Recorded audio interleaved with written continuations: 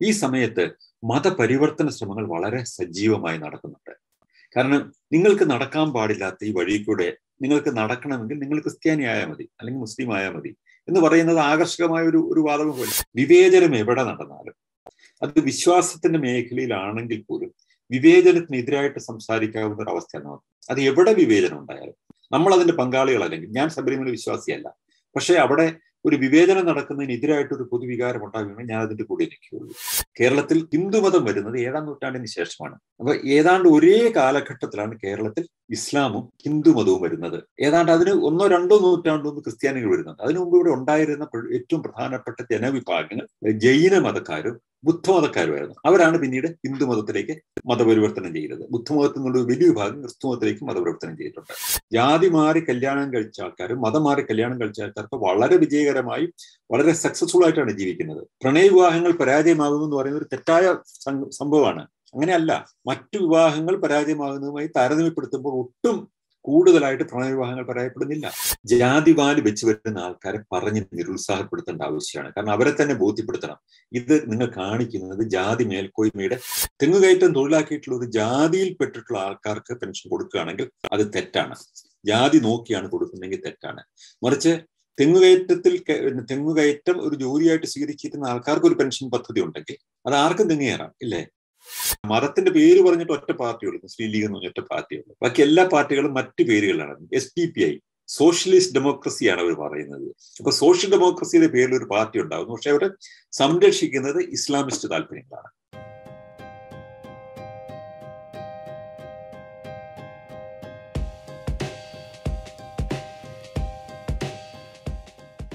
എന്താണ് വൈക്കം സത്യഗ്രഹത്തിന്റെ പ്രത്യേകത എന്ന് ചോദിച്ചാൽ മൂന്ന് കാരണങ്ങൾ കൊണ്ടാണ് വൈക്കം സത്യഗ്രഹം കേരള ചരിത്രത്തിൽ വളരെ പ്രധാനപ്പെട്ടതായി തീരുന്നത് എന്ന് കാണാൻ പറ്റും.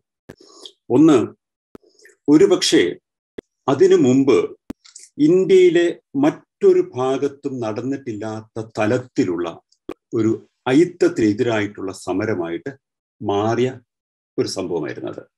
എന്തായിരുന്നു അയിത്തത്തിനെതിരായിട്ടുള്ള ഇങ്ങനെ ഒരു സമരം വൈക്കത്ത് നടക്കാനുള്ള ഒരു ഒരു കാരണം. എന്തുകൊണ്ടാണ് വൈക്കം പ്രധാനപ്പെട്ടതായി തീരുന്നത് എന്ന് ചോദിച്ചാൽ അതിന് ഒരു അതിന്റെ ഒരു പശ്ചാത്തലം നമ്മളൊന്ന് തിരിച്ചറിയേണ്ടതായിട്ട് വരും. ഇത് എന്താണ് ഈ ഈ സംഭവം അവിടെ നടക്കുന്നത്? അവിടെ ഈ അയിത്തം തീണ്ടൽ തുടങ്ങിയ ഒരുപാട് അനാചാരങ്ങളും ഉച്ചനീചത്വങ്ങളും ഒക്കെ ഉള്ള ഒരു ഒരു കാലമായിരുന്നു അത്. അപ്പൊ ആ കാലഘട്ടത്തിൽ ഒരു ഒരു പ്രധാനപ്പെട്ട തീരുമാനം തിരുവിതാംകൂറിലുണ്ടായി. ആ തീരുമാനം ആയിരത്തി എണ്ണൂറുകളിലാണ് നടക്കുന്നത്. അവിടെ വഴി നടക്കാനുള്ള സ്വാതന്ത്ര്യം മുഴുവൻ ആൾക്കാർക്കും കൊടുക്കുന്നു. അങ്ങനെ വഴി നടക്കാനുള്ള സ്വാതന്ത്ര്യം ആയിരത്തി എണ്ണൂറുകളിൽ തന്നെ ലഭ്യമായിട്ട് പോലും അതിനെതിരായിട്ട് കോടതിയിലേക്ക് പോകുന്ന ചില പ്രശ്നങ്ങൾ ഉണ്ടായിട്ടുണ്ട് അപ്പൊ അതേ തുറന്നിട്ട് രണ്ട് രണ്ടായിട്ട് റോഡുകളെ വിഭജിച്ചുകൊണ്ട് ഒരു ഒരു സത്യവാങ്മൂലം വന്നു. ഒന്ന് ഒരു നഗരപാത അല്ലെങ്കിൽ ഒരു രാജപാത മറ്റൊന്ന് ഗ്രാമീണ പാത ഇങ്ങനെ വൈക്കം ക്ഷേത്രത്തിന്റെ ചുറ്റുമുള്ള സ്ഥലം ഒരു ഗ്രാമീണ പാതയായിട്ട് അടയാളപ്പെടുത്തിയിട്ട് അവിടെ ഉണ്ടാവുന്ന പൊതുവെ അയിത്ത ജാതിക്കാരായി അന്ന് കരുതിയിരുന്ന ആൾക്കാർ മുഴുവൻ തന്നെ മാറ്റി നിർത്തുക അവർക്ക് ആ റോഡിലൂടെ സഞ്ചരിക്കാൻ നിവൃത്തിയില്ലാത്ത ഒരു സാഹചര്യം സൃഷ്ടിക്കുക എന്ന ഒരു സംഭവം ഉണ്ടായി. അപ്പൊ ഇത് റോഡിൽ എല്ലാവർക്കും നടക്കാനുള്ള സ്വാതന്ത്ര്യം നിയമം മൂലം നടപ്പിലായി കഴിഞ്ഞതിന് ശേഷം അതിന്റെ ഒരു ഇന്റർപ്രിട്ടേഷൻ ഉണ്ടാകുന്ന ഒരു വ്യത്യാസം മൂലം അവിടെ ഈഴവർ തുടങ്ങിയ താഴേക്ക് പോകുന്ന പിന്നെ എല്ലാ ജാതിക്കാർക്കും ആ റോഡിലൂടെ നടക്കാൻ പാടില്ല എന്ന് പറയുന്ന ഒരു അവസ്ഥയുണ്ടായി. അത് മാത്രമല്ല അത് അപമാനകരമാക്കാവുന്ന മട്ടിൽ എല്ലാ സ്ഥലത്തും തന്നെ അവിടെ സൈൻ ബോർഡുകൾ വെച്ചിരുന്നു. ഇവിടെ അയിത്ത ജാതിക്കാർക്ക് ഇവിടെ നടന്നുകൂടാ. അങ്ങനെ അങ്ങനെ നടക്കാൻ അതിലെ കടന്നു പോകുന്ന ആര് ആരൊക്കെയാണ്? അപ്പൊ അതിനകത്തേക്ക് ഒരുപാട് വളരെ പ്രധാനപ്പെട്ട പല ആൾക്കാരെ പറ്റി നമുക്ക് നമുക്ക് കാണാൻ പറ്റും. ഒന്ന് നാരായണ ഗുരു ഒരിക്കലും ഒരു റിക്ഷയിലൂടെ അതിലെ പോകുമ്പോൾ അത് തടഞ്ഞു നിർത്തിയിട്ട് തിരിച്ചയച്ച ഒരു അനുഭവം ഉണ്ടായിട്ടുണ്ട്. അതുപോലെ തന്നെ അയ്യങ്കാളിയുടെ ഒരു യാത്ര വില്ലുവണ്ടിയിലൂടെ ഇതിലൂടെ പോകാൻ നോക്കുമ്പോൾ തടഞ്ഞിട്ടുണ്ട്. അതുപോലെ തന്നെ വളരെ പ്രമുഖനായ ഒരു ഒരു കച്ചവടക്കാരൻ അദ്ദേഹം ആലുപൂടി ചാന്നാർ എന്ന് പറയുന്ന ഒരാളുടെ അതൊരു നല്ല ഉദാഹരണമാണ്. ഈ അദ്ദേഹം പോകും അദ്ദേഹത്തിന് അന്ന് ഉള്ള ഒരാളാണ്. അങ്ങനെ അധികം ആൾക്കാർക്ക് കാർ ഇല്ലാത്ത ഒരു കാലഘട്ടത്തിൽ സ്വന്തമായി കാർ ഉള്ള ഒരാളാണ്. ഇദ്ദേഹം കാറിലൂടെ വരുമ്പോൾ അദ്ദേഹത്തിന്റെ ഡ്രൈവർ നായർ സമുദായത്തിൽപ്പെട്ട ആളാണ്. ഈ റോഡിന്റെ ഒരു ഭാഗത്ത് വരുമ്പോൾ അദ്ദേഹത്തിന് ഇറങ്ങണം. ഇറങ്ങിയിട്ട് മറ്റൊരു മറ്റൊരു വഴി കൂടി നടന്നിട്ട് ഈ എത്തണം. ഈ ഈ ക്ഷേത്രത്തിന് ചുറ്റുമുള്ള റോഡിലൂടെ നടക്കാൻ വേണ്ട അവർക്ക് നടക്കാൻ വേണ്ടി കുറച്ച് ദൂരെ മറ്റൊരു റോഡുണ്ട്. ആ റോഡിലൂടെ അവർ നടക്കണം. അതിൽ നടന്നു വന്നിട്ട് ഈ നായരായ ഡ്രൈവർ ഓടിക്കുന്ന കാറ് അവിടെ എത്തി വെയിറ്റ് ചെയ്യും. അപ്പൊ ഇദ്ദേഹം നടന്നിട്ട് അപ്പുറം എത്തിച്ചേരണം. അപ്പൊ ഈ കാറിന് പോകാം കാളവണ്ടിക്ക് പോകാം നായ്ക്ക് പോകാം പക്ഷേ ചില മനുഷ്യർക്ക് പോകാൻ പാടില്ല. ഇതായിരുന്നു അന്നത്തെ സാഹചര്യം എന്ന് പറയുന്നത്. അപ്പോൾ ഈ എന്ന് വൈക്കത്തിന്റെ പ്രത്യേകത ഈ വൈക്കം ക്ഷേത്രം ഒരു മഹാദേവ ക്ഷേത്രം അതായത് ശിവന്റെ ഒരു ക്ഷേത്രമാണ്. അവിടെ എന്തിനാണ് ഈ ഒരു ഒരു ഇങ്ങനെ ഒരു സമരം അവിടം കേന്ദ്രീകരിച്ച് നടക്കുന്നത്?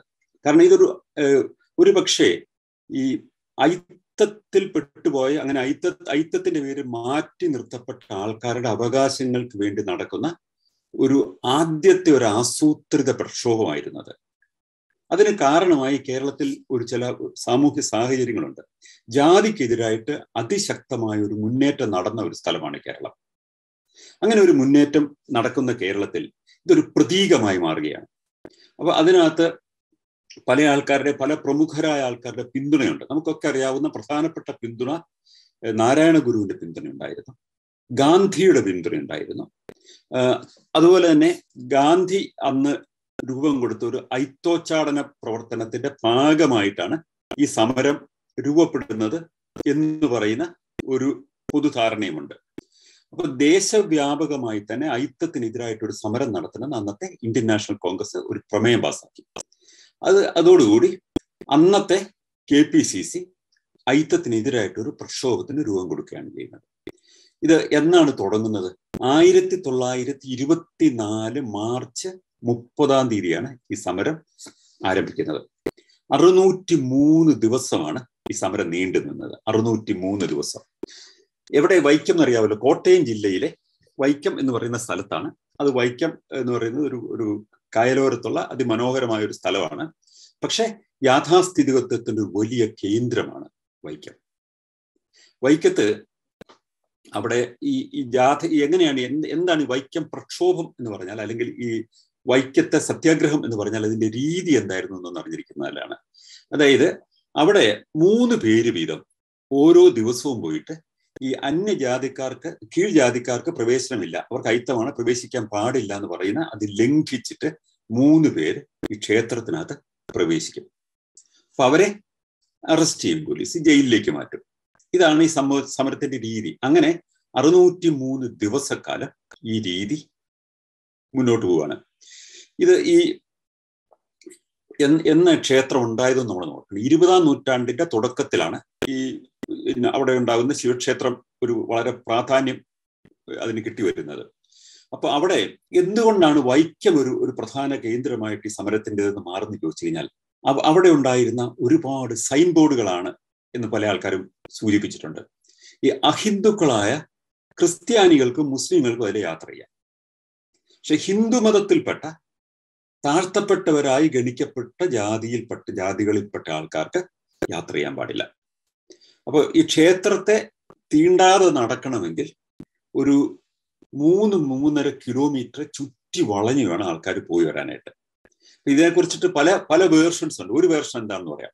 ഒരു വേർഷൻ ഇത് ബ്രിട്ടീഷുകാരുടെ ഒരു ആസൂത്രിതമായ പരിപാടിയായിരുന്നു. ഈ ഈ പറയുന്ന രീതിയിൽ ഈ നിയമത്തെ ഇന്റർപ്രറ്റ് ചെയ്തിട്ട് അവിടെ ഈ രാജപാതയെന്നും ഗ്രാമീണ പാതയെന്നും വേർതിരിച്ച് ഇതൊരു ഗ്രാമീണ പാതയാണ് ഇപ്പൊ ഗ്രാമീണ പാതയിൽ ഇത് ബാധകമാണ്. ഇത്തരം നിയമങ്ങൾ ബാധകമാണ്.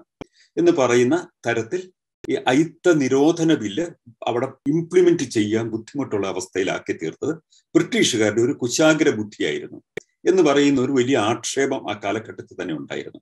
അതിന്റെ ഉദ്ദേശം എന്തായിരിക്കാം? അതിന്റെ ഉദ്ദേശം മതപരിവർത്തനമായിരിക്കാം എന്നൊരു ഒരു ഒരു വാദമുഖം തന്നെയുണ്ട്. അതായത് അവിടെ ക്രിസ്ത്യാനിക്ക് പോകാം അവിടെ മുസ്ലിമിന് പോകാം അവിടെ സവർണ ജാതിക്കാർക്ക് പോകാം. അപ്പൊ ഹിന്ദു സമുദായത്തിന്റെ ഭാഗമായിട്ട് കരുതപ്പെടുന്ന ബഹുഭൂരിപക്ഷം വരുന്ന ആളുകൾക്ക് അതിനകത്ത് ഈഴവര് പിന്നെ തൊട്ട് താഴെയുള്ള വിശ്വകർമ്മ സമൂഹത്തിൽപ്പെട്ട ആൾക്കാര് പുലയർ പറയർ തുടങ്ങിയ ബാക്കി ഒരു ജാതിക്കാർക്കും ആ റോഡിലൂടെ നടന്നു പോകാൻ പാടില്ല. അങ്ങനെ വരുമ്പോൾ അവർക്ക് ആ റോഡിലൂടെ നടന്നു പോകാൻ ഒരു വഴിയുണ്ട്. എന്താ മാർഗം? അവരൊന്നുകിൽ ക്രിസ്തുമത്ത് ചേരണം അല്ലെങ്കിൽ ഇസ്ലാം മതത്തിൽ ചേരണം. അങ്ങനെ ചേർന്ന് കഴിഞ്ഞാൽ അവർക്ക് യാത്ര ചെയ്യാം. അപ്പൊ യഥാർത്ഥത്തിൽ ഇതിന്റെ ഉദ്ദേശം എന്തായിരുന്നു? ഇങ്ങനെ എന്തുകൊണ്ടാണ് ഇങ്ങനെ ഇത് ഇന്റർപ്രിറ്റ് ചെയ്യാനുള്ള ഒരു വഴിയൊരുക്കിയത്. ഇതായിരുന്നു ഒരു ആക്ഷേപം. അപ്പൊ അത് ഒരു ഹിന്ദു മതത്തിനെതിരായിട്ടുള്ള ഹിന്ദു മതത്തിൽ കൺവേർഷൻ ഇൻഡയറക്റ്റ് ആയിട്ട് പ്രോത്സാഹിപ്പിക്കാൻ വേണ്ടിയുള്ള ഒരു നയം അതിനകത്ത് വളരെ കൃത്യമായിട്ടും ഉണ്ടായിരുന്നു. അതൊരു അജണ്ടയായിരുന്നു എന്ന് പറയുന്ന ആക്ഷേപം. അത് ഉന്നയിച്ചത് മറ്റാരുമല്ല അത് ഉന്നയിച്ചത് ബ്രിട്ടീഷ് ഇന്ത്യയിൽ തന്നെയുള്ള പ്രസിദ്ധീകരണങ്ങളിൽ സ്കോളേഴ്സ് എഴുതിയിട്ടുണ്ട്. അങ്ങനെ. ഇനി ഞാൻ മുമ്പ് പറഞ്ഞല്ലോ നാരായണ ഗുരുവിനെ പോലെ അക്കാലഘട്ടത്തിൽ അദ്ദേഹം അദ്ദേഹം ജനിച്ചത് അവിടെ അയിത്തമുള്ള ഈഴവ സമുദായത്തിലാണെങ്കിലും അന്ന് കേരളത്തിൽ തന്നെ ഒരു വലിയ സാമൂഹ്യ പരിഷ്കർത്താവായിട്ട് അദ്ദേഹത്തെ പരക്കെ ആദരിച്ചിരുന്ന ഒരു കാലം തന്നെ ആയിരുന്നത് അദ്ദേഹം ഒരു റിക്ഷയിൽ യാത്ര ചെയ്യുന്ന സമയത്ത് അവിടെ വെച്ച് തടഞ്ഞു നിർത്തി. അത് ഒരു അയ്യങ്കാളിയുടെ കഥ അദ്ദേഹം അയ്യങ്കാളി വന്നിറങ്ങുന്ന വരുന്നത് ഒരു കാളവണ്ടിയിലാണ്. ആ കാളവണ്ടിക്ക് അവിടെ തടഞ്ഞു നിർത്തി. അയ്യങ്കാളിയോട് നടന്ന് കാൽനടയായിട്ട് താഴ്ന്ന ജാതിക്കാർ നടക്കേണ്ട ഒരു വഴിയിലൂടെ നടന്നു പോവുക. ഈ കാളവണ്ടിയും തെളിച്ചുകൊണ്ട് കാളവണ്ടിക്ക് പോകാം. അപ്പൊ അങ്ങനെ അദ്ദേഹം അസ്പൃശ്യനാണ്. അപ്പൊ അസ്പൃശ്യനായ ഒരു മനുഷ്യനെ സംബന്ധിച്ചിടത്തോളം അല്ലെങ്കിൽ കടന്നു പോകാൻ പാടില്ല. ഇതായിരുന്നു അന്നത്തെ സാഹചര്യം.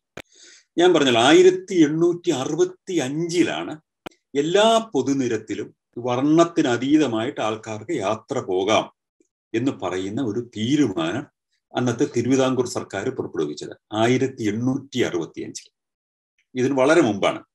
അപ്പോൾ അത് ആ ഉത്തരവ് നടപ്പാക്കാതിരിക്കുന്നതിനെ ഗൗരവമായി കാണണം എന്നൊക്കെ പറഞ്ഞ് ഗവൺമെന്റിന്റെ ഒരു പ്രത്യേക ഉത്തരവൊക്കെ തന്നെയുണ്ട്.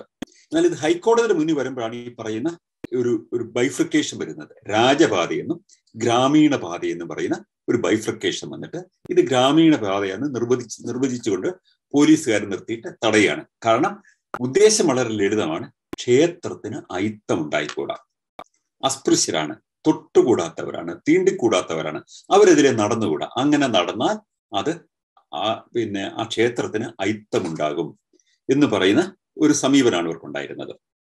അപ്പം യാത്രാനുമതി പ്രഖ്യാപിച്ചുകൊണ്ടുള്ള അന്നത്തെ തിരുവിതാംകൂർ സർക്കാരിന്റെ പ്രഖ്യാപനം വന്നിട്ട് അറുപത്തി അഞ്ച് വർഷങ്ങൾ കഴിഞ്ഞിരിക്കുന്നു അപ്പോഴേക്കും. എല്ലാവർക്കും പൊതുനിരത്തിലൂടെ നടക്കാം എന്ന് പറയുന്ന ആയിരത്തി എണ്ണൂറ്റി അറുപത്തി അഞ്ചിലെ പ്രഖ്യാപനം കഴിഞ്ഞിട്ട് അറുപത്തി അഞ്ച് വർഷം കഴിഞ്ഞിട്ടും ഈ ക്ഷേത്രത്തിന് തൊട്ടു മുമ്പുള്ള അതിന് ആ റോഡിലൂടെ മനുഷ്യർക്ക് ജാതിയുടെ പേരിൽ നടക്കാൻ നിവൃത്തിയില്ലാത്ത അവസ്ഥയുണ്ടായിരുന്നു. അവിടെ സവർണർക്ക് മാത്രമേ നായർ മുതൽ മുകളിലേക്കുള്ളവർക്ക് മാത്രമേ നടക്കാമായിരുന്നുള്ളൂ. അപ്പോൾ ഇനി ഇത് മാറ്റാൻ ചില ശ്രമങ്ങളൊക്കെ നടക്കുന്നുണ്ട്. മുമ്പ് നടന്നിട്ടുണ്ട്. ഈ പത്തൊമ്പതാം നൂറ്റാണ്ടിന്റെ അവസാനത്തിൽ ഈ ബാലരാമവർമ്മ തിരുവിതാംകൂർ രാജാവായിരിക്കുന്ന സമയത്ത് അവിടെ വെച്ച് ഈ ക്ഷേത്രത്തിൽ വെച്ച് പ്രാർത്ഥന നടത്താനായിട്ട് ഒരു ഇരുന്നൂറോളം ഈഴവര് തീരുമാനിക്കുന്നു. അവരവിടെ പോകാനായിട്ട് അതിനുവേണ്ടി ചില ശ്രമങ്ങൾ നടത്തുന്നു. അപ്പം അപ്പോൾ അതിനൊപ്പം രാജ രാജാവിന്റെ ഒരു കുതിരപ്പടയാളി അവിടെ വരുന്നു. അപ്പൊ യുവാക്കളെയെല്ലാം കലങ്ങും വിലങ്ങും അടിക്കുന്നു. അപ്പൊ അങ്ങനെ അടിച്ചിട്ട് അതിൽ ഒരാൾ വെട്ടിക്കൊല ചെയ്യപ്പെട്ടു. ഒരാളല്ല ഒന്നിലേറെ ആൾക്കാർ അവിടെ മരിച്ചു. അത് കഴിഞ്ഞിട്ട് കുറച്ച് ആൾക്കാർ ബാക്കിയുള്ളവരൊക്കെ ഓടിപ്പോയി. മരിച്ചയാളെ അവിടെ ഒരു പിന്നെ കിഴക്കേ നടയിൽ ഒരു കുഴി കുത്തിയിട്ട് അവിടെ കുഴിച്ചിട്ടു. അതിപ്പം ഇന്നത്തെ വൈക്കം ദളവാക്കുളം എന്ന് പറയുന്ന സ്ഥലത്താണ് അത് ചെയ്തത്. ഇന്നത്തെ വൈക്കം സ്വകാര്യ ഈ പ്രൈവറ്റ് ബസ് സ്റ്റാൻഡ് നടക്ക് ഉള്ള സ്ഥലമാണ് ആ സ്ഥലം എന്ന് പറയുന്നത്. അവിടെയാണ് നടക്കുന്നത്. ആയിരത്തി തൊള്ളായിരത്തി അഞ്ചിൽ ആ ക്ഷേത്രത്തിൽ അവർക്ക് പ്രവേശിക്കുന്നതിനെ പറ്റിയുള്ള ആ തർക്കം തിരുവിതാംകൂറിലെ അന്നത്തെ ഈ നിയമസഭയിൽ ഇത് വരുന്നുണ്ട്. അപ്പൊ അങ്ങനെ വരുമ്പോൾ അത് ചർച്ച ചെയ്യാൻ പോലും വിസമ്മതിക്കുന്ന ഒരു സമീപനം ഉണ്ടായിരുന്നത്. അപ്പൊ അന്ന് അന്ന് നിയമസഭയിൽ ഉണ്ടായിരുന്ന ഒരാൾ ആരാണെന്ന് വെച്ചാൽ കുമാരൻ ആശാൻ. അദ്ദേഹം അന്നത്തെ നിയമസഭയിൽ ഉണ്ടായിരുന്നു. അപ്പൊ അദ്ദേഹം തന്നെ ഈ വിഷയം അവതരിപ്പിക്കാൻ ശ്രമിക്കുന്നുണ്ട്. അത് സമ്മതിച്ചില്ല.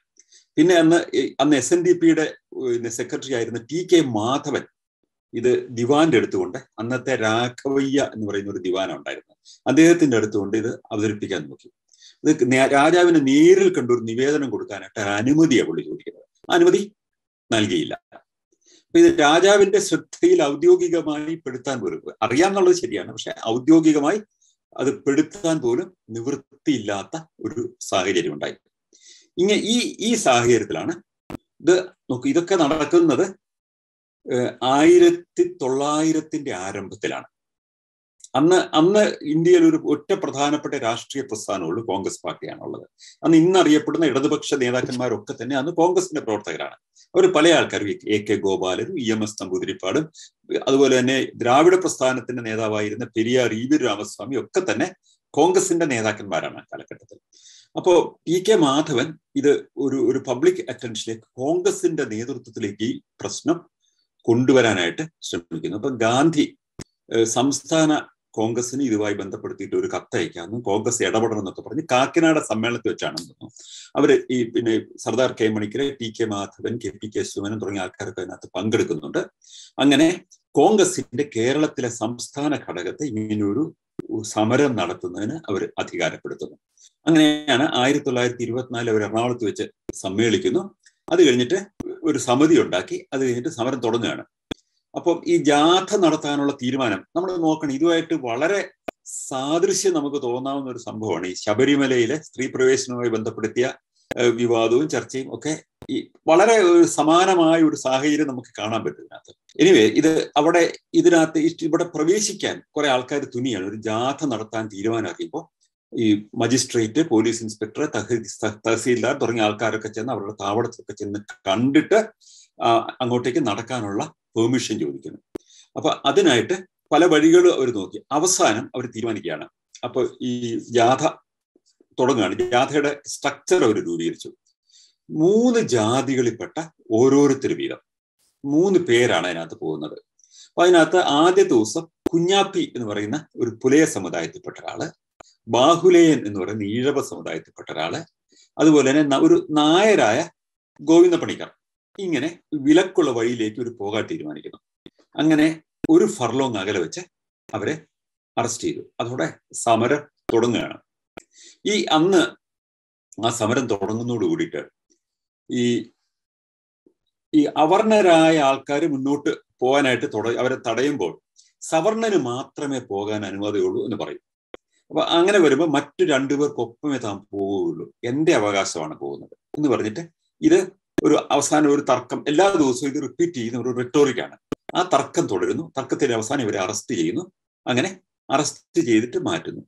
അപ്പൊ ഇത് കഴിഞ്ഞിട്ട് ഈ ഈ രീതി മാറ്റി കഴിഞ്ഞപ്പോൾ സർക്കാർ എന്ത് ചെയ്തു? ഈ പരിപാടി വലിയ പബ്ലിക് അറ്റൻഷനിലേക്ക് വരുവാണ് ഈ സമയത്ത്. പബ്ലിക് അറ്റൻഷനിലേക്ക് വരുമ്പോൾ അതിന് ഒരു സർക്കാർ സ്ട്രാറ്റജി ഒന്ന് മാറ്റി. അതിന് വന്ന് അറസ്റ്റ് ചെയ്യുന്നതിന് ഒരു ബാരിക്കേഡ് വെക്കുന്നു. ആ ബാരിക്കേഡ് വെച്ചിട്ട് ഇവരെ തടഞ്ഞു നിർത്തുക എന്ന് തീരുമാനിച്ചു.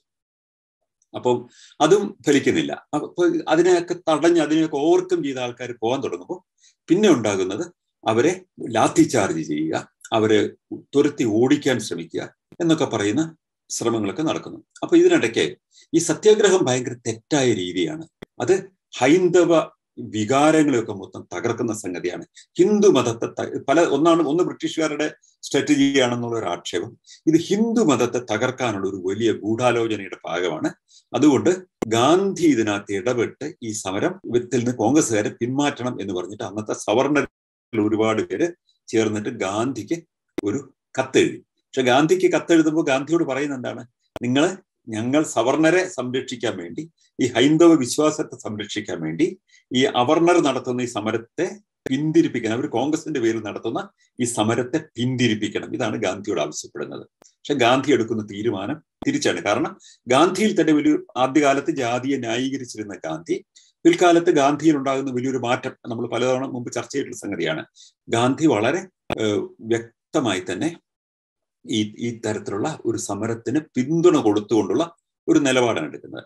അപ്പൊ പിന്നെ നമ്മൾ കാണുന്ന ഒരു ഒരു പ്രത്യേകത ഈ സമരത്തിന് ഒരു ദേശീയ പ്രാധാന്യം വരുന്നതോടുകൂടി കുറേയേറെ ആൾക്കാര് അവിടെ എത്തുകയും ഇതിന് ആളും കാശും എല്ലാം കൊടുത്തിട്ട് ഇതിനെ സഹായിക്കാൻ നോക്കുകയാണ്. അപ്പൊ അതിനകത്ത് അകാലിദളുകാർ അകാലിദൾ ഞാൻ സിഖുകാരുടെ ഒരു ഒരു പാർട്ടിയാണ് അകാലിദൾ അല്ലെ? അപ്പൊ സിഖുകാർ കുറെ പേര് എത്തുന്നു. അവരുടെ ഒരു ഒരു പ്രധാനപ്പെട്ട അവരുടെ ഒരു ഒരു ആചാര്യന്റെ ശിഷ്യന്മാര് തീരുമാനിക്കുകയാണ്. ഇത് ഞങ്ങൾ ഏറ്റെടുക്കേണ്ട ഒരു സമര സമരമാണ്. എന്ന് പറഞ്ഞിട്ട് അവർ സിഖുകാർ വന്നിട്ട് അവരിവിടെ ഒരു ലങ്കാർ തുടങ്ങുന്നു. ലങ്കാർ എന്ന് പറഞ്ഞാൽ അറിയാമല്ലോ സൗജന്യമായിട്ട് സിഖ് ഗുരുദ്വാരകളിൽ അവിടെ വരുന്ന മുഴുവൻ ആൾക്കാർക്ക് സൗജന്യമായിട്ട് ഭക്ഷണം കിട്ടും. ഒന്നുമില്ല ചപ്പാത്തിയും ദാളും മാത്രമേ കിട്ടൂ. ദാൾ എന്ന് പറഞ്ഞാൽ പരിപ്പ് കറി മാത്രമേ കിട്ടുള്ളൂ. അപ്പൊ എങ്കിലും അത് സൗജന്യമായി കൊടുക്കുന്ന ഒരു രീതിയുണ്ട് അവിടെ. അതുപോലെ ഈ സത്യാഗ്രഹത്തിന് വരുന്ന ആൾക്കാർക്ക് വേണ്ടിയിട്ട് അവരൊരു പഞ്ചാബിൽ നിന്ന് വന്നിട്ട് അവരൊരു ഈ പിന്നെ ലങ്ക ഒരു ഭോജനശാല ഒരു അവരവിടെ തുടങ്ങുന്നു. അങ്ങനെ വരുമ്പോൾ പിന്നെ കാണുന്നത് ഗാന്ധിയുടെ യങ് ഇന്ത്യയുടെ ഒരു എഡിറ്റേഴ്സിൽ ഒരാളായ അബ്ദുൾ റഹ്മാൻ ഇങ്ങനെ കുറെ പേര് വരികയാണ്. ഇപ്പൊ വിനോബ ഭാവെ സ്വാമി ശ്രദ്ധാനന്ദ തുടങ്ങിയ ഒരുപാട് പേര് ഇതിൽ വന്നിട്ട് സഹകരിക്കുകയാണ്. ശ്രദ്ധാനന്ദ ആരാന്നും കൂടെ ഓർത്തിരിക്കേണ്ടതാണ്. ശ്രദ്ധാനന്ദ ആര്യ സമാജത്തിന്റെ ഒരു നേതാവാണ്. ഈ ഈ സ്വാമി ശ്രദ്ധാനന്ദ എന്നാണ് അദ്ദേഹം അറിയപ്പെടുന്നത്. ശ്രദ്ധാനന്ദ ഒരു വലിയ പരിഷ്കരണവാദിയാണ്. ഇപ്പൊ ഹിന്ദു മതത്തിലെ ഐത്തം ജാതി സമ്പ്രദായം തുടങ്ങിയ മുഴുവൻ സംഗതികളും തെറ്റാണെന്നും അത് മാറ്റിയില്ലെങ്കിൽ ഈ ഹിന്ദു സമുദായം എന്ന് പറയുന്ന സ്ട്രക്ചർ തന്നെ മുഴുവൻ തകർന്നു പോകുമെന്നും കരുതുന്ന ഒരു കരുതിയിരുന്ന ഒരു നേതാവാണ് അദ്ദേഹം. ഈ ആര്യ സമാജത്തിന്റെ തന്നെ ഇന്നുണ്ടായ പിൽക്കാലത്ത് അതിനകത്തൊക്കെ വന്നിട്ടുള്ള യാഥാസ്ഥിതികത്വമൊക്കെ വരുന്നതിനൊക്കെ മുമ്പ് തന്നെ വളരെ പ്രകടമായി തന്നെ മിശ്ര വിവാഹങ്ങളെ പ്രോത്സാഹിപ്പിച്ചിരുന്ന ഏത് ജാതിയിലും മതത്തിലും പെട്ട ആൾക്കാർക്ക് വന്ന ആര്യ സമാജത്തിൽ അംഗത്വം എടുത്തു കഴിഞ്ഞാൽ അവർക്ക് അപ്പോൾ അവിടെ വെച്ച് അവർക്ക് കല്യാണം കഴിക്കാം എന്നൊക്കെ പറയുന്ന തരത്തിലുള്ള ഒരു ഒരു തലത്തിലേക്ക് ആര്യ സമാജം വളർന്നു വരുന്ന ഒരു കാലഘട്ടത്തിൽ ആര്യ സമാജത്തിന്റെ സജീവ നേതാവാണ് ശ്രദ്ധാനന്ദ ഈ ശ്രദ്ധാനന്ദയാണ് ഈ ഖുറാനെതിരായിട്ട് ഇന്ത്യയിലെ ആദ്യത്തെ ഒരു പുസ്തകം എഴുതുന്ന ആൾ. നമുക്ക് സത്യാർത്ഥ പ്രകാശം എന്ന് പറയുന്ന ദയാനന്ദ സരസ്വതിയുടെ പുസ്തകത്തിൽ നമുക്ക് ധാരാളം പരാമർശങ്ങൾ കാണും. ഖുറാനെ വിമർശിച്ചുകൊണ്ട്. പക്ഷേ ഈ ശ്രദ്ധാനന്ദയാണ് ആദ്യമായിട്ട് ഖുറാനെ വിമർശിച്ചുകൊണ്ട് ഒരു പുസ്തകം എഴുതുന്നത്. ആ പുസ്തകം എഴുതി പ്രസ് ചെയ്യുന്ന ആദ്യത്തെ കോപ്പി വരുന്നതിന് മുമ്പായി തന്നെ അദ്ദേഹത്തെ വെടിവെച്ച് കൊല്ലുമായിരുന്നു അജ്ഞാതരായ ഒരു സംഘം ഇസ്ലാമിസ്റ്റുകൾ. അന്ന് അദ്ദേഹം കോൺഗ്രസുമായിട്ട് ഐത്തോച്ചാടന പ്രവർത്തനങ്ങൾക്കുമായിട്ട് സഹകരിച്ചിരുന്ന ആളായതുകൊണ്ട് ഗോഹട്ടിയിലെ കോൺഗ്രസിന്റെ സമ്മേളനത്തിൽ വെച്ച് ഈ ശ്രദ്ധാനന്ദയുടെ കൊലപാതകത്തിനെതിരായിട്ടുള്ള പ്രമേയം പാസാക്കുന്ന പ്രമേയം അവതരിപ്പിച്ചത് ഗാന്ധിയാണ്. സെക്കൻഡ് ചെയ്തത് നെഹ്റു ആയിരുന്നു. അത്ര വലിയ പ്രാധാന്യമുള്ള ഒരു സാമൂഹ്യ പരിഷ്കർത്താവായിരുന്നു ശ്രദ്ധാനന്ദ. അദ്ദേഹം കൊലപ്പെട്ട ആളാണ്. അദ്ദേഹം എത്തുന്നു. വിനോബ ഭാവ എത്തുന്നു. ഇത്രയൊക്കെ കഴിയുമ്പോഴേക്കുമാണ് ഒരു മറ്റൊരു വ്യക്തി ഈ പിന്നെ സമരത്തിലേക്ക് കടന്നു വരുന്നത്. മറ്റാരുമല്ല പെരിയോർ ഇ വി രാമസ്വാമി. മലയാളത്തിൽ നമ്മൾ പെരിയോർ എന്നാണ് പറയുന്നത്. പക്ഷെ തമിഴ്നാട്ടുകാർ പെരിയാർ എന്ന് പറയുന്ന അവരുടെ പെരിയ ആൾ വലിയ ആൾ എന്ന അർത്ഥത്തിൽ അവർ പറയുന്ന രാമസ്വാമി അദ്ദേഹം നായ്ക്കർ എന്ന് പറയുന്ന ഒരു പേരോട് കൂടിയാണ് നമ്മൾ ഇപ്പോഴും മലയാളത്തിൽ അറിയുന്നത്. ആ പേരൊക്കെ അദ്ദേഹം ജാതി വാലൊക്കെ ഉപേക്ഷിച്ച് കളഞ്ഞിട്ട് രാമസ്വാമി എന്നാണ് അദ്ദേഹം അറിയപ്പെട്ടിരുന്നത്. അദ്ദേഹം പെരിയാറായിട്ട് രൂപപ്പെട്ട് ആ അങ്ങനെ ഒരു പേരിലേക്ക് അറിയപ്പെടാൻ തുടങ്ങി കഴിഞ്ഞിട്ടുണ്ടായിരുന്നില്ല പൂർണമായിട്ടും അക്കാലത്ത്. പക്ഷെ അദ്ദേഹം വലിയൊരു സാമൂഹ്യ പരിഷ്കർത്താവ് എന്ന നിലയിൽ തമിഴ്നാട്ടിലെ അക്കാലത്തെ തമിഴ്നാട്ടിലെ കോൺഗ്രസിന്റെ അധ്യക്ഷനായിരുന്നു. അത് കഴിഞ്ഞിട്ട് അദ്ദേഹം ഈ സാമൂഹ്യ പരിഷ്കരണ പ്രസ്ഥാനത്തിലേക്ക് കടന്നു വരികയും ജസ്റ്റിസ് പാർട്ടിയൊക്കെ ഉൾപ്പെടെ അതിലേക്ക് കടന്നു വരികയും ഈ ജാതി സമ്പ്രദായത്തിനും അന്ധവിശ്വാസങ്ങൾക്കും നാസ്തികതയ്ക്ക് വേണ്ടിയും ഈ ജാതിക്കെതിരായിട്ട് സമരം ചെയ്യുന്നു മിശ്രവാഹങ്ങളെ പ്രോത്സാഹിപ്പിക്കുന്നു നാസ്തികതയ്ക്ക് വേണ്ടി പടപൊരുതുന്നു. അതുപോലെ തന്നെ ഈ ഈ യാഥാസ്ഥിതിക സങ്കല്പങ്ങളിലെ ഒക്കെ തന്നെ അട്ടിമറിച്ചുകൊണ്ടുള്ള ഒരു വലിയ പ്രവർത്തനം നടത്താൻ ആരംഭിച്ചു കഴിഞ്ഞിരുന്നു അന്ന് ഇ. വിരാമസ്വാമി. അപ്പൊ അദ്ദേഹം അദ്ദേഹത്തിന്റെ ഭാര്യ നാഗമയും കൂടിയിട്ട് വൈക്കത്ത് എത്തിച്ചേരുകയാണ് അതാണ് ശരിക്കു പറഞ്ഞാൽ ഈ സംഭവം ലോക ശ്രദ്ധയിലേക്ക് കൊണ്ടുവരാനായിട്ട് അന്ന് ആ പെരിയാർ വന്നത് ഒരു വഴി തെളിച്ചു എന്നാ പറയുന്നത്. അതിന്റെ ഒരു കാരണം ഈ പെരിയാറിന്റെ ഒരു ബാക്ക്ഗ്രൗണ്ട് എന്ന് അറിഞ്ഞിരിക്കണം. ഈറോഡ് എന്ന് പറയുന്ന തമിഴ്നാട്ടിലെ ഒരു സ്ഥലത്താണ് പെരിയാറിന്റെ ഈ പരമ്പരാഗത കുടുംബം ഉള്ളത്. ഒരു വലിയ ധനികരായിരുന്നു. ആ ധനികർ ആയിരുന്നു എന്നുള്ളതിന്റെ ഒരു പ്രാധാന്യം. തിരുവിതാംകൂറിൽ അവിടെ പത്മനാഭസ്വാമി ക്ഷേത്രത്തിന്റെ കീഴിൽ ഒരുപാട് പണമൊക്കെ ഉണ്ടായിരുന്നെങ്കിലും പലപ്പോഴും ഈ രാജകുടുംബത്തിന് ശമ്പളം കൊടുക്കാനൊക്കെ പണത്തിന് കമ്മി വരുന്നൊരു പ്രശ്നം ഉണ്ടായിരുന്നു അങ്ങനെ വരുമ്പോൾ മറ്റു സ്ഥലങ്ങളിൽ നിന്നുള്ള വലിയ മണി ലെൻഡേഴ്സിൽ നിന്ന് പണം കടം കൊള്ളും. അങ്ങനെ ഇടയ്ക്കിടയ്ക്ക് കടം വാങ്ങിച്ചുകൊണ്ടിരുന്ന ഒരാളുടെ മകനാണ് ഈ ഇ രാമസ്വാമി പെരിയാറിന്റെ അച്ഛൻ ഒരു വലിയ ധനികനായിരുന്നു. പല രാജകുടുംബങ്ങൾക്കും അവർക്ക് ഈ സൈന്യത്തിന് പട്ടാളത്തിനൊക്കെ പണം കൊഴി പിന്നെ ശമ്പളം കൊടുക്കാനൊക്കെ പണം തികയാതെ വരുന്ന സമയത്ത് അവർക്ക് പണം കടം കൊടുത്തിരുന്ന ഒരാളായിരുന്നു പെരിയാറിന്റെ അച്ഛൻ. അപ്പൊ അതുകൊണ്ട് തന്നെ തിരുവിതാംകൂർ രാജകുടുംബമായിട്ട് വളരെ അടുത്തൊരു ബന്ധമുണ്ടായിരുന്നു. പെരിയാർ നാഗമ്മയും കൂടെ അവിടെ വരുന്ന സമയത്ത് പെരിയാർ വരുന്നത് അന്ന് നിരോധിക്കപ്പെട്ട ഒരു സമരത്തിന് നേതൃത്വം കൊടുക്കാൻ വേണ്ടിയാണ് വരുന്നത് പെരിയാർ അല്ലെ? അപ്പൊ പക്ഷെ പെരിയാറിന് അവിടെ കിട്ടുന്ന സ്വീകരണം വളരെ വ്യത്യസ്തമാണ്. ഈ തിരുവിതാംകൂർ രാജകുടുംബം ഈ തമിഴ്നാട്ടിലേക്കൊക്കെ യാത്ര ചെയ്യുമ്പോൾ അവർ താമസിക്കുന്നത് പെരിയാറിന്റെ ആൻസെസ്ട്രൽ ഫാമിലിയിലാണ് അങ്ങനെ ഒരു വലിയ ബന്ധമുണ്ട് അവർക്ക് തിരുവിതാംകൂർ രാജകുടുംബമായിട്ട്. അവരുടെ മണി ലെൻഡേഴ്സ് ആണ് ഇവർ അവിടെ ചെന്ന് അവിടെ ആ ബന്ധം വളരെ സജീവമായിരുന്നുകൊണ്ട് അവിടെയാണ് ഇവർ പലപ്പോഴും ഇടത്താവളമായി വസിച്ചിട്ട് പോകുന്നത് ഇവരുടെ തറവാട്ടിലാണ്. അത്രയും വലിയ കണക്ഷൻ ഉണ്ടായിരുന്നുണ്ട്. പെരിയാർ നാഗമേൻ വരുമ്പോൾ അവരെ പോലീസ് അറസ്റ്റ് ചെയ്യില്ല പോലീസ് എത്തുന്നു. ബോട്ടിൽ വന്ന് ഇറങ്ങുമ്പോൾ പോലീസ് എത്തുന്നുണ്ട്. പക്ഷെ പോലീസ് ഇവരെ രാജകീയമായി സ്വീകരിക്കുകയാണ്. സ്റ്റേറ്റിന്റെ അതിഥിയായിട്ട് അങ്ങ് പ്രഖ്യാപിച്ചു. അതായത് സമരം നടത്താമെന്ന പെരിയാറിനെ നാഗമേ തിരുവിതാംകൂർ സ്റ്റേറ്റ് ചെയ്തത് സ്റ്റേറ്റിന്റെ അതിഥികളായിട്ട് പ്രഖ്യാപിച്ചു.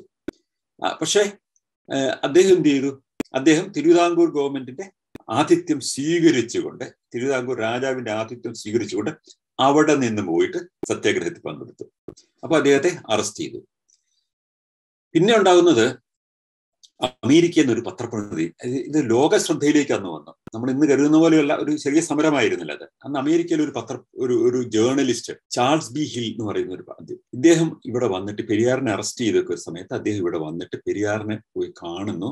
അത് ഒരു വേൾഡ് വൈഡ് ആയിട്ട് ഒരു ലോകവ്യാപകമായി തന്നെ ഈ റിപ്പോർട്ട് വരികയാണ്. അയിത്തത്തിനെതിരായിട്ട് ഇന്ന് നമ്മൾ കുറെ വർഷങ്ങൾക്കും അപ്പാർത്തിയുടെതിരായിട്ട് ലോകവ്യാപകമായി ഒരു ശ്രദ്ധ വന്നതുപോലെ നമ്മൾ ഇന്ന് കേരളത്തിൽ മലയാളിക്ക് പോലും എന്താണ് വൈക്കം സത്യഗ്രഹത്തിന്റെ അർത്ഥവും പൊരുളും അറിയാൻ മേലാത്ത കാലത്ത് നമുക്ക് ഓർക്കേണ്ടത് ഒരു കാലത്ത് ഈ അപ്പാർത്തിയുടെയൊക്കെ പോലെ തന്നെ അപ്പാർത്തിയുടെതിരായി നടന്ന സമരം പോലെ തന്നെ ലോക ശ്രദ്ധയെ ആകർഷിച്ച അത്രയേറെ ഡൈമെൻഷൻ ഉണ്ടായിരുന്ന ഒരു സംഭവമായിരുന്നു. ഒരു യു എസിൽ നിന്നൊരു ജേർണലിസ്റ്റ് ഓൾ ദി വേ ഇവിടെ എത്തുന്നു. അപ്പോൾ വൈക്കത്ത് എത്തിയിട്ട് ഒരു അതേക്കുറിച്ച് ഒരു സ്പെഷ്യൽ ഫീച്ചർ തയ്യാറാക്കി അമേരിക്കയിലും യൂറോപ്പിലും ഒക്കെയുള്ള പത്രങ്ങളിൽ അന്ന് ലേഖനം എഴുതുന്നുണ്ട്. അപ്പം പിന്നീട് ഉണ്ടാവുന്ന ഒരു ഒരു ഒരു പ്രധാനപ്പെട്ട ഒരു ട്വിസ്റ്റ് ഉണ്ട് ഈ സമരത്തിൽ. ആ ട്വിസ്റ്റ് എന്താണെന്നറിയോ? ഇത് ഈ സമരത്തിനകത്ത് അപ്പൊ പങ്കെടുക്കുന്ന ആരാ? വളരെ പ്രമുഖരായ പല നേതാക്കളും ക്രൈസ്തവ സമുദായത്തിൽ നിന്ന് വന്ന ചില ആൾക്കാരുണ്ട്. ഇസ്ലാമിൽ നിന്ന് വരുന്ന പല ആൾക്കാരുണ്ട്. സിഖുകാരുണ്ട്. നാസ്തികനായ പെരിയാറുണ്ട്. അപ്പോ ഇവിടെയാണ് ഇതിന്റെ ഒരു വലിയ ട്വിസ്റ്റ് ഉണ്ടാകുന്നതിന്റെ ഒരു കാരണമാണ് ഗാന്ധി പറയാണ് ഈ സിഖുകാർ ഇവിടെ ഒരു ഭോജനശാല ഇവിടെ ഒരു ലങ്കാറ് നടത്താൻ പറ്റുകയില്ല. കാരണം ഇത് സിഖുകാരുടെ വിഷയമല്ല. സിഖുകാർ ഹിന്ദു മതത്തിന് എതിരായിട്ടുള്ള സ്പർദ്ധ വളർത്താൻ വേണ്ടിയിട്ടാണ് അവർ വന്നിരിക്കുന്നത്. അതുകൊണ്ട് ഈ ഈ ഇതിന്റെ ഈ ഇതിന്റെ ലക്ഷ്യത്തിന് തന്നെ എതിരാണ്. അത് മാത്രമല്ല ഈ മലയാളികൾ കഴിക്കുന്ന ആഹാരം ഇവരുണ്ടാക്കുന്ന ഈ ലങ്കാറിലെ ചപ്പാത്തിയും പരിപാടിയൊന്നുമല്ല ഇത് മലയാളികളെ വലിയ അപമാനമാണ്. ഇത് മലയാളിക്ക് ഇവർ ഒന്ന് ഭിക്ഷ കൊടുക്കുന്ന പോലെയാണ്. അതുകൊണ്ട് നിങ്ങൾ തിരിച്ചു പോകണം എന്നൊക്കെ പറഞ്ഞിട്ട് ഗാന്ധി അവരെ ഒരുപാട് അങ്ങ് കുറ്റപ്പെടുത്തുകയാണ്. അപ്പോൾ പട്ടിണി കിടക്കുന്ന പോലെ സ്ഥലത്ത് പോയിട്ട് നിങ്ങൾ ഇത് ചെയ്യും. ഇവിടെ ആൾക്കാർ അങ്ങനെയൊന്നുമല്ല ചെയ്യുന്നത്. ഇതൊരു വലിയ സമരമാണ്. അതിനകത്ത് ഹിന്ദുക്കളുടെ ഏർപ്പാടാണ്. നിങ്ങൾ ഇതിനകത്ത് ഇടപെടാൻ പാടില്ല എന്ന് അവരെ തുരത്തി ഓടിക്കുകയാണ്. അപ്പൊ എന്തിനാണ് അങ്ങനെ ഒരു പൊസിഷൻ എടുക്കുന്നതെന്ന് പറയാം? അവിടെ ഈ ഗാന്ധിയുടെ ഗാന്ധി ഇത് ഗാന്ധിയിലേക്ക് ഇത് മൊത്തം ഊന്നാൻ ഒരു ശ്രമം തുടങ്ങുന്നതിന്റെ പിന്നിൽ തമിഴ്നാട്ടിലെ ഒരു വലിയ ചേരിപ്പോരിന്റെ കഥയുണ്ട്. അതാരാണ്? അവിടെയുള്ള ഈ തമിഴ് തമിഴ് ബ്രാഹ്മണരും അവിടെയുള്ള ദ്രാവിഡൻ പ്രസ്ഥാനവും തമ്മിൽ ഒരു വലിയ മത്സരമുണ്ട് ഒരു കോമ്പറ്റീഷൻ ഉണ്ട്. അതിലെ ഒരു ഈ പിന്നോക്ക വിഭാഗക്കാരുടെയും ദലിതുകളുടെയും അവർണരുടെയും നാസ്തികരുടെയും ഒക്കെ ഒരു അപ്രമാദിത്വമുള്ള നേതാവുള്ള ഒരാളാണ് ഈ ഇബിരാമസ്വാമി അപ്പൊ അതിനെതിരായിട്ടുള്ള ഒരു കൗണ്ടർ പൊസിഷൻ ഉണ്ട്. തത്തുല്യമായ ഒരു കൗണ്ടർ പൊസിഷൻ ഉണ്ട് രാജഗോപാലാചാരി. രാജഗോപാലാചാരി അന്ന് വളരെ പ്രമുഖനായ ഒരാളാണ്. ഓർക്കണം അദ്ദേഹം ഇന്ത്യയുടെ ആദ്യത്തെ ഗവർണർ ജനറൽ ആയിരുന്നു. അപ്പൊ ഈ നമുക്ക് സ്വാതന്ത്ര്യം കിട്ടിക്കഴിഞ്ഞിട്ട് നമ്മളൊരു റിപ്പബ്ലിക് ആകുന്നവരെയുള്ള ഒരു പീരീഡിൽ നമ്മുടെ ഗവർണർ ജനറൽ ആയിരുന്ന ആളാണ് ഈ രാജഗോപാലാചാരി. അപ്പോൾ അദ്ദേഹത്തിന് വലിയ പ്രാധാന്യമാണ് കാലത്ത്. ഗാന്ധി അന്ന് മദ്രാസിൽ വന്നു കഴിഞ്ഞാൽ രാജഗോപാലാചാര്യയുടെ വീട്ടിലാണ്. താമസിക്കുന്നത്. അത്ര വലിയ കണക്ഷനാണ് രാജഗോപാലാചാരിക്ക് അദ്ദേഹം ഒരു തെക്കേ ഇന്ത്യയിലെ ഏറ്റവും വിശ്വസ്തനായ സവർണ വിശ്വാസധാരയുടെ ഒരു പ്രതിനിധിയായിരുന്നു അദ്ദേഹം. അദ്ദേഹം വ്യക്തിപരമായിട്ട് നാസ്തികനായിരുന്നു അതും കൂടെ ഓർക്കണം. വ്യക്തിപരമായി നാസ്തികനായിരുന്നു രാജാജി. അതേസമയം തന്നെ സവർണാധിപത്യത്തിന്റെ വശത്ത് നിന്ന ഒരു വ്യക്തിയാണ് അദ്ദേഹം. പെരിയാറായിട്ട് പെരിയാർ നാസ്തികനാണ്. പക്ഷെ പെരിയാർ സവർണാധിപത്യത്തിന് എതിരായിട്ട് പടപൊരുതിയ ആളാണ്. തമിഴ്നാട്ടിൽ ഈ രണ്ട് വൈജാത്യങ്ങൾ തമ്മിലുള്ള ആ കോൺഫ്ലിക്റ്റ് ചരിത്രത്തിന്റെ വഴികളെ പലയിടത്ത് സ്വാധീനിക്കുന്നുണ്ട്. പെരിയാറിന് ഇവിടെ വലിയൊരു പ്രാധാന്യം വരുന്നതോടുകൂടി ആ പ്രാധാന്യം ഇല്ലാണ്ടാവണം. കാരണം ഇത് ഇതിനൊരു ഇന്റർനാഷണലി തന്നെ റെപ്യൂട്ടഡ് ആയിട്ടുള്ള വലിയ സമരമായിട്ടാണ് ഇത് വരുന്നത്. ഈ സമരത്തിന്റെ മുന്നോട്ടുള്ള പോക്കിൽ ഉണ്ടാകാൻ പോകുന്നത് ഒരു ഈ സമരം ആത്യന്തികമായി ജയിച്ചല്ലേ പറ്റുള്ളൂ? അങ്ങനെ ജയിക്കുമ്പോൾ ആ സമരത്തിന്റെ സാധ്യതകൾ ഒരു പെരിയാറിന്റെ വിജയമായിട്ട് പരിവർത്തനപ്പെടാൻ പാടില്ല. അതുകൊണ്ട് തന്നെ പെരിയാറിന്റെ വിജയമായിട്ട് മാറാതിരിക്കണമെങ്കിൽ മറ്റൊരാളവിടെ വന്നിട്ട് അതിന്റെ നേതൃത്വത്തിലേക്ക് വരണം. അത് മറ്റാരും പോരാ ഗാന്ധി തന്നെ വേണം. കാരണം ഗാന്ധിക്ക് മാത്രം അത്ര വലിയൊരു ക്ലൗട്ട് ഉള്ളൂ. അപ്പൊ അതുകൊണ്ട് പെരിയാറിനോട് പെരിയാറിനോട് പോകാൻ പറഞ്ഞാൽ ഗാന്ധി പറഞ്ഞാൽ പെരിയാറിന് അതിനുള്ള മറുപടി അറിയാം പെരിയാർ ഗാന്ധിയെ കാര്യമായിട്ട് മതിച്ചിരുന്നില്ലാത്ത ഒരാളാണ് അപ്പൊ അതുകൊണ്ടാണ് ഗാന്ധി ഈ പൊസിഷൻ എടുക്കുന്നത്. ഞാൻ പറഞ്ഞല്ലോ ഗാന്ധി വളരെയേറെ പ്രാധാന്യം അദ്ദേഹത്തിന്റെ ഈ സമരമുറകൾക്കൊക്കെ ഉണ്ടായിരുന്നെങ്കിലും വളരെ ഷൂഡായിട്ടുള്ള ഒരു പൊളിറ്റീഷ്യൻ ആയിരുന്നു ഗാന്ധി. അപ്പൊ ഗാന്ധി ഈ ആദ്യം പഞ്ചാബികൾ അവിടെ വന്ന് ഏർപ്പാട് ഭക്ഷണശാല നടത്തുന്നതിനെ വിമർശിച്ചു. ഇത് ഹിന്ദുക്കൾ മാത്രം ഇത് ചെയ്താൽ മതി എന്ന് പറഞ്ഞു. അപ്പൊ അതിന് വലിയ അതനുസരിച്ചിട്ട് അവർ നിർത്തൽ ചെയ്തു. അവർ പോകുന്നു അപ്പോൾ ഇനി നാരായണ ഗുരുവിന്റെ സന്ദേശമായിട്ട് ഇത് ഒത്തുപോകുന്ന ഒരു സമരമല്ലേ അല്ലെ? നാരായണ ഗുരു പറഞ്ഞ പ്രധാനം എന്താണ്? എല്ലാ ജാതികൾക്കും ജാതിക്ക് അതീതമായിട്ടൊരു തുല്യത വേണം. എന്ന് പറയുന്ന ഒരു ആശയം അദ്ദേഹം മുന്നോട്ട് വെക്കുന്നു. ഒരു ജാതി ഒരു മതം എന്ന് പറയുന്ന ഒരു ആശയം അദ്ദേഹം മുന്നോട്ട് വെക്കുന്നു. അപ്പം ഈ നാരായണഗുരു പക്ഷെ കോൺഗ്രസിന്റെ പ്രവർത്തനങ്ങളിലൊന്നും ഒരു താല്പര്യവും ഒരിക്കലും കാണിച്ചിട്ടില്ല. നോക്കണം. രാഷ്ട്രീയ പ്രവർത്തനത്തിന് കീഴ്പ്പെട്ടാണ് സാമൂഹ്യ പ്രവർത്തനം നടത്തേണ്ടത് എന്ന് ശഠിക്കുന്ന ആൾക്കാരുണ്ട്. അക്കാലഘട്ടത്തിൽ ഇന്ത്യൻ ദേശീയ രാഷ്ട്രീയത്തിൽ ഏറ്റവും പ്രധാനപ്പെട്ട ശക്തി കോൺഗ്രസ് പാർട്ടിയാണ്. പക്ഷെ നാരായണ ഗുരുവിനെ പോലത്തെ ഒരു പ്രമുഖനായ സാമൂഹ്യ പരിഷ്കർത്താവ് നിശ്ചയിക്കുന്നത് ഈ കോൺഗ്രസ് പാർട്ടിയുമായി ബന്ധപ്പെട്ടുള്ള പ്രവർത്തനങ്ങളുടെ കീഴ്പ്പെട്ട് പോകാനൊന്നും അദ്ദേഹം തയ്യാറല്ല. അവിടെ വൈക്കം സത്യഗ്രഹം അന്ന് കോൺഗ്രസ് പാർട്ടിയുടെ പരിപാടിയായിട്ടാണ് വരുന്നതെങ്കിൽ അപ്പൊ ഇതിനകത്തൊന്നും താല്പര്യം കാണിക്കാതിരുന്നെങ്കിൽ പോലും പക്ഷെ ഈ സത്യാഗ്രഹത്തിന്റെ കാര്യത്തിൽ നാരായണ ഗുരു ഒരു പ്രത്യേക താല്പര്യം കാണിക്കുന്നുണ്ട്. അപ്പം വൈക്കത്ത് നാരായണ ഗുരുവിന് അന്നൊരു ആശ്രമമുണ്ട്. ഈ ആശ്രമം സത്യഗ്രഹികളായിട്ട് പുള്ളി വിട്ടുകൊടുത്തു. ഇതേ തുറന്നിട്ട് ഇതിന്റെ ഈ ഒരു ചില ചില ഡിഫറൻസസ് ഡെവലപ്പ് ചെയ്യുന്നുണ്ട്. ഗാന്ധി നാരായണ ഗുരു തമ്മിൽ ചില ഡിഫറൻസസ് ഡെവലപ്പ് ചെയ്യുന്നുണ്ട്. ഈ ഈ സത്യഗ്രഹത്തിന്റെ ലക്ഷ്യം എന്താണ്? ഈ സത്യഗ്രഹം കൊണ്ട് അച്ചീവ് ചെയ്യേണ്ട എന്താണ്? തുടങ്ങിയ കാര്യങ്ങളിൽ അതിന്റെ വിശദാംശങ്ങളുടെയൊക്കെ കാര്യത്തിൽ നാരായണ ഗുരുവിനും ഗാന്ധിക്കും രണ്ട് അഭിപ്രായം ഉണ്ടായിരുന്നു. അതുപോലെ തന്നെ നാരായണ ഗുരുവിനും പെരിയാർ ഈവരാമസ്വാമിക്കും രണ്ട് അഭിപ്രായം ഉണ്ടായിരുന്നത്. അപ്പം ഇവർ തമ്മിൽ ഒരു വളരെ വ്യത്യസ്തമായ ചില കാര്യങ്ങളിൽ മൈനർ ഡിഫറൻസസ് ഉണ്ടായിരുന്നെങ്കിൽ പോലും ആ വ്യത്യാസം വലിയ ഭയങ്കരമായിട്ട് ഹൈലൈറ്റ് ചെയ്യപ്പെട്ടു. അപ്പം ഇത് എങ്ങനെയാണ്? ഈഴവരുടെ ആത്മീയ നേതാവായിട്ടാണ് അന്ന് നാരായണ ഗുരുവിന് പല ആൾക്കാരും കരുതുന്നത്. ഇന്ന് കേരളം കരുതുന്നത് പോലെ നാരായണ ഗുരു ഈ ഈഴവജാതിക്ക് അതീതമായി ഒരു പൊതുവായ സാംസ്കാരിക മുന്നേറ്റത്തിന്റെ ഒരു ഗുരുവായിട്ട് അറിയപ്പെടുന്ന നാരായണ ഗുരു. അക്കാലഘട്ടത്തിൽ അദ്ദേഹം അറിയപ്പെടുന്ന ഈഴവരുടെ ഒരു ആത്മീയ ഗുരുവാണ്. വലിയ പരിവർത്തനമൊക്കെ ആവശ്യപ്പെടുന്ന ഒരാളാണ് എന്ന നിലയിലാണ് അപ്പം നാരായണ ഗുരു പ്രകടിപ്പിച്ച ചില അഭിപ്രായങ്ങൾ ഗാന്ധിക്ക് എതിരാണെന്ന് വരുന്നു. അങ്ങനെ ചില ആൾക്കാരൊപ്പം തന്നെ അത് ഉപയോഗിക്കുകയാണ്. പുറമെ ഗാന്ധി ഈ ഈഴവ സമുദായത്തിലാണ് നാരായണ ഗുരു ഗാന്ധിയെ വിമർശിക്കുന്നു എന്നൊക്കെ കൊണ്ടുവന്നിട്ട് എന്നാൽ ഗാന്ധി ഇത് ഇത് വിഡ്രോ ചെയ്യണം. ഈ സവർണ താല്പര്യങ്ങൾക്ക് പല രീതികളിൽ ഇതിനകത്ത് ഇൻഫ്ലുവൻസ് ചെലുത്താൻ ശ്രമം നടത്തുകയാണ്. നാരായണ ഗുരുവിന്റെ പേര് പറഞ്ഞിട്ട് അല്ലെങ്കിൽ നാരായണ ഗുരു പ്രകടിപ്പിച്ച ചില ഇന്റേണൽ സർക്കിൾസ് പ്രകടിപ്പിച്ച ചില അഭിപ്രായങ്ങൾ ചൂണ്ടിക്കാണിച്ചിട്ട് ഗാന്ധിയെ പിന്മാറ്റാനായിട്ട് സവർണറുടെ നേതൃത്വത്തിൽ വലിയ ഒരു ശ്രമം നടക്കുന്നുണ്ട്. ഈ സമയത്താണ് അന്ന് കോൺഗ്രസിന്റെ ഒരു പ്രധാന നേതാവും നാരായണ ഗുരുവിന്റെ ഒരു പ്രധാനപ്പെട്ട ഡിസൈപ്പിളുമായിരുന്ന ടി കെ മാധവൻ അവിടെ ചെന്നിട്ട് പ്രശ്നങ്ങൾ ചർച്ച ചെയ്യുകയും ഈ ഗാന്ധിയുമായിട്ടുള്ള അഭിപ്രായ വ്യത്യാസം എവിടെയെങ്കിലും ഉണ്ടായിരുന്നെങ്കിൽ അത് പരിഹരിച്ച് മുന്നോട്ട് പോകുന്നതിനുള്ള ഒരു രീതി ഉണ്ടാകുകയും ചെയ്തു. അപ്പോൾ അവിടെ അന്ന അന്നത്തെ നാരായണ ഗുരുവിന്റെ ഒരു ഒരു ഒരു സ്റ്റേറ്റ്മെന്റ് ഇവിടെ ഞാൻ എന്റെ അടുത്തുണ്ട്. ഞാനൊന്ന് ഇവിടെ വായിക്കാം. അതൊന്ന് മനസ്സിലാവും. നാരായണ ഗുരു ആ സമയത്ത് എന്ത് എന്ത് നിലപാടാണ് എടുത്തിരുന്നത് മനസ്സിലാക്കാൻ. Quote from Narayana Guru. സഹിക്കാനും ത്യജിക്കാനുമുള്ള സന്നദ്ധത വേണ്ടത് തന്നെയാണ്. എന്ന് വെച്ച് വെറുതെ നനഞ്ഞു കുതിരുകയോ വിശന്നു പൊരുകയോ ചെയ്യേണ്ട കാര്യമൊന്നുമില്ല. പ്രവേശനം നിരോധിച്ചിരിക്കുന്നിടത്ത് പ്രവേശിച്ചിട്ട് അതിന്റെ പ്രത്യാഘാതങ്ങൾ നേരിടുക. അടിയേറ്റാലും തിരിച്ചടിക്കേണ്ടതില്ല. പക്ഷേ മുൻപിൽ ഒരു മതിലുണ്ടെങ്കിൽ മടങ്ങിപ്പോരരുത്. അത് ചാടി കടക്കുക വഴി നടത്തുന്നതിൽ നിർത്തരുത്. ക്ഷേത്രത്തിൽ കയറുക. എല്ലാ ക്ഷേത്രത്തിലും എല്ലാ ദിവസവും എല്ലാവരും കയറട്ടെ. പായസ നിവേദ്യമുണ്ടെങ്കിൽ എടുത്തു കഴിക്കുക. ക്ഷേത്രത്തിൽ പന്തി ഭോജനം നടക്കുന്ന സ്ഥലത്ത് നിന്ന് മറ്റുള്ളവർക്കൊപ്പം ഇരിക്കുക. ചെയ്യാൻ പോകുന്ന കാര്യം ആദ്യം സർക്കാരിനെ അറിയിക്കണം. ജീവൻ ത്യജിക്കേണ്ടി വരുമെങ്കിൽ അതിനും തയ്യാറായിരിക്കണം. മറ്റുള്ളവരുടെ സ്പർശനം തങ്ങൾക്ക് അശുദ്ധി വരുത്തുമെന്ന് കരുതുന്നവരെ അവരുടെ ശുദ്ധിയിൽ തുടരാൻ ഇനി അനുവദിക്കരുത്. അത്ര വലിയ സ്റ്റേറ്റ്മെന്റ് നോക്കണം ഇതാണ് എന്റെ അഭിപ്രായം. ഇത് പത്രങ്ങളിൽ കൊടുക്കൂ. ഞാൻ അവരുടെ അഭിപ്രായങ്ങളോട് യോജിക്കുന്നുവെന്ന് ജനങ്ങൾ അറിയട്ടെ. പക്ഷേ അക്രമവും ശക്തി പ്രകടനവും അരുത്. ബലപ്രയോഗത്തിൽ പ്രകോപിതരാകരുത്. ഇതായിരുന്നു നാരായണ ഗുരുവിന്റെ പൊസിഷൻ അവിടെ. എത്ര വലിയൊരു സ്റ്റേറ്റ്മെന്റ് ആണ്. അവിടെ പോവുക അവിടെ ചെന്ന് പന്തി ഭോജനത്തിൽ പങ്കെടുക്കുക. നിങ്ങളെ നിങ്ങൾ നിങ്ങളുടെ പ്രവേശനം കൊണ്ട് ആർക്കെങ്കിലും അയിത്തം ഉണ്ടാകില്ല അവരെ അയി അയിത്തപ്പെടുത്തുക എന്ന് പറഞ്ഞ ഒരു ഒരു ഒരു വളരെ സ്ട്രോങ് ആയിട്ടുള്ള ഒരു പൊസിഷൻ നാരായണ ഗുരു എടുക്കുകയാണ്. ഇതിന് വലിയ പ്രചാരം കിട്ടുകയാണ്.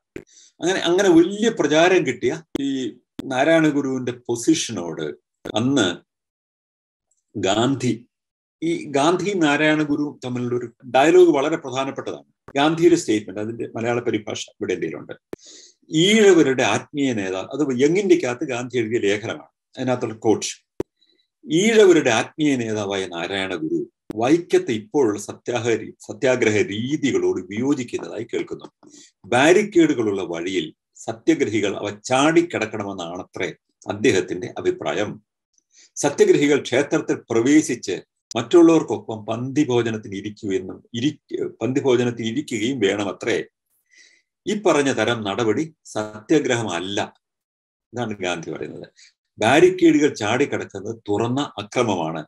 അത് ശരിയാണെങ്കിൽ ക്ഷേത്രവാതിൽ തല്ലിപ്പൊളിക്കുകയോ ക്ഷേത്രമതിൽ ഭേദിക്കുകയോ ഒക്കെ ചെയ്യാമല്ലോ. ബലം പ്രയോഗിച്ചല്ലാതെ സത്യ സത്യഗ്രഹികൾക്ക് പോലീസ് നിര ഭേദിച്ച് മുന്നേറാനാകുന്നത് എങ്ങനെ ഈഴവർക്ക് ശക്തിയും കുറേയധികം ജീവൻ ബലികൊടുക്കുന്നതിൽ സന്നദ്ധതയും ഉണ്ടെങ്കിൽ അവർ ഇങ്ങനെയൊക്കെ കാര്യം നേടിയെന്നും ഇരിക്കും. പക്ഷേ അങ്ങനെ നേടുന്ന നേട്ടം സത്യഗ്രഹത്തിന്റെതിൽ നിന്ന് വിപരീതമായ മാർഗം വഴി നേടുന്നതായിരിക്കുമെന്നാണ് എനിക്ക് പറയാനുള്ളത്. യാഥാസ്ഥിതികർക്ക് മനപരിവർത്തനം വരുത്തിക്കൊണ്ടാവില്ല ഈ നേട്ടം കൈവരിക്കുന്നത്. മറ്റുള്ളവരുടെ നിലപാട് അവരുടെ മേൽ അടിച്ചേൽപ്പിച്ചുകൊണ്ടായിരിക്കും. അപ്പൊ ഈ ബാരിക്കേഡ് ചാടിക്കിടക്കണമെന്നോ ക്ഷേത്രത്തിൽ പ്രവേശിക്കണമെന്നോ അവിടെ പോയി പന്തി ഭോജനത്തിന് ഇരിക്കണമെന്നോ ഒക്കെ നാരായണഗുരു പറയുന്ന രീതിയേ ശരിയല്ല എന്ന് പറഞ്ഞു നാരായണ ആദ്യം നോക്കൂ അവിടെ ഗാന്ധി ചെയ്യുന്നത് അവിടെ വന്ന സിഖുകാരെ മുഴുവൻ നിരുത്സാഹപ്പെടുത്തി പറഞ്ഞയച്ചു. ക്രിസ്ത്യാനികളെ നിരുത്സാഹപ്പെടുത്തി പറഞ്ഞയച്ചു. അബ്ദുൽ ഖാദിനെ പോലത്തെ മുസ്ലിങ്ങളെ നിരുത്സാഹപ്പെടുത്തി പറഞ്ഞയച്ചു. ഇപ്പോ നാരായണ ഗുരു പറഞ്ഞ രീതി ശരിയല്ല. അങ്ങനെ ബാരിക്കേഡ് ചാടിക്കിടന്നാൽ അത് ബലപ്രയോഗമാണ്. അത് സത്യഗ്രഹത്തിന്റെ രീതിയല്ല. അതുകൊണ്ട് അത് പറ്റില്ല എന്ന് ഗാന്ധി ചടിക്കുകയാണ് പിന്നെ നമ്മൾ കാണുന്നത് ഈ ഗാന്ധിയുടെ ഈ ഗാന്ധിയുടെ ഒരു ഒരു ഗാന്ധി അല്ലാതെ മറ്റൊരാൾ മുന്നോട്ട് വന്ന് എന്തെങ്കിലും ചെയ്യുക എന്ന് പറയുന്നത് സാധ്യമല്ലാത്ത ഒരു രീതിയുണ്ട്. അപ്പം കോൺഗ്രസ് സത്യഗ്രഹത്തിൽ നിന്ന് പിന്മാറണം എന്ന് ചില ആൾക്കാർ ഗാന്ധി ഉപദേശിക്കുന്നു. അതേക്കുറിച്ച് ഗാന്ധി എഴുതുന്നുണ്ട്. അപ്പോ ഈ സത്യഗ്രഹത്തിന്റെ വഴി കൂടെ പോകാൻ പറ്റുന്നില്ലെങ്കിൽ അത് ഹിംസയ്ക്ക് കീഴടങ്ങുന്നതിന് തുല്യമാണ്. അതുകൊണ്ട് സത്യഗ്രഹം നിർത്തിവെക്കണം എന്ന് ഗാന്ധി ആവശ്യപ്പെടുകയാണ്. അപ്പോൾ ഈ ലക്ഷ്യത്തിലെത്താൻ എത്ര സമയമെടുത്താലും അത് സഹനവും സ്വയം ശുദ്ധീകരണവും ഇനി അവരുടെ മനസ്സ് മാറുന്നതൊക്കെ ആയിരിക്കണം വഴി എന്ന് പറഞ്ഞിട്ട് ഗാന്ധി സമരമാർഗത്തിന്റെ വഴിയിൽ നിന്ന് പിന്മാറണം അല്ലെങ്കിൽ സത്യഗ്രഹം തന്നെ നിർത്തിവെക്കണം എന്ന് ആവശ്യപ്പെടുകയാണ്. അപ്പോൾ നാരായണഗുരു ചെയ്യുന്നത് എങ്ങനെ വന്ന ഗാന്ധിയുടെ ആർട്ടിക്കിളിനോട് നാരായണഗുരു പ്രതികരിച്ചേയില്ല. അദ്ദേഹം ചെയ്തത് നേരെ വൈക്കത്തേക്ക് ഇങ്ങ് പോവുമായിരുന്നു. അവിടെ ചെന്ന് കഴിഞ്ഞിട്ട് ഈ വെല്ലൂര് വൈ വൈക്കത്തിനടുത്തൊരു വെല്ലൂർ എന്ന സ്ഥലമുണ്ട്. മറ്റേ തമിഴ്നാട്ടിൽ വെല്ലൂരിൽ ആ വെല്ലൂര് ഒരു ഒരു മഠം ഉണ്ടെന്ന് പറയില്ല. അവിടെ സത്യഗ്രഹത്തുകാരുടെ ഉപയോഗത്തിനായിട്ട് അതങ്ങ് വിട്ടുകൊടുത്തു. അവിടെ ഈ സത്യഗ്രഹ നിധിയിലേക്ക് വലിയൊരു തുക. അന്ന് വലിയ തുകയാണ് ആയിരം രൂപ പുള്ളി സംഭാവന ചെയ്തു. ഇന്നിപ്പോ ഒരു ഒരു പത്താം ഒരു പത്ത് മുപ്പത് ലക്ഷം രൂപ കൊടുക്കുന്നതിന് തുല്യമാണ് അന്നത്തെ ഒരു ആയിരം രൂപ കൊടുക്കാന്ന് പറഞ്ഞാൽ അപ്പോൾ ഒരു ആയിരം രൂപ പുള്ളി സംഭാവന ചെയ്തു. പിന്നെ സത്യഗ്രഹത്തിലേക്ക് ഒരു സംഭാവന പെട്ടി പണം പിരിക്കാൻ തീരുമാനിച്ചുകൊണ്ട് ഒരു പണപ്പെട്ടി വെക്കാൻ പറഞ്ഞു. അങ്ങനെ ഈ വൈക്കത്തേക്ക് ഈ നാരായണ ഗുരുവിന്റെ വളരെ അടുത്ത ചില ശിഷ്യന്മാരെ തന്നെ അദ്ദേഹം പറഞ്ഞയച്ചു. അപ്പം അതോടുകൂടി ഇതിന്റെ ഡൈമെൻഷൻ ആകെ മാറുവാണ്. അപ്പോൾ ഇതിനിടയ്ക്ക് ഈ സവർണർക്കെതിരായിട്ട് ഉള്ളൊരു കോൺഫ്ലിക്റ്റ് അതായത് ഹിന്ദു മതത്തിലെ സവർണർക്കെതിരായിട്ട് അവർണർ നേടുന്ന ഒരു വിജയമായിട്ട് ഇത് വരരുത്. കാരണം ഇത് പെരിയാർ ഇ വി രാമസ്വാമിയുടെ സമരം വന്നാൽ അതിനകത്ത് ഉണ്ടാവുന്നത് അതിനകത്ത് പെരിയാർ അവർണരെ പ്രതിനിധീകരിക്കുന്ന ആളാണ്. നാരായണ ഗുരു അവർ അവർണരായി കരുതപ്പെടുന്ന ആൾക്കാരെ പ്രതിനിധീകരിക്കുന്ന ആളാണ്. ഇതൊരു സവർണരുടെ വിജയമാക്കി മാറ്റണം. ഇത് അങ്ങനെ അന്തിമമായിട്ട് ഇത് വിജയം നേടുകയാണെങ്കിൽ ആ വിജയത്തിന്റെ ക്രെഡിറ്റ് ആർക്ക് എന്നുള്ളതിനെ പറ്റിയുള്ള സ്ട്രാറ്റജിക് കോൺഫ്ലിക്റ്റുകളാണ് പിന്നെ നമ്മൾ ആകെ കാണുന്നത്. അപ്പൊ അതിനകത്ത് മന്നത്ത് പത്മനാഭന്റെ നേതൃത്വത്തിൽ മന്നത്ത് പത്മനാഭൻ എൻ എസ് എസിന്റെ നേതാവാണ്. മന്നത്ത് പത്മനാഭനെ പറ്റി തന്നെ നമ്മളൊന്നും അറിഞ്ഞിരിക്കേണ്ട സംഗതി മന്നത്ത് പത്മനാഭൻ നമ്മളിപ്പോ നമുക്ക് അറിയപ്പെടുന്നത് ഇന്നത്തെ എൻ എസ് എസിന്റെ സമീപനങ്ങളൊക്കെ വെച്ചിട്ട് അതിന്റെ ഒരു നേതാവായിട്ടുള്ള ആൾ അല്ലെങ്കിൽ വിമോചന സമരത്തിന് നേതൃത്വം കൊടുത്ത ഒരു മന്നത്ത് പത്മനാഭൻ എന്നതുകൊണ്ട് അദ്ദേഹത്തെ സൈഡ് ലൈൻ ചെയ്ത് കാണുന്ന ഒരുപാട് ആൾക്കാരുണ്ട്. എന്നാൽ മന്നത്ത് പത്മനാഭൻ ഒരു സാമൂഹ്യ പരിഷ്കർത്താവ് കൂടിയായിരുന്നു.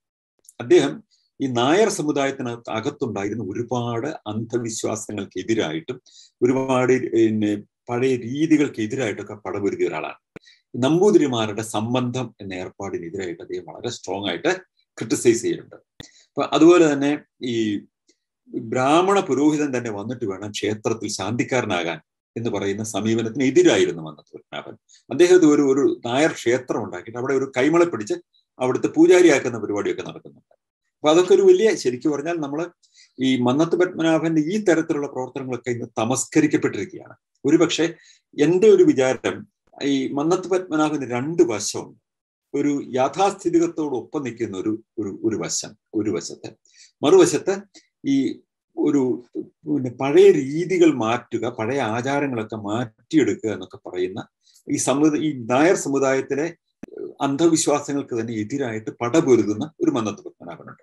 ഈ രണ്ട് മന്നത്ത് പത്മനാഭനും നമുക്ക് കാണേണ്ടിയിരിക്കുന്നു. ഒരു അഞ്ഞൂറ് പേരെയും കൂട്ടിയിട്ട് മന്നത്ത് പത്മനാഭൻ ക്ഷേത്രപ്രവേശനത്തിന് അനുകൂലമായ ഒരു ജാഥ നടത്തുകയാണ് സവർണ ജാഥ എന്നാണ് പറയപ്പെടുന്നത്. അപ്പൊ അവർ നാരായണ ഗുരുവിന്റെ ശിവഗിരി ചെന്ന് നാരായണ ഗുരുവിന്റെ അനുഗ്രഹം വാങ്ങിച്ചുകൊണ്ടാണ് സവർണ ജാഥ തുടങ്ങുന്നത്. അതാണ് അതിന്റെ ഒരു വലിയ ഒരു ഒരു വലിയ മാറ്റം. ഇതിന്റെ ടോണനാകെ മൊത്തം മാറ്റം വരികയാണ്. ഇപ്പൊ ശുചീന്ദ്രത്ത് നിന്ന് അന്ന് അവിടെ വേറൊരു ജാഥ ആയിരം പിടങ്ങിയ ഒരു ജാഥ. അങ്ങനെ ഇതെല്ലാം കൂടി തിരുവനന്തപുരത്തെത്തി ഒരു വലിയ പൊതുസമ്മേളനം നടക്കുന്നു. ചങ്ങനാശ്ശേരി പരമേശ്വരൻ പിള്ള എന്ന് പറഞ്ഞൊരു പാർട്ടിയാണ് അദ്ദേഹം ഈ എൻ എസ് എസിന്റെ ആദ്യകാല നേതാക്കന്മാരിൽ ഒരാളാണ് അദ്ദേഹത്തിന്റെ നേതൃത്വത്തിൽ ഒരു ഒരു സംഘം എത്തിയിട്ട് ഈ അന്നത്തെ മഹാറാണി സേതു ലക്ഷ്മിഭായിയെ കണ്ടിട്ട് ഈ ഇരുപത്തി അയ്യായിരം സവർണർ ഒപ്പിട്ട് ഒരു മെമ്മോറാണ്ടം കൊടുത്തു. സവർണർ. അവർണർ അല്ല സവർണർ ഒപ്പിട്ട് ഒരു മെമ്മോറാണ്ടം കൊടുത്തു. അതോടുകൂടി ഇതൊരു ഒരു ജാതി കോൺഫ്ലിക്റ്റ് എന്നുള്ളത് മാറിയിട്ട് അത് സവർണരും അവർണരും കൂടി ആവശ്യപ്പെടുന്ന ഒരു സംഗതിയായിട്ട് ഇത് മാറുകയാണ്. ഈ ഈ മൊത്തം വലിയൊരു ഒരു ട്രാൻസ്ഫോർമേഷൻ ഉണ്ടാവുകയാണ്. അത് സവർണർക്കെതിരായിട്ട് അവർണർ നേടിയ വിജയമല്ല സവർണരും അവർണരും കൂടി ഒരു പഴയ ആചാരത്തെ മാറ്റുന്നതിന് വേണ്ടി നടത്തുന്ന ഒരു രീതിയായിട്ട് ഇത് മാറി വരുന്നുണ്ട്.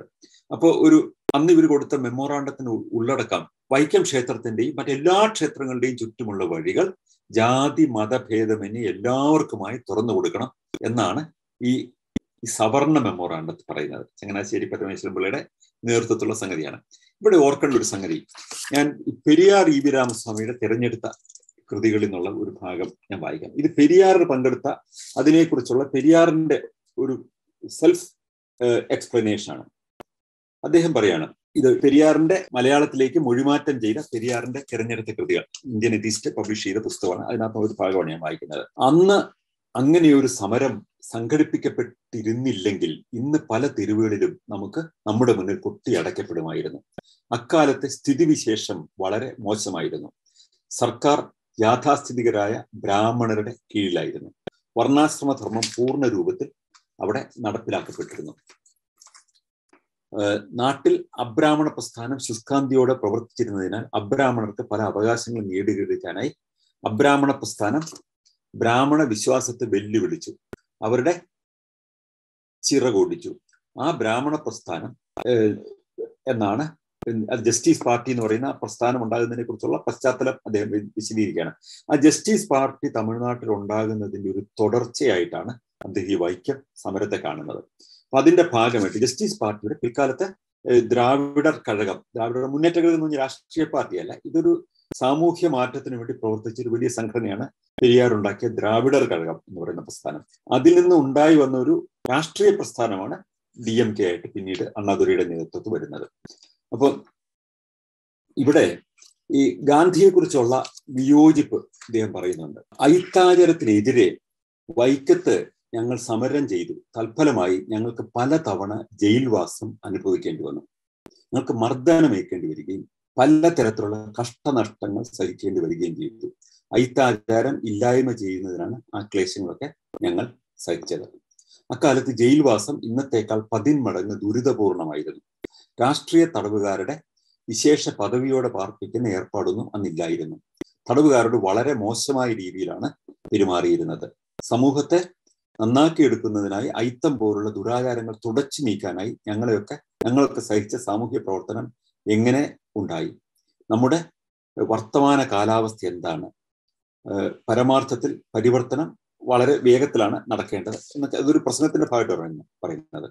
നിങ്ങൾ വൈക്കം സമര ചരിത്രം അറിഞ്ഞിരിക്കണം. യഥാർത്ഥത്തിൽ ചെറിയൊരു സംഭവമാണ്. അത് ഒരു ചെറിയ സംഭവത്തിൽ നിന്ന് ഇത് വളർന്നു വന്നിട്ട് അത് എങ്ങനെയാണ് ഇത്ര വലിയൊരു വലിയ പ്രസ്ഥാനമായി വളർന്നു വന്നതെന്ന് അദ്ദേഹം വിശദീകരിക്കുകയാണ്. ഞാൻ അതിന് മുഴുവൻ വിശദാംശങ്ങളിലേക്ക് പോകുന്നില്ല.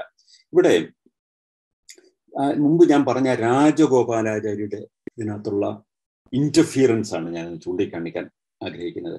ജാതി മതങ്ങളെയും ദൈവങ്ങളെയും കുറിച്ച് ഇപ്പോൾ പറയുന്ന കാര്യങ്ങൾ ഒന്നും അന്നും അന്നും ഞാൻ പറഞ്ഞിരുന്നു. എന്റെ പ്രസംഗങ്ങൾ ശ്രദ്ധിച്ച് രാജഗോപാലാചാരി ഡോസ് കൂടിപ്പോയി എന്ന് അഭിപ്രായപ്പെട്ടിരുന്നു. രാജഗോപാലാചാരി വ്യക്തിപരമായി നാസ്തികനാണ്. പക്ഷെ പെരിയാർ പറയുന്നതിന്റെ ഡോസ് കൂടിപ്പോകുന്നുണ്ട് എന്ന് അദ്ദേഹത്തിന് പരാതി ഉണ്ടായിരുന്നു ജനങ്ങൾ ഈ വിഡ്ഢിത്തം ഉപേക്ഷിക്കാത്തോളം കാലം കുറഞ്ഞ ഡോസ് ഇങ്ങനെ വീര്യം കുറഞ്ഞ ഡോസ് മാത്രമേ പറയാവുള്ളൂ കാര്യങ്ങൾ അങ്ങനെ ഇത്രയും തുറന്നടിച്ച് പറയാൻ പാടില്ല. നമ്മൾ ആൾക്കാരൊക്കെ അന്ധവിശ്വാസികളാണ് തിരിച്ചറിഞ്ഞുകൊണ്ട് മയത്തിലേ പറയാവുള്ളൂ. എന്ന് ഇന്ന് നമ്മൾ കേൾക്കാറുള്ള ഒരു വാദമുണ്ടല്ലോ. ഈ വാദമുഖമായിരുന്നു അന്ന് രാജഗോപാലാചാരി ഇ വി രാമസ്വാമിക്കെതിരായിട്ട് പറഞ്ഞിരുന്നത്. അദ്ദേഹം വൈക്കത്തെക്കുറിച്ച് സംസാരിക്കുമ്പോൾ ഈ പ്രശ്നം വളരെ ഗൗരവത്തോടെ മുന്നോട്ട് കൊണ്ടുവരുന്നുണ്ട്. അത് കഴിഞ്ഞിട്ട് പെരിയാർ അതിനകത്ത് വിശദീകരിക്കുന്നത് ഞാൻ അതിലേക്ക് വായിക്കുന്നതിന് ഭേദം ഞാൻ വായിച്ചപ്പോൾ പറയാം. പെരിയാർ അതിനകത്ത് വിശദീകരിക്കുന്നത് ഈ സമരം അവർണരുടെ ഒരു വൻ വിജയമായി മാറും. അത് പെരിയാറിന്റെ ഒരു വൻ വിജയമായി മാറും എന്ന് വരുന്നതോടുകൂടി. നോക്കണം ഗാന്ധി ഈ രണ്ടാം ഘട്ടത്തിൽ വീണ്ടും അവിടെ വരുന്നുണ്ട്. ഇത് അന്തിമമായിട്ട് ഇത് നടപ്പിലാകുന്ന സമയത്ത് അന്ന് രാജാവ് മരിക്കുന്നു. രാജാവിന് ശേഷം പുതിയ രാജാവ് വരുന്നു. അതിനുശേഷം ഈ തിരുവിതാംകൂർ ഒരു തീരുമാനത്തിൽ എത്തിച്ചേരുന്നതിന് മുമ്പായിട്ട് പെരിയാർ അപ്പം പിന്നെ ജയിലിലാണ് വൈക്കത്ത് ഗാന്ധി പെരിയാറുമായിട്ട് കാണുന്നുണ്ട്. പെരിയാർ അന്നത്തെ മൊണാർക്കുമായിട്ട് ചർച്ച നടത്തുന്നു. ആ പെരിയാറും ഗാന്ധിയും നടത്തിയ ചർച്ചകളുടെ അവസാനമാണ് ഇതിന്റെ ഫൈനൽ ആയിട്ടുള്ള ഷെയ്പ്പ് ഉണ്ടാകുന്നത്. പക്ഷേ പെരിയാറിന്റെ പേര് തമസ്കരിച്ചുകൊണ്ട് ഗാന്ധിയെ മാത്രം പ്രൊജക്റ്റ് ചെയ്തുകൊണ്ട് മുന്നോട്ട് കൊണ്ടുപോകാനുള്ള ഒരു വലിയ നാഷണൽ സ്ട്രാറ്റജി തന്നെ ഉണ്ടായി വരികയാണ്. അവിടെയാണ് വേറൊരു കണക്ഷൻ കൂടി വരുന്നത്. അന്ന് തിരുവിതാംകൂറിലെ ദിവാനായിരുന്ന സർ സി പി രാമസ്വാമിയര് രാജഗോപാലാചാര്യരുടെ വലിയ ചങ്ങാത്തക്കാരനായിരുന്നു. രണ്ടുപേരും തമിഴ് ബ്രാഹ്മണരായിരുന്നു. അപ്പൊ ആ തമിഴ് ബ്രാഹ്മണ താല്പര്യം തമിഴ്നാട്ടിലുള്ള ഒരു വലിയ കോൺഫ്ലിക്റ്റിന്റെ വിഷയമാണ്. തമിഴ് ബ്രാഹ്മണർ അവിടെ എല്ലാ മേഖലയിലും കേരളത്തിലെ നമ്പൂതിരിമാരെ പോലെയല്ല തമിഴ് ബ്രാഹ്മണർ അവരുടെ സമസ്ത മേഖലയിലും അവരുടെ ശക്തി ഉറപ്പിച്ചിരുന്ന അവരുടെ സാമൂഹ്യ ജീവിതത്തെ പൂർണമായി നിയന്ത്രിച്ചിരുന്ന ഒരു വിഭാഗമാണ്. അതിനെതിരായിട്ടുള്ള വലിയ ചെറുത്തുനിൽപ്പാണ് പെരിയാറിന്റെ സമരം. അപ്പൊ ഇത് ഒരേ പൊതുവായ നിലപാടുകളിൽ ഒരേ താല്പര്യമുള്ളവരാണെങ്കിൽ പോലും ആ സവർണ ബ്രാഹ്മണ താല്പര്യങ്ങളുടെ പ്രതിനിധിയായിട്ട് രാജഗോപാലാചാര്യം അതിനെതിരായിട്ടുള്ള താല്പര്യങ്ങളുടെ പ്രതിനിധിയായിട്ട് പെരിയാറും ഉണ്ട് അവിടെ പെരിയാർ ഇത്രയും വലിയ ഒരു അന്തർദേശീയ പ്രാധാന്യമുള്ള ഒരു സമരത്തിന്റെ കീ ഫാക്ടറായിട്ട് മാറുമ്പോൾ ഗാന്ധി പോലും ഈ സമരത്തെ ഗാന്ധി തള്ളിപ്പറഞ്ഞുകൊണ്ട് പിന്നോട്ടടിക്കുകയാണ്. നാരായണ ഗുരുവിന്റെ ഒക്കെ നിലപാട് തെറ്റാണ്. അങ്ങനെ നല്ല ചെയ്യേണ്ടത്. നാരായണ ഗുരുവിന്റെ സ്റ്റേറ്റ്മെന്റിനെതിരായിട്ട് പബ്ലിക് സ്റ്റേറ്റ്മെന്റ് എഴുതി യങ് ഇന്ത്യയിൽ ആർട്ടിക്കിൾ എഴുതിയ ഗാന്ധിയെ വീണ്ടും കൊണ്ടുവന്നിട്ട് പെരിയാറിന്റെ പ്രാധാന്യം കുറയ്ക്കുന്നതിന് വേണ്ടിയിട്ട് ഒരു വലിയ കോൺസ്പ്രസി ആരംഭിക്കുകയാണ്. അവിടെ ഉണ്ടാവുന്നത് ഇങ്ങനെ ഒരു തീരുമാനത്തിലേക്ക് നീങ്ങേണ്ടി വരും അറിയാവുന്ന സർ സി പി രാജഗോപാലാചാര്യയായിട്ട് ബന്ധപ്പെടുകയും ഗാന്ധിയുടെ ഏറ്റവും അടുത്ത സുഹൃത്താണ് രാജഗോപാലാചാരി. രാജഗോപാലിയാണ് രാജഗോപാലാചാരിയാണ് യങ് ഇന്ത്യയിലൊക്കെ എഴുതിയിരുന്ന നിലപാടുകളിൽ നിന്ന് മാറ്റി ഗാന്ധിയെ മാറ്റിയെടുത്ത് വൈക്കം സത്യഗ്രഹത്തിലേക്ക് വീണ്ടും ആകർഷിച്ച് കൊണ്ടുവരുന്നതിന്റെ കീ റോൾ വഹിച്ചത് രാജഗോപാലാചാരി ആയിരുന്നു എന്നതാണ് പെരിയാർ തെളിവ് സഹിതം ചൂണ്ടിക്കാണിക്കുന്നത്. അതുവഴി ഈ സ്റ്റീലിംഗ് ദി വിക്ടറി എന്ന് പറയുന്ന ഒരു സമരമുണ്ടല്ലോ അല്ലെ? ഒരു അയിത്ത ജാതിക്കാർ നടത്തിയ ഒരു സമരം. അവരുടെ വൻ വിജയമായി കലാശിക്കേണ്ടിയിരുന്ന ഒരു സമരം. അത് അവർണരും സവർണരും ചെയ്ത് നടക്കുന്ന ഒരു സമരമാണ്. അതിന് ബ്രാഹ്മണനായ സർ സി പി രാമസ്വാമി നയ്യരാണ് അതിന് നേതൃത്വം കൊടുത്തതെന്നുള്ള ഒരു അവസ്ഥ ഉണ്ടാക്കുക ഗാന്ധി വന്നിട്ടാണ് ഇതെല്ലാം ചെയ്ത്. ഗാന്ധി ഈ മെതഡ്സിനെയൊക്കെ എതിർത്തുകൊണ്ട് പിന്നോട്ടടിച്ച ആളാണ്. ഗാന്ധി വന്നിട്ട് അതിന് നേതൃത്വം കൊടുത്തുന്നു ഒക്കെ കൊണ്ടുവന്ന് ഗാന്ധിയെ ഇതിന്റെ മുൻനിരയിൽ കൊണ്ടുവന്നിട്ട് ആണ് ഇത് വിജയിപ്പിച്ചെടുക്കാനായിട്ടുള്ള ഒരു വലിയ എന്താ പറയുക മാസ്റ്റർ മാനിപ്പുലേഷൻ നടക്കുന്നത്. അപ്പോൾ ഗാന്ധിയുടെ പങ്ക് കുറവാന്നല്ല ഞാൻ പറയുന്നത്. ഗാന്ധി അന്ന് വലിയ അപ്രമാദിത്വമുള്ള നേതാവാണ്. ഗാന്ധി പറയുന്നതിന് വലിയ വിലയുണ്ട്. ദേശം മുഴുവൻ കേൾക്കും.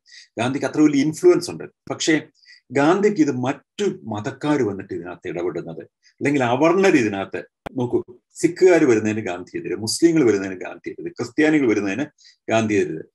ഈ സവർണർ വരുന്നതിന് ഗാന്ധി എതിരല്ല.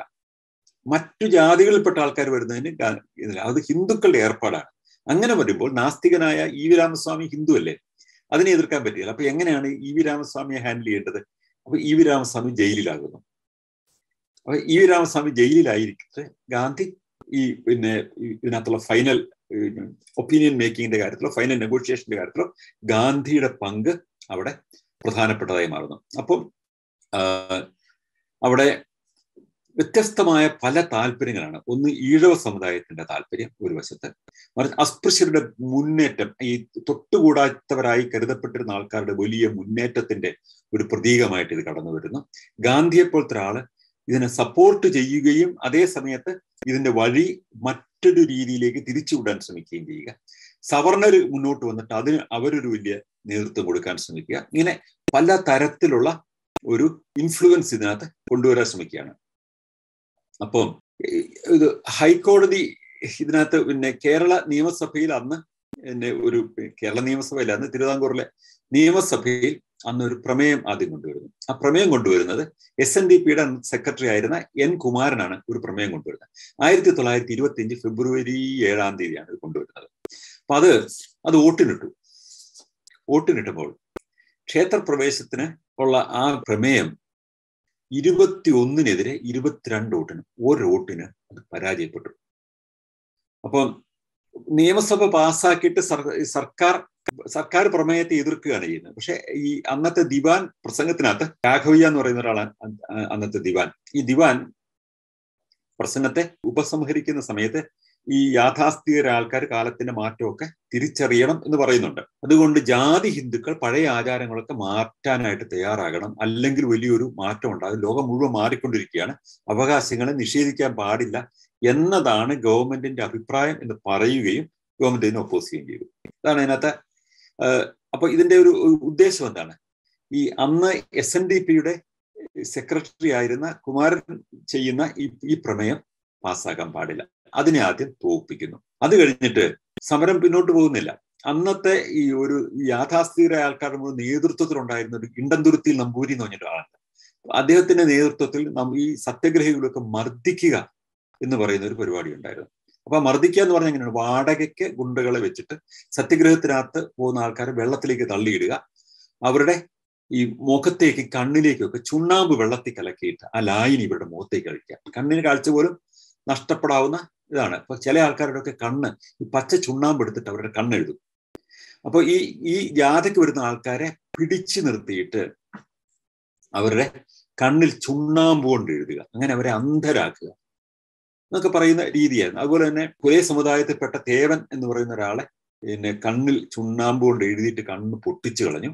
പിന്നെ ചിറ്റയടത്ത് ശങ്കരപ്പിള്ള എന്ന് പറഞ്ഞ ഒരാളെ മർദ്ദിച്ച് കൊന്നു. ഇങ്ങനെ ഒരു ഭയങ്കര ഭീകരമായ രീതിയിലേക്ക് ഈ രീതി പോവുകയാണ്. അപ്പം ഇത് ഇതുകൊണ്ട് ഗാന്ധി അപ്പോഴെടുക്കുന്ന നിലപാട് എന്താണ്? ഇങ്ങനെ ഗുണ്ടകളെ അഴിച്ചുവിടുന്നത് അഖിലേന്ത്യാ അടിസ്ഥാനത്തിന്റെ ജനാഭിപ്രായം അവർക്ക് അനുകൂലമായി തിരിച്ചുവിടും. അതുകൊണ്ട് ഇങ്ങനെ ഗുണ്ടകളെ അഴിച്ചുവിടാൻ പാടില്ല. അക്രമം അവരുടെ മേൽ നടത്താൻ പാടില്ല എന്നൊക്കെ പറഞ്ഞ് ഗാന്ധി ഉപദേശിച്ചുകൊണ്ടുള്ള എങ്ങിന്റെ വീണ്ടും ലേഖനങ്ങൾക്ക് എഴുതുന്നുണ്ട്. അപ്പോൾ പിന്നീട് കാണുന്നത് ഗാന്ധി വീണ്ടും വരുന്നു നാരായണ ഗുരുവിനെ കാണുന്നു. അത് ആ സംഭാഷണമൊക്കെ വളരെ പ്രസിദ്ധമായ ഒരു സംഭവമാണ്. അത് കഴിഞ്ഞിട്ട് അവിടെ ഉണ്ടായിരുന്ന സവർണ നേതാക്കന്മാരുടെ വീട്ടിൽ പോയിട്ട് ഗാന്ധി കാണാൻ ശ്രമിക്കുന്നു. അപ്പം ഇണ്ടന്തുരുത്തി ദേവൻ നീലകണ്ഠൻ നമ്പൂതിരി എന്ന് പറഞ്ഞൊരു പാർട്ടിയുണ്ട്. അദ്ദേഹത്തിന്റെ ഒരു മനയുണ്ട്. ആ മനയിൽ പോയിട്ട് ഗാന്ധി അദ്ദേഹത്തെ കാണുന്നുണ്ട്. ഈ ഗാന്ധിയെ കാണാനായിട്ട് ക്ഷണിക്കുമ്പോൾ തന്നെ കാണണം എന്നുള്ള ഒരു വീട്ടിൽ വന്ന് കാണാം. അങ്ങോട്ടൊന്നും വന്ന് കാണാൻ പറ്റില്ല എന്നാണ് ഇണ്ടന്തുരത്തിൽ പറയുന്നത്. അപ്പൊ ഗാന്ധി എന്ത് ചെയ്തു? ഗാന്ധി അവരുടെ വീട്ടിലെത്തുന്നു. അപ്പം രാജഗോപാലാചാരി ഇതിന്റെയൊക്കെ സൂത്രധാരകനായിരുന്ന ഈ സവർണ ഈ വിജയത്തിന്റെ മുഴുവനും ക്രെഡിറ്റും സവർണരുടെ കയ്യിലേക്ക് പോകണം എന്ന് കരുതിയിരുന്ന രാജഗോപാലാചാരി ഗാന്ധിയുടെ കൂടെ എത്തുകയാണ്. എന്നിട്ട് ഗാന്ധി പിന്നെ രാജഗോപാലാചാരി തുടങ്ങിയ എല്ലാവരും കൂടി അവിടെ എത്തിയിട്ട് ഈ വടക്കങ്കൂർ രാജ തുടങ്ങിയ പല ആൾക്കാരും എത്തിയിട്ട് ഒരു സംഭാഷണം നടത്തുന്നു. അങ്ങനെ ഒടുവിൽ വീട്ടിന്റെ വരാന്തയിലാണ് ഗാന്ധി ഇരുത്തുന്നത്. അകത്തേക്ക് കയറാൻ പോലും സമ്മതിക്കുന്നില്ല. അപ്പൊ അവർക്ക് അശുദ്ധിയുള്ളവരായതുകൊണ്ട് പിന്നെ അവരെ അകത്തൊന്നും കയറാൻ സമ്മതിച്ചില്ല. അങ്ങനെ ഈ ചർച്ചകളുടെ ഒക്കെ അവസാനം ഒരു ഒത്തുതീർപ്പ് ഉണ്ടാകുന്നു. ആ ഒത്തുതീർപ്പിൽ വെച്ചിട്ട് ഒരു നിരോധന ഉത്തരവെല്ലാം പിൻവലിക്കാമെന്നും ഈ വ്യവസ്ഥയെല്ലാം നടപ്പിലാക്കാമെന്നും ഒക്കെ പറഞ്ഞ് ഒരു ഒത്തുതീർപ്പ് ഉണ്ടാകുന്നു. അങ്ങനെ at the end of the day അവർണർക്ക് ഇത് പൂർണമായിട്ടും തുറന്നു കൊടുക്കുകയാണ്. അപ്പം അങ്ങനെ സമ്മതിക്കുമ്പോൾ തന്നെ ക്ഷേത്രത്തിന്റെ തെക്ക് മുടക്കം പടിഞ്ഞാറുമുള്ള വഴി എല്ലാവർക്കും തുറന്നു കൊടുക്കാം. എന്നാൽ കിഴക്കുവശത്തെ വഴി അതിലേക്ക് വരുന്ന രണ്ട് വഴി സവർണർക്ക് മാത്രമാണ്. ഈ മറ്റു മറ്റു വശത്തോടെ അവർക്ക് വേണമെങ്കിൽ വരാം. പക്ഷെ മറ്റേ ഈ പിന്നെ കിഴക്കുവശത്തുള്ള വഴി കൂടെ സവർണർക്ക് മാത്രമേ വരാവുള്ളൂ. ആ നിലയിലാണ് അന്നൊരു താൽക്കാലികമായ ഒത്തുതീർപ്പ് ഉണ്ടാക്കുന്നത്. അങ്ങനെ രണ്ട് പിന്നെ വ്യത്യസ്ത കവാടങ്ങൾ മൂന്ന് സ്ഥലങ്ങളിൽ കവാടങ്ങളുണ്ട്. അതിനകത്ത് രണ്ട് കവാടങ്ങളിലൂടെ മറ്റുള്ളവർക്ക് കടന്നു പോകാം. മറ്റുള്ളവർക്ക് ഈ സവർണർക്ക് മറ്റൊരു കവാടം കൊടുത്തിട്ട് ഇങ്ങനെ ഒരു ഒത്തുതീർപ്പുണ്ടാക്കി. അപ്പൊ ഇതിന്റെ വിശദാംശങ്ങൾ രാജഗോപാലാചാരി നേരിട്ട് ഈ പ്രശ്നത്തിൽ ഇടപെടുകയാണ്. കാരണം എന്തുകൊണ്ടാണ്? ഇത് തമിഴ്നാട്ടിലെ ബ്രാഹ്മണരും അബ്രാഹ്മണരും തമ്മിലൊരു സമരത്തിന്റെ ഒരു മുഖമാണ് ഇത് പെരിയാറിനെ ജയിലിൽ അടച്ചിരിക്കുകയാണ്. രാജഗോപാലാചാരി ബ്രാഹ്മണനായ രാജഗോപാലാചാരി സവർണ താല്പര്യത്തിന്റെ പ്രതിനിധിയായ രാജഗോപാലാചാരി വന്നിട്ട് ഈ രാജഗോപാലാചാരി ഗാന്ധിയെ ഇൻവോൾവ് നടത്തുന്ന ഒരു വലിയ ഗെയിമായിട്ട് ഇത് മാറി. പിന്നീടും ഒത്തുതീർപ്പ് വ്യവസ്ഥകളൊന്നും പൂർത്തിയാവുന്നില്ല. അപ്പോൾ ഇതിന് പല തരത്തിലുള്ള മാറ്റങ്ങളൊക്കെ ഉണ്ടായിട്ട് ഒടുവിൽ ഒരു പ്രധാനപ്പെട്ട ഒരു സ്ട്രാറ്റജിക് പ്രഷർ ഇതിന്റെ മേലുണ്ടായി. ആ പ്രഷർ ഓർത്തിരിക്കേണ്ട ഒരു പ്രധാനപ്പെട്ട സംഗതി. ഈ സമയത്ത് മതപരിവർത്തന ശ്രമങ്ങൾ വളരെ സജീവമായി നടക്കുന്നുണ്ട്. കാരണം നിങ്ങൾക്ക് നടക്കാൻ പാടില്ലാത്ത ഈ വഴി കൂടെ നിങ്ങൾക്ക് നടക്കണമെങ്കിൽ നിങ്ങൾ ക്രിസ്ത്യാനി ആയാൽ മതി അല്ലെങ്കിൽ മുസ്ലിം ആയാൽ മതി എന്ന് പറയുന്നത് ആകർഷകമായ ഒരു ഒരു വാദമല്ല നിങ്ങൾക്ക് നിങ്ങൾ അന്യരാണ് നിങ്ങളെ കൂട്ട ചേർക്കാത്ത ആൾക്കാരാണ് എന്ന് പറയുമ്പോൾ ഒട്ടേറെ ആൾക്കാർ ഇസ്ലാം മതത്തിലേക്കും ക്രിസ്തു മതത്തിലേക്കും മതപരിവർത്തനം ചെയ്യുന്നതിന് ഹിന്ദു മതത്തിലെ അന്നത്തെ ഐത്തം അതുമായി ബന്ധപ്പെട്ട സവർണറുടെ ഈ ശാഠ്യം വഴിയൊരുക്കുന്ന ഇതേ തുറന്നിട്ട് അന്ന് ഈഴവ സമുദായത്തിന്റെ ഒരു പ്രമുഖ നേതാവായിരുന്ന C V Kunhiraman. C V Kunhiraman യുക്തിവാദി മാസികയുടെ ആദ്യ പത്രാധിപരും കൂടിയായിരുന്നു. അന്നത്തെ എസ് എൻ ഡി പി എന്ന് പറയുന്നത് ഇന്നത്തെ എസ് എൻ ഡി പി അല്ല അത് ജാതിക്കെതിരായി പടപൊരുതിയിരുന്ന ഒരു ഒരു വലിയ പ്രസ്ഥാനമായിരുന്നു. എം സി ജോസഫിനെ പോലത്തെ ആൾക്കാരൊക്കെ അതിൽ അംഗങ്ങളായിരുന്നു. സി വി കുഞ്ഞിരാമൻ നാസ്തികനായിരുന്നു. അദ്ദേഹം അതിനകത്ത് അംഗമായിരുന്നു. സി കേശവൻ നാസ്തികനായ തിരുക്കൊച്ചിയിലെ ആദ്യത്തെ മുഖ്യമന്ത്രി അതിനകത്ത് അംഗമായിരുന്നു. സഹോദരൻ അയ്യപ്പൻ അതിന്റെ അധ്യക്ഷനായിരുന്നു. ഇങ്ങനെയൊക്കെ ഉള്ള ആൾക്കാരെയൊക്കെ ഉൾക്കൊള്ളുന്ന ഒരു എസ് എൻ ഡി പി ആണ് ഉള്ളത് അന്നുള്ളത്. അപ്പം ഈ അന്ന് ഒരു വലിയ ക്യാമ്പയിൻ നടക്കുന്നത് ഈഴ ഒരു മൊത്തം മറ്റേതെങ്കിലും മതത്തിലേക്ക് മതപരിവർത്തനം ചെയ്യണം. ഈ ഹിന്ദു മതം ഉപേക്ഷിക്കണം. ഓർക്കണം. ഇന്ന് പോലും കേരളത്തിലെ ആകെ ജനതയുടെ ഇരുപത്തിനാല് ശതമാനം ഈഴവരാണ്. ഒരുപാട് മതപരിവർത്തനം നടന്നിട്ടുള്ള ഒരു കമ്മ്യൂണിറ്റിയാണ് അത് അപ്പൊ അതിനേക്കാൾ കൂടുതൽ ആൾക്കാർ അന്ന് ഉണ്ടായിരുന്നു. അപ്പൊ ഈഴവ സമുദായത്തിലെ മുഴുവൻ ആൾക്കാർ വന്ന് ഇസ്ലാം മതത്തിലേക്ക് ചേരുകയാണെങ്കിൽ അല്ലെങ്കിൽ ക്രിസ്തു മതത്തിലേക്ക് ചേരുകയാണെങ്കിൽ ആ ചേരുന്ന സമുദായം ഏതാണോ അത് കേരളത്തിലെ ഒരു പ്രബലമായ സമുദായമായി മാറും അല്ലേ? അന്ന് ഈഴവർ മുഴുവനും ഇസ്ലാം മതത്തിലേക്കായിരുന്നു ചേർന്നതെങ്കിൽ അതിന്റെ ഫലമായിട്ടുണ്ടാവുക കേരളത്തിലെ ഈ അല്ലെങ്കിൽ തിരുക്കൊച്ചിയിലെ മെജോറിറ്റി റിലിജ്യൻ എന്ന് പറയുന്നത് അന്ന് ഇസ്ലാം മതമായി മാറുമായിരുന്നു. അല്ലെങ്കിൽ അവർ ക്രിസ്തുമത്തിലേക്ക് ചേർന്നിരുന്നെങ്കിൽ ഇതൊരു പ്രിഡോമിനന്റ് ആയിട്ടുള്ള ഒരു ഒരു അൻപത് ശതമാനത്തിലേറെ വരാവുന്ന ഒരു സമുദായമായിട്ട് അത് മാറുമായിരുന്നു. അപ്പോ ഈ മതപരിവർത്തനം എന്ന് പറയുന്ന ആശയം പെട്ടെന്ന് അത് ഈ മതപരിവർത്തനത്തിൽ താല്പര്യമുള്ള മിഷണറി സംഘങ്ങൾക്കും ഇസ്ലാം മത ഗ്രൂപ്പുകൾക്കൊക്കെ വലിയ താല്പര്യം ഉണ്ടായി അപ്പൊ അന്ന് ഏത് മതത്തിലേക്ക് മതപരിവർത്തനം ചെയ്യണം എന്നൊരു ചർച്ച തന്നെ നടക്കുന്നുണ്ട്. ആ ചർച്ചയിൽ ഇവരൊക്കെ സജീവമായിട്ട് പങ്കെടുക്കുന്നുണ്ട്. ഇസ്ലാം മതത്തിൽ ചേരണം എന്നുള്ള അഭിപ്രായം പിന്നെ മാറുകയാണെങ്കിൽ അത് ഇസ്ലാം മതമായിരിക്കും അതിനാണ് ഇച്ചിരി ഒരു ഒരു ഒരു വാശിയും വീറും ഒക്കെ ഉള്ള ഒരു മതം അതാണ് എന്നൊക്കെ പറയുന്ന സഹോദരനെപ്പനൊക്കെ അങ്ങനെയൊക്കെ പറഞ്ഞിട്ടുണ്ട്. അപ്പൊ ഒരു വല്ലാത്ത ഒരു ഒരു കാലഘട്ടമാണ്. അപ്പൊ സി വി കുഞ്ഞിരാമൻ അപ്പൊ ബുദ്ധമതത്തിൽ ചേരുന്നതാണ് കുറെ കൂടി ഉചിതം എന്ന് പറയുന്ന അപ്പൊ ആ ബുദ്ധമതവും ഒക്കെ ആയിട്ട് ഒരു പഴയ ബന്ധം ഈഴവ സമുദായത്തെ പല ആൾക്കാരും ഐഡന്റിഫൈ ചെയ്യാൻ ശ്രമിക്കുന്നുണ്ട്. അപ്പൊ അത് ബുദ്ധമതത്തിൽ ചേരണം എന്ന് ആലോചന വരുന്നു. അപ്പൊ ബുദ്ധമതത്തിൽ ചേർന്നാൽ അത്രയും വലിയ ഒരു പവർഫുൾ ആയിട്ടുള്ള ഒരു പ്രസൻസ് ആവില്ല. അപ്പോൾ സി വി കുഞ്ഞിരാമൻ ഒരു വലിയ പ്രഖ്യാപനം നടത്തുകയാണ്. ഈഴവ സമുദായത്തിലെ മുഴുവൻ ആൾക്കാരും ക്രിസ്തു മതത്തിലേക്ക് ചേരാൻ പോകുന്നു എന്ന് പറയുന്ന ഒരു പ്രസ്താവന നടത്തി. ഈ പ്രസ്താവനയുടെ പിന്നിലുണ്ടായിരുന്നത് എന്നെ എന്നെ ക്രിസ്തുമതത്തിലേക്ക് ചേരാനുള്ള താല്പര്യത്തെക്കാൾ കൂടുതലായിട്ട് ഇതൊരു വലിയ ബാർഗെയിനിങ് ആയിരുന്നു. അന്ന് തന്നെ ഓൾറെഡി ആൾക്കാർ ഒരുപാട് കൺവേർട്ട് ചെയ്യാൻ തുടങ്ങിയിരുന്നു. രണ്ട് മതത്തിലേക്കും. ഹിന്ദു മതത്തിലെ ഇസ്ലാം മതത്തിലേക്കും പിന്നെ അതുപോലെ തന്നെ ഇങ്ങോട്ടേക്കും ക്രിസ്തു മതത്തിലേക്കും കൺവേർഷൻ നടക്കുന്നുണ്ട്. നോക്കണം. നമുക്ക് തിരിച്ചറിയേണ്ട ഒരു പ്രധാനപ്പെട്ട ഒരു സംഗതി ഉത്തരേന്ത്യയിലെ പല ഭാഗങ്ങളിലും ഇസ്ലാം മതം കടന്നു വന്നത് ഒരു അധീശത്വ ശക്തി എന്ന നിലയിലാണ്. ഒരു പൊളിറ്റിക്കൽ ഫോഴ്സ് എന്ന നിലയിലാണ്. അതിന്റെ അല്ലാത്ത കൺവേർഷൻസ് നടക്കുന്നുണ്ട്. ഈ ദലിതരുടെ ഒക്കെയുള്ള കൺവേർഷൻ നടക്കുന്നുണ്ടെങ്കിൽ പോലും അതിന്റെ മേജർ പ്രസൻസ് വലിയ പടയോട്ടങ്ങളിലൂടെയാണ് ഉണ്ടാകുന്നതെങ്കിൽ കേരളത്തിലെ കൺവേർഷൻ അത് ക്രിസ്തുമതത്തിലേക്കാണെങ്കിലും അത് ഇസ്ലാം മതത്തിലൊക്കെ ആണെങ്കിലും അതിന്റെ പ്രിഡോമിനന്റ് ഫാക്ടർ എന്ന് പറയുന്നത് പടയോട്ടമോ ആക്രമണമോ ഒന്നുമല്ല. അത് കച്ചവടക്കാരായിട്ട് വന്ന ആൾക്കാരെ ഉണ്ടാക്കിയ കൺവേർഷൻസ് ആണ് കൂടുതലായിട്ടും. അല്ലാത്ത കൺവേർഷൻസ് ഉണ്ടില്ല എന്ന് പറഞ്ഞാൽ ടിപ്പുവിന്റെ പടയോട്ടം എന്നൊക്കെ പറയുന്ന ഒരു പീരീഡ് ഉണ്ട്. അല്ലെങ്കിൽ അങ്ങനെ ചില പീരീഡുകളുണ്ട് കേരളത്തിൽ. ആ അത്തരം കാലഘട്ടത്തിൽ അല്ലെങ്കിൽ ഖിലാഫത്തിന് പ്രസ്ഥാനത്തിനൊക്കെ മുമ്പായിട്ടുണ്ടായിരിക്കുന്ന ആ സംഘർഷഭരിതമായ കാലഘട്ടം എന്നൊക്കെ പറയുന്ന സമയത്ത് ഉണ്ടാകുന്ന കോൺഫ്ലിക്റ്റിംഗ് പീരീഡ് ഉണ്ടെങ്കിൽ പോലും പ്രിഡോമിനന്റ് കൺവേർഷൻ എന്ന് പറയുന്നത് ആ രീതിയിലായിരുന്നില്ല കേരളത്തിൽ. കേരളത്തിലെ മതസൗഹാർദ്ദത്തിന്റെ ഒരു കീ തന്നെ ഇതൊരു ബലപ്രയോഗത്തിലൂടെയുള്ള മതപരിവർത്തനം. അത് പിന്നെ ഉണ്ടായിട്ടുണ്ട്. ടിപ്പുവിന്റെ പടയോട്ട കാലഘട്ടത്തിലാണ് ഏറ്റവും പ്രകടമായിട്ട് കാണാവുന്ന ഒരു വലിയ അങ്ങനെ ഒരു കാണുന്നത്. പക്ഷേ ഈ നമ്മുടെ തീരദേശത്തുണ്ടായിരുന്ന പ്രധാനപ്പെട്ട പല കൺവേർഷൻസും അങ്ങനെ ആയിരുന്നില്ല. വളരെ പഴയ ഒരു ഇസ്ലാമിക് കമ്മ്യൂണിറ്റിയാണ് കേരളത്തിലുള്ളത്. അറബികളുമായി കച്ചവട ബന്ധം ഉണ്ടായിരുന്നു കേരളീയർക്ക്. അത് മുസ് അവിടെ ഇസ്ലാം വരുന്നതിന് മുമ്പ് പോലും ആറാം നൂറ്റാണ്ടിനൊക്കെ മുമ്പ് തന്നെ നാലാം നൂറ്റാണ്ട് മുതൽ തന്നെ ഈ കച്ചവട ബന്ധങ്ങൾ നമ്മൾ കാണുന്നുണ്ട്. അപ്പൊ അതുപോലെ തന്നെ ക്രിസ്ത്യാനികൾ വന്നതും നാലാം നൂറ്റാണ്ട് അഞ്ചാം നൂറ്റാണ്ടാകുമ്പോഴേക്കും കച്ചവടക്കാരായ ക്രിസ്ത്യാനികൾ വരുന്നുണ്ട്. അപ്പൊ ഈ ഈ രീതിയിൽ വന്ന ഒരു സംഭവമായതുകൊണ്ട് ഇത് ഇവിടെയുള്ള ഒരു ജനസാമാന്യത്തിന്റെ ഭാഗമായിട്ടാണ് ഈ കമ്മ്യൂണിറ്റികൾ ഇവിടെ അടയാളപ്പെടുത്തുന്നത്. ഇവർ വെളിയിൽ നിന്ന് വന്ന ഒരു സമുദായമായിട്ടല്ല കണക്കൂട്ടുന്നത്. ഓർക്കേണ്ട ഒരു പ്രധാന സംഗതി കേരളത്തിൽ ഹിന്ദുമതം വരുന്നത് ഏഴാം നൂറ്റാണ്ടിന് ശേഷമാണ്. അപ്പൊ ഏതാണ്ട് ഒരേ കാലഘട്ടത്തിലാണ് കേരളത്തിൽ ഇസ്ലാമും ഹിന്ദുമതവും വരുന്നത് നമുക്ക് തിരിച്ചറിയാൻ പറ്റും. ഏതാണ്ട് അതിന് ഒന്നോ രണ്ടോ നൂറ്റാണ്ടോ ഒന്ന് ക്രിസ്ത്യാനികൾ വരുന്നുണ്ട്. അതിനു മുമ്പ് ഇവിടെ ഉണ്ടായിരുന്ന ഏറ്റവും പ്രധാനപ്പെട്ട ജനവിഭാഗങ്ങൾ ജൈന മതക്കാരും ബുദ്ധമതക്കാരുമായിരുന്നു അവരാണ് പിന്നീട് ഹിന്ദുമതത്തിലേക്ക് മതപരിവർത്തനം ചെയ്തത്. ബുദ്ധമതത്തിൽ നിന്നുള്ള വലിയ വിഭാഗം ക്രിസ്തുമതത്തിലേക്ക് മതപരിവർത്തനം ചെയ്തിട്ടുണ്ട്.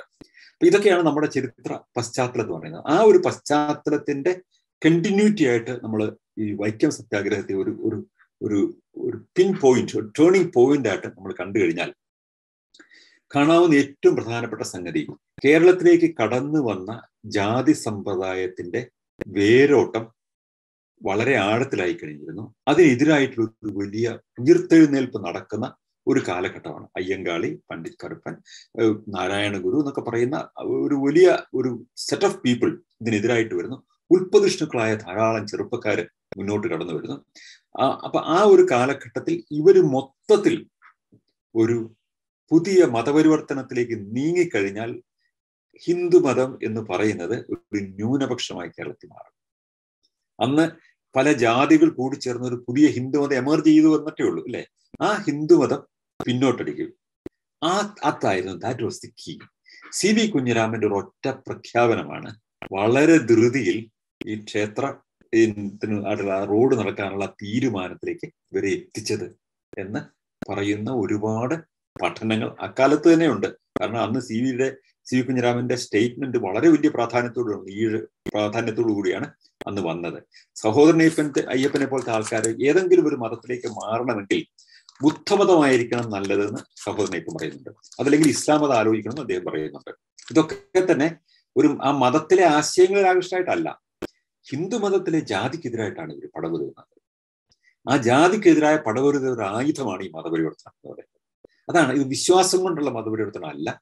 അവിടെ ഈ ഒരു ഒരു ഒരു അവരെ ചൂഷണം ചെയ്യുന്ന അവരെ മാറ്റി നിർത്തുന്ന അവരെ അന്യവൽക്കരിക്കുന്ന ഒരു രീതിക്കെതിരായിട്ടുള്ള പടപെരുതലിന്റെ ഭാഗമായിട്ടാണ് ഈ കൺവേർഷൻ തോട്ട് അന്ന് വരുന്നത്. സി വി കുഞ്ഞിരാമന്റെ പ്രഖ്യാപനം കേരളത്തെ ആകെ ഇളകി മറിച്ചു.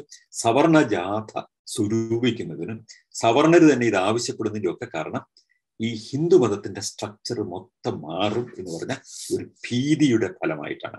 അപ്പൊ അവിടെയാണ് എന്താണ് ഇതിനെ വിജയിപ്പിച്ചത് എന്ന് ചോദിച്ചാൽ ഒന്ന് പെരിയാർ ഇ വി രാമസ്വാമി കടന്നു വന്നത്. അത് വന്നതോടുകൂടി ഇതിന്റെ ക്രെഡിറ്റ് മുഴുവൻ പെരിയാറിന് പോകുമോ എന്ന് പറയുന്ന രാജഗോപാലാചാരി ഗാന്ധിയെ ഇതിനകത്ത് ഇൻവോൾവ് ചെയ്യിപ്പിക്കുന്നു. പിന്നീട് രാജഗോപാലാചാരി തന്നെ ഇതിനകത്ത് വന്ന് ഇൻവോൾവ് ചെയ്യുന്നു. കോൺഗ്രസ് പാർട്ടി ഗാന്ധി ഈ സമരത്തെ എതിർത്തുകൊണ്ടിരുന്ന ഗാന്ധി അല്ലെങ്കിൽ ഇതിന്റെ രീതികളെ വിമർശിച്ചുകൊണ്ടിരുന്ന തത്വത്തിൽ ഗാന്ധി അനുകൂലിക്കുന്നുണ്ട്.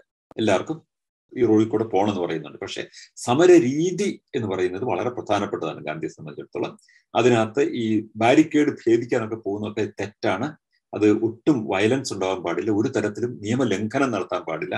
എന്നൊക്കെ ഗാന്ധി അനുശാസിച്ചിരുന്ന ഗാന്ധിയെ ഇതിന്റെ ഒരു ഒരു ഒരു വലിയ വക്താവായിട്ട് മാറ്റിയിട്ട് ഇന്ന് നമ്മൾ നോക്കുമ്പോൾ വൈക്കം സത്യഗ്രഹത്തിന്റെ പ്രതീകമായിട്ട് അടയാളപ്പെടുത്തുന്ന ആൾക്കാരിൽ ഏറ്റവും പ്രമുഖനായിട്ട് നമ്മൾ കാണുന്ന ഗാന്ധിയാണ്.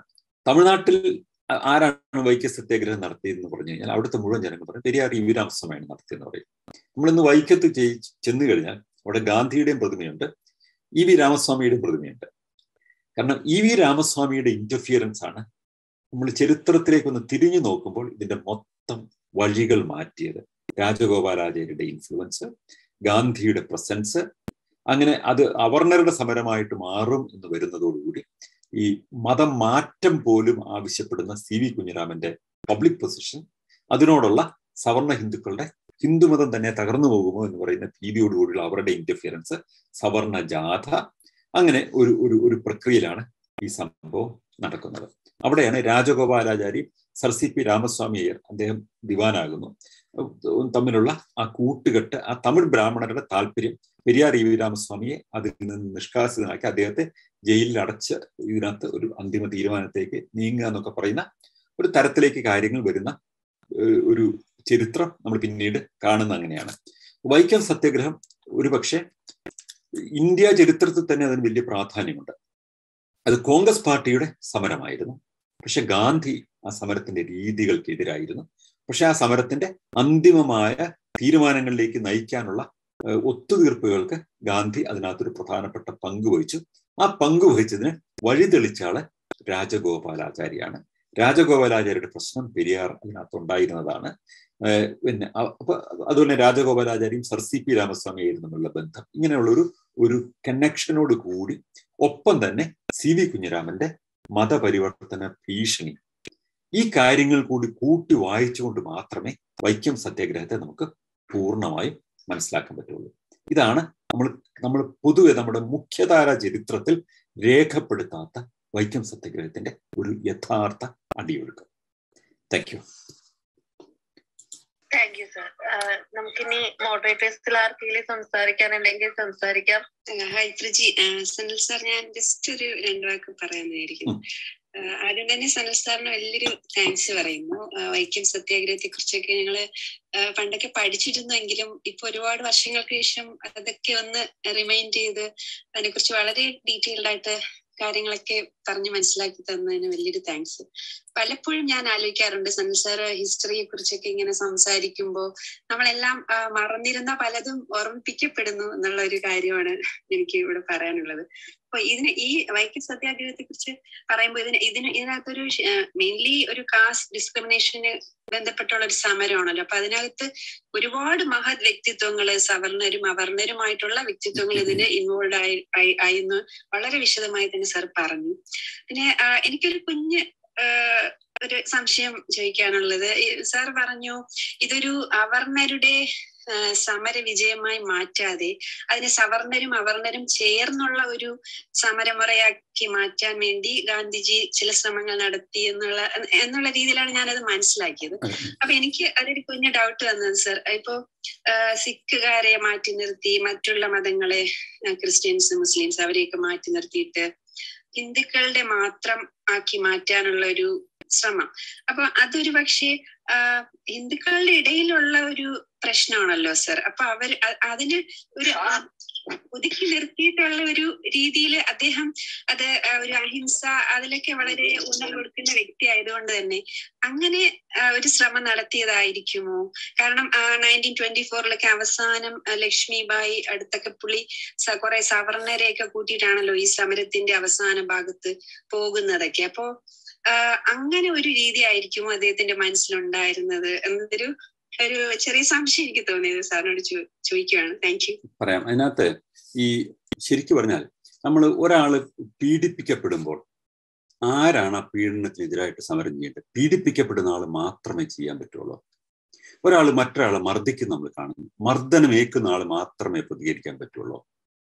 ഒരാൾ സ്ത്രീകളെ അപമാനിക്കുന്നു. അവരുടെ സ്ത്രീ എന്ന നിലയിൽ സ്ത്രീകളാണ് അവരെന്ന നിലയിൽ അവരെ ഒരു ഒരു ജെൻഡറിന്റെ അടിസ്ഥാനത്തിൽ അവരെ അപമാനിക്കുന്നു. അപ്പൊ അവർക്ക് വേണ്ടി സമരം ചെയ്യേണ്ടത് സ്ത്രീകൾ മാത്രമാണോ? ജാതിയുടെ പേരിൽ ആരെങ്കിലും അടിച്ചമർത്തി അല്ലെങ്കിൽ അവർക്കൊരു വിവേചനം കാണിച്ചാൽ അതിനകത്ത് താഴ്ത്തപ്പെട്ട ജാതികൾപ്പെട്ട ആൾക്കാർ മാത്രമാണ് സമരം ചെയ്യേണ്ടത്? ഇതൊരു ഫണ്ടമെന്റൽ ആയിട്ടൊരു പോളിസിയുടെ ഇഷ്യൂ ആണ്. ഈ ഈ സമരങ്ങളെയൊക്കെ തന്നെ പലപ്പോഴും ലഘൂകരിക്കാനോ അതിന്റെ പ്രാധാന്യം കുറച്ച് കാണിക്കാനുള്ള ഒരു രീതിയാണത്. ഇപ്പൊ റേസിസത്തിനെതിരായിട്ട് സമരം ചെയ്യേണ്ട ആരാണ്? റേസിസത്തിനെതിരായിട്ടുള്ള സമരം ചെയ്യേണ്ടത് ആരാണ്? അത് റേസിസത്തിന് വിധേയരായ കറുത്ത വംശക്കാർ മാത്രമാണോ ചെയ്യേണ്ടത്? അതോ അത് എല്ലാവരുടെയും പ്രശ്നമാണോ റേസിസം നോക്കൂ അടിമത്വം അമേരിക്കയിൽ അവസാനിക്കുന്നതിന് ഏറ്റവും പ്രധാനപ്പെട്ട മുൻകൈയെടുത്ത നേതാവ് അബ്രഹാം ലിങ്കനാണ് ഈ എബ്രഹാം ലിങ്കൻ അധികാരവുമായി ബന്ധപ്പെട്ടുള്ള അദ്ദേഹം അമേരിക്കൻ പ്രസിഡന്റ് ആയിരുന്നു അദ്ദേഹത്തിന് സാധിക്കുന്ന ഒരു സംഗതി ഇത് കറുത്ത വംശക്കാർ ഒത്തുചേർന്ന് അവരുടെ സമരമായി അവർ മാത്രം ചെയ്താണ് ഈ വിജയം ഭരിക്കേണ്ടതെന്ന് പറയുമ്പോൾ ഈ സമരത്തെ മാറ്റി നിർത്താനോ ഐസൊലേറ്റ് ചെയ്യാനുള്ള ഒരു മെത്ത ഒരു രീതിയാണത്. അപ്പൊ ഗാന്ധി ഖിലാഫത്ത് പ്രസ്ഥാനത്തിലേക്ക് ഗാന്ധി തന്നെ അങ്ങനെ അല്ലല്ലോ ചെയ്യുന്നത്. ഖിലാഫത്ത് പ്രസ്ഥാനം ഗാന്ധിയുടെ ഇഷ്യൂ ആണോ ഗാന്ധി ഒരു സവർണ ഹിന്ദുവാണ്.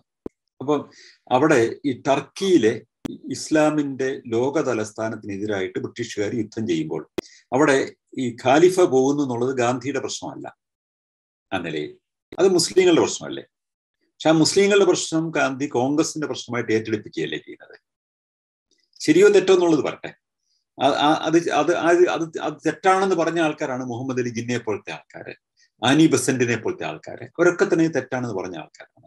ഇവൻ സവർക്കർ പോലും ഈ മൂന്ന് പേര് ഗാന്ധിയിൽ നിന്ന് അകന്നു പോയ മൂന്ന് പേര് മൂന്ന് സ്ട്രീമിലുള്ള മൂന്ന് പേര്. അവരെല്ലാം തന്നെ ഗാന്ധി എതിർക്കുകയാണ്. കാരണം ഇത് കോൺഗ്രസിന്റെ പരിപാടി ആവരുത് എന്ന് പറഞ്ഞു. പക്ഷെ അത് ഒരു മതപരമായ വിഷയമായിട്ട് പോലും അത് ഗാന്ധി അതിലേക്ക് സന്നിവേശിപ്പിക്കുന്നത് അന്ന് സ്വാതന്ത്ര്യ സമരം ഇതിനകത്ത് എല്ലാവരെയും ഇങ്ങോട്ട് ചെയ്യിച്ചുകൊണ്ട് പോകണം എന്നൊരു ചിന്ത കൊണ്ടല്ല ചെയ്യുന്നത്. അപ്പൊ ഗാന്ധി പോലും ഇത്തരം കാര്യങ്ങളിൽ ഈ അത് മുസ്ലിങ്ങളുടെ പ്രശ്നമാണ്. മുസ്ലിങ്ങളാണ് ഇത് ഹാൻഡിൽ ചെയ്യേണ്ടത്. അല്ലെങ്കിൽ ടർക്കിക്കാരുടെ പ്രശ്നമാണ് അവരാണ് ഹാൻഡിൽ ചെയ്യേണ്ടത് എന്ന് പറയല്ല ചെയ്തത്. കോൺഗ്രസിന്റെ പരിപാടിയായിട്ട് കൊണ്ടുവരില്ല ചെയ്തത്. ഈ ലോജിക്ക് ആണ് ഗാന്ധിയെ ഭരിക്കുന്നതെങ്കിൽ ഇതുണ്ടാകാൻ പാടില്ല. ഇതിനു മുമ്പ് കൂടിയാണെന്ന് ഓർക്കണം. ആയിരത്തി തൊള്ളായിരത്തി പതിനാല് പത്തൊമ്പതിലാണ് ഒന്നാം ലോകമായുദ്ധകാലം നടക്കുന്നത് അല്ലേ? ആ കാലഘട്ടത്തിലാണ് ഗാന്ധി അങ്ങനെ ഒരു നിലപാടെടുത്തത് അതേ ഗാന്ധിയാണ് പിൽക്കാലത്ത് പറയുന്നത് ഈ സവർണർ ഇത് ഇത് ഹിന്ദുക്കളുടെ പ്രശ്നമാണ് എന്ന് പറയുന്നത്. അതിന്റെ ഒരു കാരണം ഈ ഇത് ഹിന്ദുക്കൾ പ്രശ്നമാണെന്ന് പറയുന്നതിന്റെ ഒരു പ്രധാനപ്പെട്ട പ്രശ്നം. ഇത് ഇത് നടപ്പിലാക്കി കിട്ടാൻ വൈകും. അങ്ങനെ വൈകി വൈകിക്കഴിഞ്ഞാൽ ഈ സിഖുകാര് അല്ലെങ്കിൽ ക്രിസ്ത്യാനികൾ അല്ലെങ്കിൽ മുസ്ലിങ്ങൾ ഇവരൊക്കെ മതപരിവർത്തനം നടത്തി കളയും എന്ന് പറയുന്ന സവർണ ഭീഷണിക്ക് മുന്നിൽ ഗാന്ധി തെറ്റിദ്ധരിച്ചതാകാം. അത് ഗാന്ധി കാരണം ഗാന്ധിയുടെ മനസ്സ് ആ കാലഘട്ടത്തിൽ ഒരു സവർണ ഹിന്ദുവിന്റെതൊക്കെ തന്നെ ആയിരുന്നു. പിന്നീട് ഗാന്ധി ഒരുപാട് മാറുന്നുണ്ടെങ്കിലും ഗാന്ധി അയിത്തത്തിനെതിരായിട്ട് സംസാരിക്കുന്നുണ്ട്. പക്ഷെ അതൊരു ഹിന്ദു ഫ്രെയിംവർക്ക് തന്നെയാണ് ഗാന്ധി സംസാരിക്കുന്നത്. ഹിന്ദുക്കളുടെ പ്രശ്നങ്ങൾ ഹിന്ദുക്കൾ കൈകാര്യം ചെയ്തു. മതി. എന്ന് പറഞ്ഞാൽ അപ്പോൾ അങ്ങനെ പറയുമ്പോൾ അയിത്തത്തിനെതിരായിട്ടുള്ള സമരം ഹിന്ദുക്കൾ മാത്രം ചെയ്യേണ്ട സമരമാണ്. അത് അസംബ്ലി പോലും ഒന്ന് പാസ്സാവില്ല അങ്ങനെ പറഞ്ഞു കഴിഞ്ഞാൽ. കാരണം ഐത്തത്തിനെതിരായ സമരം ഐത്തത്തിന് വിധേയരായ ആൾക്കാർ മാത്രം ചെയ്യേണ്ട സമരമായി പോകും. അടിമത്തത്തിനെതിരായ സമരം അടിമത്തത്തിന് വിധേയരായ ആൾക്കാർ മാത്രം ചെയ്യേണ്ട സമരമായി പോകും. അടി കൊള്ളുന്നവനെ സംരക്ഷിക്കാനുള്ള സമരം അടി കൊള്ളുന്നവന്റെ മാത്രം സമരമായി മാറണം. അത് അങ്ങനെയല്ല വേണ്ടത് എന്നാണ് ഒരു പൊതു സമീപനിക്കാത്തുള്ളത് ഒരുപക്ഷെ ഇത് ഉണ്ടാകേണ്ടിയിരുന്നത് എനിക്കിപ്പോഴും തോന്നുന്നത് അത് സിഖുകാരുടെയും മുസ്ലിങ്ങളുടെയും ക്രിസ്ത്യാനികൾ ഇവരാരും ക്രിസ്ത്യാനികൾ എന്ന നിലയിലല്ല ഈ വന്നത്. കോൺഗ്രസ് നേതാക്കൾ എന്നുള്ള നിലയിലാണ് അവർ വന്നത്. ഒരു പള്ളിയിൽ നിന്നുള്ള ആൾക്കാരും വന്നില്ല. ഈ വന്ന മുസ്ലിം സമുദായത്തിൽപ്പെട്ട ആൾക്കാർ ഇസ്ലാമിന്റെ പക്ഷത്തു നിന്നല്ല അവർ വന്നത്. ഒരു കോൺഗ്രസ് നേതാക്കന്മാരായിരുന്നു. അവിടെയാണ് വ്യത്യാസം. അവരൊരു ഇസ്ലാം മതം പ്രചരിപ്പിക്കാൻ വന്ന ആൾക്കാരായിരുന്നില്ല. അവർ കോൺഗ്രസ് നേതാക്കളായ മുസ്ലിം സമുദായത്തിൽപ്പെട്ട ആൾക്കാരാണ്. കോൺഗ്രസിന്റെ പരിപാടിയായിരുന്നു ഇവർ ഇപ്പൊ കോൺഗ്രസിന്റെ പരിപാടിയാണെങ്കിൽ കോൺഗ്രസിലെ അംഗമായ ഒരു മുസ്ലിമിനും കോൺഗ്രസിലെ അംഗമായ ഒരു ഒരു ക്രിസ്ത്യാനിക്ക് അവരൊക്കെ സമുദായ നേതാക്കളാണ്. അപ്പൊ ഈ കേരള അന്നത്തെ ഒരു കേരളത്തിലെ സമൂഹത്തിന്റെ നേതാക്കന്മാരാണ് ഇവരെല്ലാം തന്നെ. അവരെല്ലാം ഈ സമരത്തിൽ വരികയല്ലേ വേണ്ടിയിരുന്നത്? അങ്ങനെ അതൊരു പൊതുജന മുന്നേറ്റമാക്കി കൊണ്ടുവരികയായിരുന്നില്ലേ വേണ്ടത്? ഒരുപക്ഷെ അവസാനം ഇതിനെ എതിർത്തിരുന്ന ആൾക്കാരെ തന്നെ പിന്നെ അതിന്റെ പക്ഷത്തേക്ക് കൊണ്ടുവരാതെ ഇത് മാറ്റാൻ പറ്റുകയില്ല. അപ്പൊ സവർണറുടെ സവർണർക്ക് വേണ്ടി അവർണ ചെയ്തു അപ്പൊ തെറ്റല്ലേ? ഈ ലോജിക്ക് പോയി കഴിഞ്ഞാൽ. അവർണറുടെ പക്ഷെ അവർണറല്ലേ പരിഹരിക്കേണ്ടത്? സവർണ ജാഥ നടത്തി ഇതിനെ പിന്തുണയ്ക്കുന്നത് ഈ അവർക്ക് സവർണ അവർണറുടെ പ്രശ്നമൊന്നും ഇല്ലായിരുന്ന ആൾക്കാരല്ലേ ചെയ്തത്? അപ്പൊ അതൊരു പൊളിറ്റിക്കൽ ഗെയിമായിരുന്നു പൊളിറ്റിക്കൽ ഗെയിമിലെ കാര്യങ്ങൾക്ക് നേടിയെടുക്കുന്നതിന് വേണ്ടി പറഞ്ഞ ഒരു വാദമുഖം തന്നെയായിരുന്നു റാസിയാനകത്ത് എനിക്ക് തോന്നുന്നത് ഇവിടെ ഒരു ഒരു പ്രശ്നം വരുമ്പോൾ ഇപ്പോ ഇന്ത്യയിലെ മുസ്ലിങ്ങളെ അന്യവൽക്കരിച്ചു കഴിഞ്ഞാൽ അവർക്കെതിരായിട്ട് ആക്രമണം നടത്തിയാൽ അത് മുസ്ലിങ്ങളുടെ പ്രശ്നമാണ്. അവർ മാത്രം കൈകാര്യം ചെയ്താൽ മതി എന്നാണ് നമ്മൾ പറയേണ്ടത്. അല്ല അത് ഇന്ത്യയിലെ മുഴുവൻ ജനങ്ങളുടെയും പ്രശ്നമാകും അപ്പം. അങ്ങനെയാണ് ആകേണ്ടത്.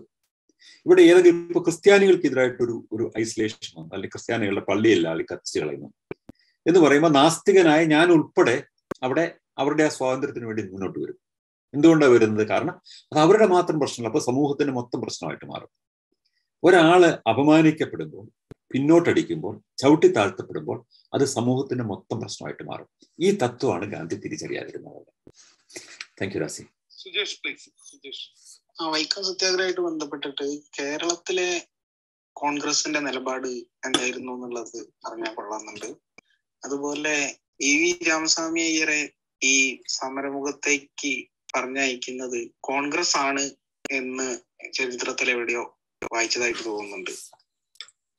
കോൺഗ്രസിന് ഈ സമരത്തിൽ നിന്നും മാറി നിൽക്കാൻ പറ്റില്ല എന്നപ്പോ അഖിലേന്ത്യാ നേതൃത്വം ഇടപെട്ടിട്ട് ഇ വി രാമസ്വാമി അയ്യർ ഈ സമരത്തിലേക്ക് അയച്ചതാണ് എന്ന് കേട്ടിട്ടുണ്ട്. അപ്പൊ അതിനെപ്പറ്റി അറിയാൻ താല്പര്യമുണ്ട്. പിന്നെ അതുപോലെ ഈ സത്യാഗ്രഹത്തിന്റെ ആദ്യത്തെ മൂന്ന് സത്യാഗ്രഹികളിൽ ഒരാൾ ഗോവിന്ദ പണിക്കർ എന്ന് പറഞ്ഞിട്ടുള്ള ആളായിരുന്നു. അപ്പൊ ആ ഗോവിന്ദ പണിക്കർ ഒരു സവർ പണിക്കരാകുമ്പോ സവർണനാണല്ലോ വ്യത്യസ്ത മൂന്ന് സമുദായത്തിൽപ്പെട്ട ഒന്ന് ബാഹുലേയ ഒന്ന് ഗോവിന്ദ പണിക്കർ പിന്നെ ഒന്ന് വേറെ ഒരു പേരുണ്ട് പെട്ടെന്ന് ഓർക്കുന്നില്ല. അപ്പോ സവർണരായിട്ടുള്ള ഹിന്ദുക്കളും തുടക്കത്തിൽ തന്നെ ഈ സമരത്തിനോട് ചില ആൾക്കെങ്കിലും അനുകൂലമായിട്ട് നിലപാടെടുത്തു എന്ന് വേണ്ടേ കരുതാൻ? ഈ ഒരു മൂന്ന് സംശയങ്ങളാണ്. ഒന്നാമത്തെ സംഗതി ഈ പെരിയാർ ഇവ ഇവ രാമസ്വാമി അയ്യരായിരുന്നില്ല. അദ്ദേഹത്തിന്റെ ജനിച്ച ജാതിയാണ് ചോദിച്ചെങ്കിൽ നായ്ക്കർ എന്ന് പറയുന്ന പിന്നോക്ക ജാതിയിൽപ്പെട്ട ഒരു സമുദായമാണ് അത്. അദ്ദേഹം ഒരിക്കലും ഒരു അയ്യരായിരുന്നില്ല. അദ്ദേഹം ബ്രാഹ്മണ്യത്തിനെതിരായിട്ടാണ് അദ്ദേഹത്തിന്റെ പ്രധാനപ്പെട്ട സമരം. തമിഴ്നാട്ടിലെ അന്നത്തെ സാഹചര്യത്തിൽ തമിഴ് ബ്രാഹ്മണരുടെ പ്രിഡോമിനൻസ് ആണ് തമിഴ് തമിഴ് സാമൂഹ്യ ജീവിതത്തിൽ ആകെ ഉണ്ടായിരുന്നത്. അതിനെതിരായിട്ടുള്ള സമരമാണ് അദ്ദേഹത്തിന് മുന്നോട്ട് കൊണ്ടുവരുന്നത്. അദ്ദേഹം കോൺഗ്രസ് പാർട്ടിയുടെ നേതാവായിരുന്നു. പക്ഷേ ഈ സമയമാകുമ്പോഴേക്കും അദ്ദേഹം കോൺഗ്രസ് പാർട്ടിക്ക് വിട്ടു കഴിഞ്ഞിരുന്നു ഈ വൈക്കത്തേക്കൊക്കെ വരുന്ന സമയമാകുമ്പോഴേക്കും അദ്ദേഹത്തിന്റെ നിലപാടുകൾ തന്നെ മാറിക്കഴിഞ്ഞു. അദ്ദേഹം ഒരു വലിയ സാമൂഹ്യ പരിഷ്കർത്താവായി മാറുകയും കോൺഗ്രസിൽ നിന്ന് മാറിക്കഴിയുകയും ചെയ്തിട്ടുണ്ട്. അദ്ദേഹം വരുന്നത് ഒരു ഒരു തമിഴ് നേതാവ് അല്ലെങ്കിൽ ദ്രാവിഡ നേതാവ് എന്നുള്ള നിലയിൽ പ്രത്യേകിച്ച് തിരുവിതാംകൂർ രാജവംശമായിട്ട് വളരെ അതായിരുന്നു സ്റ്റാറ്റ് അതിനകത്തുള്ള പ്രധാനപ്പെട്ട താല്പര്യം. അദ്ദേഹത്തിന്റെ വിചാരം അദ്ദേഹം വന്ന് ഇതിനകത്ത് ഈ സമരത്തിലേക്ക് കടന്നു വരുന്നതോടുകൂടി തിരുവിതാംകൂർ രാജവംശം തന്നെ വലിയ പ്രഷറിലാകും. കാരണം അവരുമായിട്ട് വലിയ നിരവധി തലമുറകളിൽ ഒരു വലിയ ബന്ധം നിലനിൽക്കുന്ന ഒരു കുടുംബത്തിലെ ഏറ്റവും പുതിയ തലമുറയിലെ സാമൂഹ്യ നേതാവാണ് അദ്ദേഹം. തമിഴ്നാട്ടിലെ കോൺഗ്രസ് കമ്മിറ്റിയുടെ സെക്രട്ടറി ആയിരുന്നു. നിങ്ങൾ ഓർക്കണം. എന്നിട്ട് അവിടെ നിന്ന് രാജിവെച്ചാണ് അദ്ദേഹം പൊതുപ്രവർത്തനത്തിലേക്ക് വരുന്നത്. അപ്പം അദ്ദേഹത്തെ കൊണ്ടുവന്നത് കോൺഗ്രസ് അദ്ദേഹം ഗാന്ധിക്ക് എതിരായിരുന്നു കട്ട എതിരായിരുന്നു ശരിക്കും പറഞ്ഞാൽ. രാമസ്വാമി ഗാന്ധിയായിട്ട് പിണങ്ങി ഗാന്ധിയുടെ നിലപാടുകളോട് വിയോജിച്ചുകൊണ്ടാണ് അദ്ദേഹം ജസ്റ്റിസ് പാർട്ടിയിലേക്ക് പോകുന്നതൊക്കെ തന്നെ. അപ്പൊ അത് അങ്ങനെയല്ല.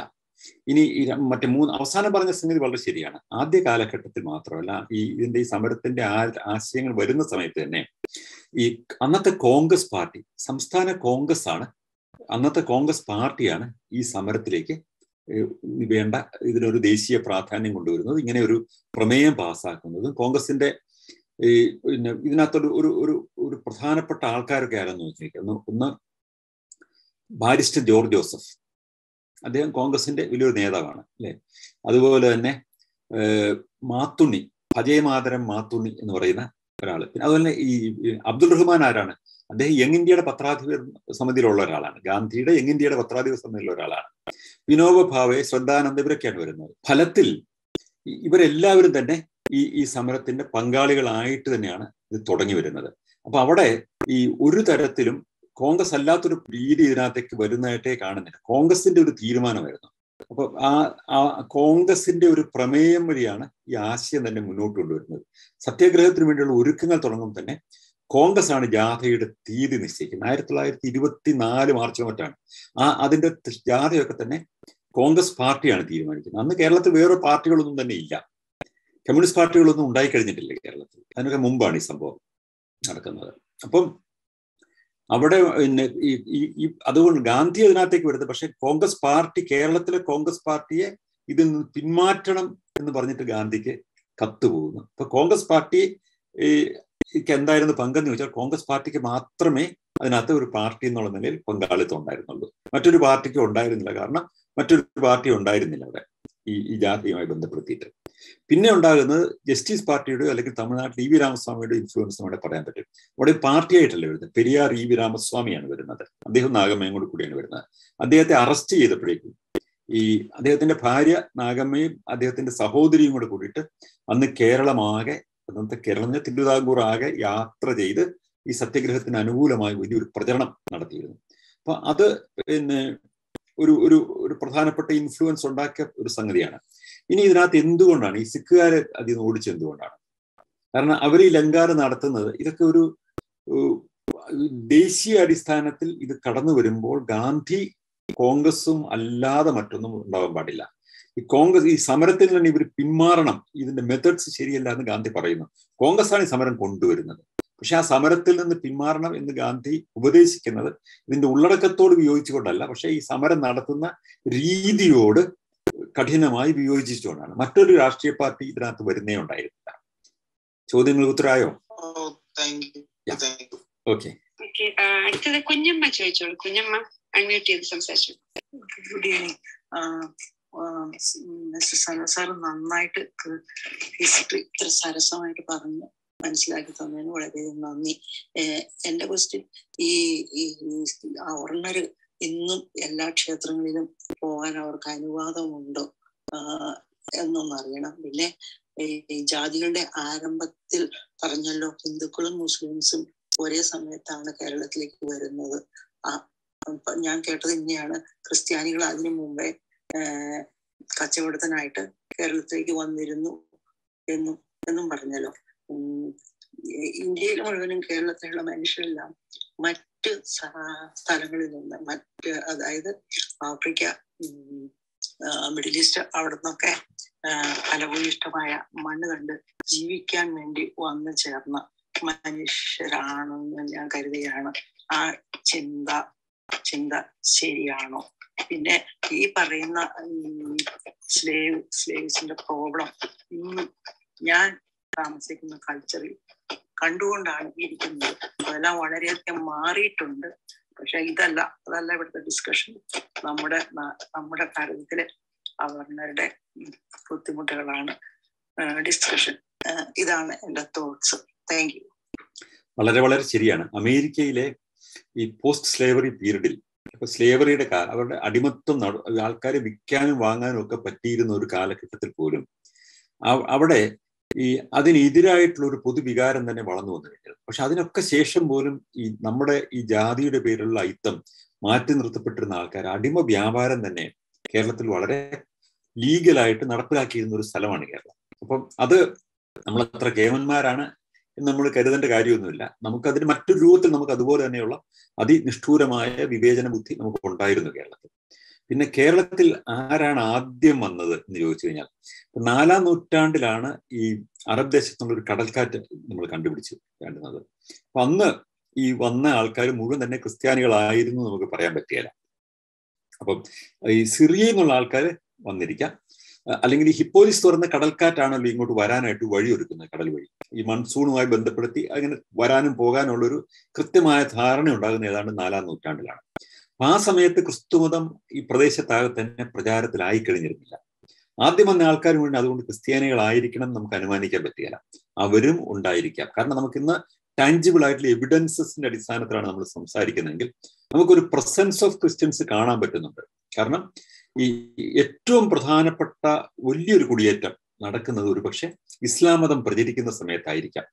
ഈ കച്ചവടക്കാർ വരുന്നുണ്ട് അതിനകത്ത് ക്രിസ്ത്യാനികൾ ഉണ്ടായിരിക്കാം. അന്നത്തെ pagan belief pagan pre Christian belief പുലർത്തിയിരുന്ന ആൾക്കാരും അതിനകത്ത് ഉണ്ടായിരുന്നിരിക്കാം. അന്നത്തെ അറബികൾ ഇസ്ലാം മതം ഉണ്ടാകുന്നതിന് മുമ്പുണ്ടാകുന്ന അറബികളാണ് വരുന്നത്. അവർ കച്ചവടത്തിന് ഇവിടെ വരുന്നുണ്ട്. അതുപോലെ തന്നെ മറ്റു പലരും വരുന്നുണ്ട്. ഫിനീഷ്യയിൽ വരുന്നുണ്ട്. മറ്റ് പിന്നെ മറ്റ് ആഫ്രിക്കക്കാർ വരുന്നുണ്ട്. അങ്ങനെ പല ദേശത്തുള്ള ആൾക്കാർ ഇവിടെ കച്ചവടത്തിന് വരുന്നുണ്ട്. പ്രധാനമായിട്ടും അറബികളാണ് ഇവിടെ വന്ന് പിന്നെ നമ്മുടെ പിന്നെ കുരുമുളകൊക്കെ കൊണ്ടുപോയിട്ട് യൂറോപ്പിലെ അന്നത്തെ പ്രധാനപ്പെട്ട മാർക്കറ്റിലേക്ക് എത്തിച്ചിരുന്ന ആൾക്കാർ പക്ഷേ ഏഴാം നൂറ്റാണ്ടിൽ ഇസ്ലാം സ്പ്രെഡ് ചെയ്യുമ്പോൾ അത് ഇന്നത്തെ സിറിയയിലേക്കും ഇറാഖിലേക്കും ഈ ടൈഗ്രീസ് നദിക്കര മുഴുവൻ കീഴ്പ്പെടുത്തി ഇസ്ലാം കടന്നു വരുമ്പോൾ അവർക്ക് പരിചയം ഉണ്ടായിരുന്ന ഒരു ട്രേഡിംഗ് സെന്ററാണ് കേരളം. അപ്പൊ ഇവിടെ കച്ചവടക്കാരെ വെൽക്കം ചെയ്യുന്ന ഒരു സ്ഥലമാണ്. അപ്പൊ അതുകൊണ്ട് ഒരു വലിയ കുടിയേറ്റം ഉണ്ടായത് ഇസ്ലാം എക്സ്പാൻഡ് ചെയ്യുന്ന സമയത്തായിരിക്കാം എന്നാണ് പല ചരിത്രകാരന്മാരും ചൂണ്ടിക്കാണിക്കുന്നത്. അതിനു ഉണ്ടായിരുന്നത് ഒരു പേരിന് കുറച്ച് പേരെങ്ങാനും ഉണ്ടായിരുന്നിരിക്കാം. ഈ മതപരിവർത്തനം ഒന്നും അതിനകത്തൊരു പ്രധാന ഘടകമായിരുന്നിരിക്കാൻ വഴിയില്ല. കാരണം ഇതൊരു വലിയ എക്സോഡസ് ആണ്. പരിചയമുണ്ടാകുന്ന ഒരു സെന്റർ ഇവിടെ നമുക്ക് സ്വീകാര്യമല്ലാത്തൊരു വ്യവസ്ഥിതി വരുന്നു. അപ്പൊ അങ്ങോട്ടേക്ക് താമസം മാറ്റിയ അങ്ങോട്ടേക്ക് മൂവ് ചെയ്ത കുറേയേറെ ആൾക്കാർ ഉണ്ടായിരിക്കാം. അതായിരിക്കണം ഒരു വഴി. അതേസമയം തന്നെ കേരളത്തിൽ വന്ന മുസ്ലിങ്ങൾ അക്കാലഘട്ടത്തിൽ വന്ന ട്രേഡേഴ്സ് ആയിട്ടുള്ള ആൾക്കാർ മുസ്ലിം പാരമ്പര്യം ഉണ്ടായിരുന്ന ആൾക്കാർ അവിടെ ഒന്നും യുദ്ധം നടത്തുകയോ കീഴ്പ്പെടുത്തുകയോ ഒന്നും ചെയ്തായിട്ട് കാണുന്നില്ല. ഈ ഈ മുഹമ്മദിന്റെ കാലത്തിന് തൊട്ടടുത്ത ശേഷം തന്നെ ഇന്നത്തെ ലക്ഷദ്വീപിലൊക്കെ തന്നെ ഇസ്ലാം എത്തിക്കഴിഞ്ഞിട്ടുണ്ട്. കച്ചവട സംഘങ്ങൾ വഴിയാണ് ഇത് എത്തിച്ചേരുന്നത്. പക്ഷെ അത് യുദ്ധം ചെയ്ത് കീഴ്പ്പെടുത്തിയിട്ട് മതം മാറ്റുക എന്ന് പറയുന്ന രീതിയിലല്ല നമ്മുടെ നാട്ടിലെ ഉദാഹരണത്തിന് മോപ്ലാസ് എന്ന് പറയുന്ന ഇന്ന് ക്രിസ്ത്യാനികളെയും മുസ്ലിങ്ങളെയും പൊതുവായി വിളിക്കുന്ന മാപ്പിളമായിരുന്നു. മോപ്ലാസ് എന്ന് പറയുന്ന ആ കമ്മ്യൂണിറ്റി അവർ വന്നത് ട്രേഡേഴ്സ് ആയിട്ടാണ്. അതൊരു വലിയ വ്യത്യാസമുള്ള ഒരു ഒരു എൻട്രിയാണ് അവർ വരുന്നു അവരുടെ ചില സംസ്കാര ധാരകൾ ഒരു പുലർത്തുന്നു പുതിയ സംസ്കാരമായിട്ട് ഒരു പൊരുത്തപ്പെടുന്നു. അതുമായിട്ട് കണ്ടിന്യൂ ചെയ്ത് പോകുന്നു എന്ന് പറയുമ്പോൾ അതിന്റെ രീതി എന്ന് പറയുന്നത് ഒരു അധികാരത്തിന്റെ ഭാഗമായിട്ട് ഇപ്പൊ സ്പെയിനിൽ കത്തോലിക്ക മതം അല്ലെങ്കിൽ സ്പെയിനിലും പോട്ടെ ഈ സ്പാനിഷ് കത്തോലിക്ക മതം ഈ സൗത്ത് അമേരിക്കയിൽ ഉണ്ടാക്കിയ ഒരു പ്രഡോമിനന്റ് ഇൻഫ്ലുവൻസ് ഡിസ്ട്രോയ് ചെയ്ത് അടിച്ചമർത്തി അവരെ മുഴുവൻ ജനങ്ങളെ മാറ്റിയെടുക്കുന്നത് പോലെ അല്ലെങ്കിൽ ഇസ്ലാം പടവരുതി കടന്നു വന്ന ഒരു കാലഘട്ടമുണ്ടല്ലോ. ഇപ്പൊ സൽത്തനേറ്റിന്റെ ഒരു പീരീഡ് എന്നൊക്കെ പറയുന്ന ഒരു കാലഘട്ടത്തിൽ ഉണ്ടായിരുന്ന രീതികൾ എന്നതിൽ നിന്നൊക്കെ വളരെ വ്യത്യസ്തമായ ഒരു രീതിയിലാണ് കേരളത്തിലെ ഈ ഈ രണ്ട് പിന്നെ സെമിറ്റിക് മതങ്ങളും കേരളത്തിലേക്ക് എത്തുന്നത് വ്യത്യസ്തമായ രീതിയിലാണ്. അത് ഇനി ആരാണ് ആദ്യം വന്നതെന്ന് ചോദിച്ചു കഴിഞ്ഞാൽ അത് നമുക്ക് ഫൈൻ ഡീറ്റെയിൽസ് നമ്മുടെ കയ്യിലില്ല നാലാം നൂറ്റാണ്ടിന് ഏതായാലും ഈ കടൽ വഴി ഈ അറബ് പശ്ചാത്തലമുള്ള ആൾക്കാർ അല്ലെങ്കിൽ അറബ് സിറിയൻ ഇറാഖ് ഈ പശ്ചാത്തലമുള്ള ആൾക്കാർ നമുക്ക് വരാൻ വഴിയില്ല. വന്നിട്ടുണ്ടെങ്കിൽ തന്നെ കരമാർഗം വന്നിട്ടുള്ള ആൾക്കാർ വേറെ കാണുള്ളൂ. പക്ഷെ ഈ ഈ വന്നതിനകത്ത് ആദ്യകാലത്ത് നമ്മൾ കൃത്യമായി ഇതിന്റെ ഒരു ഒറിജിൻ നോക്കി കഴിഞ്ഞാൽ നാലാം നൂറ്റാണ്ടിലാണ് ഈ റോമൻ കത്തോലിസിസം എന്ന് പറയുന്ന ഒരു സംഭവം ഉണ്ടായി വരുന്നത്. ഒരു അതിനുമുമ്പ് ഈസ്റ്റേൺ ചർച്ച് ഏതാണ്ട് ഈ കാലഘട്ടത്തിലാണ് വരുന്നത്. പക്ഷെ അവർ മറ്റു ദേശങ്ങളിലേക്ക് പോയി വരുന്ന കച്ചവടക്കാരെക്കാൾ കൂടുതലായിട്ട് അവിടെയുള്ള ആൾക്കാരായിരിക്കും ആ സമയത്ത് കൂടുതലായിട്ട് മതങ്ങളിൽ ചെന്ന് വിടുന്നത് ഈ വന്ന ആൾക്കാർ മതത്തിന് വേണ്ടിയിട്ടല്ല വന്നത് കച്ചവടത്തിന് വേണ്ടിയിട്ടാണ് വന്നത്. കച്ചവടത്തിന് വേണ്ടി വന്ന ആൾക്കാർ അവരുടെ സംസ്കാരവും അതും കൂടെ കൂടെ കൊണ്ടുവന്നു. അങ്ങനെയാണ് അതിനകത്ത് കാണേണ്ടത് അപ്പൊ അതിനപ്പുറത്തുള്ള ഒരു വലിയ ഒരു മതപരമായ പ്രാധാന്യം അതിനില്ല. പക്ഷെ ഒരു ഹിസ്റ്റോറിക്കൽ റൂട്ട്സ് തേടി പോകുമ്പോൾ ഇതൊക്കെ നമുക്ക് കൗതുകകരമായി വരുന്നു എന്നേ ഉള്ളൂ. താങ്ക് യു ബട്ട് ഈ സാറെ പറഞ്ഞില്ലല്ലോ ഇപ്പോഴും നമ്മുടെ കേരളത്തിലും ഉള്ള ആ താഴ്ന്ന ജാതിക്കാർക്ക് എല്ലാ ടെമ്പിൾസിലും പോകാൻ അനുവാദം ഉണ്ട് ഉണ്ട് അതിനവര് ഉണ്ട് ഉണ്ട് ആണോ ക്ഷേത്ര പ്രവേശന വിളംബരം എന്ന് പറഞ്ഞൊരു സാധനമുണ്ട്. എല്ലാ ക്ഷേത്രത്തിലും അതിനകത്ത് അഹിന്ദുക്കളായ അഹിന്ദുക്കൾക്ക് പ്രവേശനമില്ല അവിടെ. ഹിന്ദുക്കളായ ആൾക്കാർക്ക് എല്ലാ ക്ഷേത്രത്തിലും പോകും. അഹിന്ദുക്കൾക്ക് പ്രവേശിക്കാവുന്ന ഏക ക്ഷേത്രം പ്രധാനമായിട്ടുള്ളത് ശബരിമല ക്ഷേത്രമാണ്. അവിടെ ഹിന്ദു എന്നുള്ള വ്യത്യാസമില്ല എല്ലാ ആൾക്കാർക്കും പോകാം. ബാക്കി എല്ലാ ക്ഷേത്ര എല്ലാ പ്രധാനപ്പെട്ട ക്ഷേത്രങ്ങളിലും അഹിന്ദുക്കൾക്ക് പ്രവേശനമില്ല. അതുകൊണ്ടാണ് ഗുരുവായൂരിൽ പോകണമെന്ന് ആഗ്രഹിക്കുന്ന യേശുദാസിന് ഗുരുവായൂർ ക്ഷേത്രത്തിനകത്ത് പോകാൻ പറ്റാതെ വരുന്നത്. പക്ഷെ ഹിന്ദു ആണെന്നുള്ള ഇപ്പൊ പരിശോധിക്കാൻ മാർഗമൊന്നുമില്ല. ഇപ്പൊ ഞാൻ എന്റെ കുട്ടിക്കാലത്ത് ഞാനൊരു നാസ്തി കുടുംബത്തിൽ ജനിച്ചു വിടുന്ന ആളാണ്. ഞാൻ എപ്പോഴും ഞാൻ ഓർക്കുന്നുണ്ട്. ഞാൻ പത്മനാഭസ്വാമി ക്ഷേത്രത്തിൽ പോയിട്ടുള്ളത്. ഞങ്ങളുടെ സ്കൂളിൽ നിന്ന് ഒരു എക്സ്കർഷന് പോകുന്ന സമയത്ത് എല്ലാ കുട്ടികളും അപ്പൊ എന്റെ ഏറ്റവും അടുത്ത കൂട്ടുകാരൻ ഒരു അബ്ദുൽ ഖാദർ ആയിരുന്നു ഞാൻ ഓർക്കുന്നുണ്ട്. ഞങ്ങൾ രണ്ടുപേരും തോളത്തോൾ കൈയിട്ടുകൊണ്ടാണ് അന്ന് ഈ പത്മനാഭപുരം ക്ഷേത്രത്തിനകത്ത് അകത്ത് സാങ്ക്ടം സാനൂരം വരെ ഞങ്ങൾ കടന്നു ചെന്നത് ഒക്കെ ചെയ്തത്. അതൊക്കെ അത്രയും ഈ അഹിന്ദുക്കൾ എന്ന് പറയുന്നത് പരിശോധിക്കാനൊന്നും മാർഗമില്ലാത്തതുകൊണ്ട് ആർക്കും കടന്നില്ല അതിനകത്ത്. അത് ഇപ്പൊ ഞാൻ കോട്ടയത്ത് ആയിരിക്കുന്ന സമയത്ത് എന്റെ ഞാൻ കോട്ടയത്ത് വരുന്ന സമയത്ത് അവിടെ തിരുനക്കര അമ്പലത്തിലെ ഉത്സവം വലിയ ഒരു വലിയ സംഭവമാണ്. എല്ലാവരും പോകും കോട്ടയത്തെ. കോട്ടയത്തിൽ ഒരു വലിയ ശതമാനം ആൾക്കാർ ക്രിസ്ത്യാനികളാണ്. അവരെല്ലാം വന്നിട്ട് ഉത്സവത്തിലെ കലാപരിപാടി കാണാനായിട്ട് വരും. അവിടെ വലിയ നാടകവും നൃത്തവും കഥാപ്രസംഗവും ഒക്കെ നടത്തുന്ന ഒരു വലിയ സംഭവമാണ്. മത്സരിച്ച് പല സംഘങ്ങളാണ് നടത്തുന്നത്. അത് കാണാൻ വരുന്ന ഓഡിയൻസിൽ ബഹുഭൂരിപക്ഷവും കോട്ടയത്തെ ക്രിസ്ത്യാനികളൊക്കെ തന്നെയാണ്. അപ്പൊ അതിനകത്ത് നാസ്തികരായ ആൾക്കാർ കമ്മ്യൂണിസ്റ്റുകാരായ ആൾക്കാരും ഒക്കെ പോയിട്ട് ഈ കലാപരിപാടി കാണാനായിട്ട് പോകും. കാരണം അന്ന് കോട്ടയത്തെ ഏറ്റവും പ്രധാനപ്പെട്ട ഒരു ഒരു വലിയ ഫെസ്റ്റിവൽ എന്ന് പറയുന്ന അല്ലെങ്കിൽ കലാപരിപാടികളൊക്കെ നടക്കുന്നത് ഈ തിരുനക്കര അമ്പലത്തിലെ ഉത്സവമാണ്. ഞാൻ ഇപ്പോഴും ഓർക്കുന്നുണ്ട് ഞാൻ എന്റെ ഒരു പന്ത്രണ്ട് വയസ്സിലോ പതിമൂന്ന് വയസ്സിലൊക്കെ ഞാൻ തിരുനക്കര അമ്പലത്തിന്റെ അകത്തൊക്കെ കയറിപ്പോയി കണ്ടിട്ടുണ്ട്. എന്റെ അകത്ത് ഹിന്ദുക്കൾക്ക് മാത്രം പ്രവേശനമുള്ള അകത്തോടൊക്കെ ഞാൻ കയറി പോയിട്ടുണ്ട് അപ്പൊ അങ്ങനെ ഇപ്പൊ എന്നെ വല്ല പരിചയമുള്ള കൂട്ടുകാരൊക്കെ എന്റെ പ്രായത്തിലുള്ളവരൊക്കെ ഉണ്ടെങ്കിൽ അവർക്കറിയാം. ഞാൻ ഹിന്ദു അല്ല എന്നവർക്കറിയാം പക്ഷെ അതൊന്നും ആരും ഗൗരവമായിട്ട് എടുക്കുന്ന ഒരു കാലം ആയിരുന്നില്ല എന്ന് പിന്നീടാണ് മാറിയതും ഇത് അഹിന്ദുക്കളെ പൂർണമായിട്ട് മാറ്റി നിർത്തുക എന്നൊക്കെ പറയുന്ന പ്രാധാന്യം വരുന്നത്. ഇപ്പോഴും ഏതെങ്കിലും ഒരു ക്ഷേത്രത്തിൽ ഒരാൾ കടന്നു ചെന്നു കഴിഞ്ഞാൽ ആരാ തടയാൻ പറ്റുന്നത്? എന്റെ കൗതുകം എനിക്കിതെല്ലാം കാണാൻ വലിയ കൗതുകമായിരുന്നു. അപ്പൊ വലിയ ക്യൂരിയോസിറ്റി ആയിരുന്നു. അതുകൊണ്ട് ഞാൻ ഇതിനകത്തെല്ലാം കയറി നോക്കിയിട്ടുണ്ട് കണ്ടിട്ടുണ്ട്. എനിക്കതൊന്നും ഒരു കുഴപ്പമായിട്ട് ഇപ്പോഴും തോന്നുന്നില്ല. ഇനിയിപ്പോഴെങ്കിൽ ഞാൻ ഹിന്ദു അല്ലാത്ത ആൾ ഞാൻ പിന്നെ ഒരു അമ്പലത്തിന്റെ അകത്ത് കയറി ഇതൊരു കുറ്റകൃത്യമായിട്ട് വേണം ഒരാൾ അടയാളപ്പെടുത്താം പക്ഷെ അങ്ങനെ അമ്പലത്തിൽ അമ്പലത്തിൽ കയറിയത് കൊണ്ടോ അല്ലെങ്കിൽ ഞാനൊരു പിന്നെ പള്ളിയിലൊക്കെ ഞാൻ എന്റെ അമ്മ അച്ഛന്റെ അമ്മ വരുന്ന സമയത്ത് ഞാൻ അവരുടെ കൂടെ പോയിട്ട് പള്ളിയൊക്കെ കാണാൻ പോയിട്ടുണ്ട്. പക്ഷെ അതുകൊണ്ടൊന്നും ഒരാൾ വിശ്വാസിയൊന്നും ആവുന്നില്ല എല്ലാം കാണുന്നതിന് എന്താ കുഴപ്പമില്ല. അപ്പൊ ആ രീതിയിലുള്ള ഒരു ഒരു ഒരു സമീപനം നമുക്ക് കേരളത്തിൽ പണ്ട് മുതലേ ഉണ്ടായിരുന്നു എനിക്ക് തോന്നുന്നു. അടുത്ത കാലത്താണ് ഇതൊക്കെ വളരെ കുറഞ്ഞു വരുന്നത്. ഈ അഹിന്ദുക്കൾക്ക് നിയമപരമായി പ്രവേശനമില്ല. അതാണല്ലോ ചോദ്യം. പക്ഷേ നിയമപരമായി പ്രവേശനം ഇല്ലാതിരിക്കുമ്പോഴും ആരെങ്കിലും എതിർത്തില്ലെങ്കിൽ പോയിട്ട് അകത്ത് പോകാം. എന്റെ അച്ഛന്റെ ആത്മകഥയ്ക്ക് അതൊരു പടങ്ങാണ് ഈ ഏറ്റുമാനൂർ ക്ഷേത്രത്തിനകത്ത് എസ് ടി പിള്ള എന്റെ അച്ഛനും കൂടി നിൽക്കുന്ന അവിടുത്തെ വിഗ്രഹത്തിനടുത്ത് നിൽക്കുന്ന ഒരു ചിത്രം അവിടെ അതിനകത്ത്. എന്റെ അച്ഛനും നാസ്തികനായിരുന്നു അല്ലേ? അദ്ദേഹം ജനിച്ചതാണ് ക്രിസ്തുമതത്തിലുമായിരുന്നു. പക്ഷെ എസ് ടി പിള്ള അദ്ദേഹത്തിന്റെ ഏറ്റവും അടുത്ത കൂട്ടുകാരിൽ ഒരാളായിരുന്നു S C S P Pillai അവിടെ എന്തോ ഒരു എന്തോ ഒരു കാര്യത്തിന് അവിടെ ഏറ്റുമാനൂർ ചെല്ലുന്ന സമയത്ത് എസ് പി പിള്ള അവിടെ വന്നു. എസ് പി പിള്ളയുടെ കൂടെ പോകുന്നു.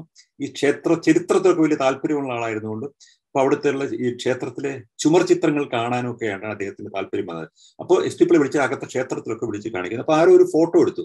അപ്പോൾ അച്ഛന്റെ ആത്മകഥയ്ക്കകത്ത് ഇപ്പോഴും ഇരിപ്പുണ്ട്. അതിനകത്ത് സാങ്കം സാന്റോറിയ സെന്ററിൽ പോയിട്ട് ഈ ഹിന്ദുക്കൾക്ക് മാത്രം പ്രവേശനമില്ലാത്ത എസ് പി പിള്ളയും ഇടമറവ് കൂടി നിൽക്കുന്ന പടം അതിനകത്തുണ്ട്. അപ്പൊ അതൊന്നും അദ്ദേഹത്തിന് അവിടെ അദ്ദേഹം കാണാൻ പോകുന്നത് അതിനോടുള്ള കൗതുകം കൊണ്ടും അത് കാണാനുള്ള താല്പര്യം കൊണ്ടും അതിന്റെ ഹിസ്റ്റോറി ഹിസ്റ്ററിയെ കുറിച്ചുള്ള താല്പര്യം കൊണ്ടാണ്. പക്ഷെ നിയമപരമായി ശരിയല്ല. അവിടെ അഹിന്ദുക്കൾക്ക് പ്രവേശനം ഇല്ല. എല്ലാ ജാതിയിൽപ്പെട്ട ആൾക്കാർക്കും ഇപ്പൊ പ്രവേശിക്കണം ഹിന്ദു മതത്തിലാണെന്ന് കരുതപ്പെടുന്ന എല്ലാ ജാതിയിൽപ്പെട്ട ആൾക്കാർക്കും. ഇന്നത്തെ നിയമം അനുസരിച്ച് മുമ്പ് അത് സാധിക്കുമായിരുന്നില്ല